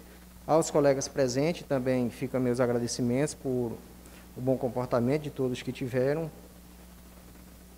Os acusados. Como a doutora Talita disse, aqui nós não julgamos pessoas, nós julgamos comportamentos. É, nós não temos bola de cristal para saber o que de fato aconteceu. Tanto que os colegas jurados que tiveram aqui, quem acompanhou o julgamento e acompanha, vê que a gente não consegue um juízo 100% de verdade. Os nossos julgamentos são sempre por aproximação. Não tem como a gente voltar no tempo para a gente tivesse feito uma filmagem uma gravação. Hoje a gente tem uma gravação feita, mas a maioria dos fatos não tem. Então tudo que a gente faz é um, um retrato, às vezes não muito fidedigno do que aconteceu. É, que a, se o fato aconteceu de uma forma ou de outra, que fique de exemplo para o futuro. A gente não pode voltar ao passado, mas pode aprender com ele. Tudo na vida da gente serve de lição. Quero agradecer por último aos colegas é, que nos ajudaram muito, ao Poder Legislativo, que faço em nome do presidente da Câmara, do senhor Luciano César, que nos cedeu humildemente, com muita boa vontade, esse espaço. É um espaço muito aconchegante, a gente foi recebido muito bem nesse ambiente, a gente se sente em casa, um ambiente muito agradável os colegas da nossa transmissão, fica parabéns para vocês, está todo mundo elogiando, é, eu acho que é um dos primeiros julgamentos, se não for o primeiro, que o tribunal faz em nível de primeiro grau, transmitido para o Brasil todo. A imagem perfeita, um sistema de vídeo perfeito, fica meus parabéns a vocês, vocês estão de parabéns. Abra a oportunidade à promotora e os colegas de defesa, se tiverem alguma coisa a acrescentar. É, boa noite. É, apenas é, faço minhas as palavras do senhor, doutor Cleiton, e agradeço a todos, é, principalmente aos jurados, por terem ficado, né, prestado atenção na minha fala, na fala da defesa, na, enquanto as testemunhas eram ouvidas. É, como o doutor falou, né, é a sociedade quem julga né, nesses delitos. Então, assim, é, a gente respeita o, o, a decisão dos senhores e das senhoras, é uma decisão soberana e essa é a justiça que vocês, que a maioria entendeu que era a justiça desse caso. Então, é, ficam meus agradecimentos, faço minhas as palavras do Dr. Cleiton. Bom, eu, em nome da defesa, né, dos colegas, doutor Tiburtino, doutora Joyce, também queremos agradecer. Agradecer pelo acolhimento, né, mais uma vez, de como a gente se sentiu acolhido de estar aqui hoje. De fato, o tempo foi bem curto, desde a data da, do momento que a gente entrou no processo até hoje. Mas que bom que deu certo, né? Que bom que os jurados conseguiram é, compreender as nossas teses defensivas aqui. Que a todo momento o nosso intuito também era fazer com que vocês chegassem à verdade, né? Mesmo que aproximada, como o Dr. Clayton falou. Em especial nesse momento, eu queria direcionar, né? Essa é, inclusive um momento de reflexão, porque ontem, quando eu estava vindo para cá, é, minha mãe estava saindo do hospital, né, depois de mais de 10 dias na UTI. Então, minha mãe venceu o Covid e eu queria aproveitar esse momento, que inclusive de, em rede, muitas pessoas estão assistindo, para dizer para vocês que se cuidem, né? que cuidem dos seus. A pandemia não acabou, ela continua, né? E, de fato, a gente precisa tomar muito cuidado. Então, eu queria aproveitar esse momento para também trazer essa reflexão.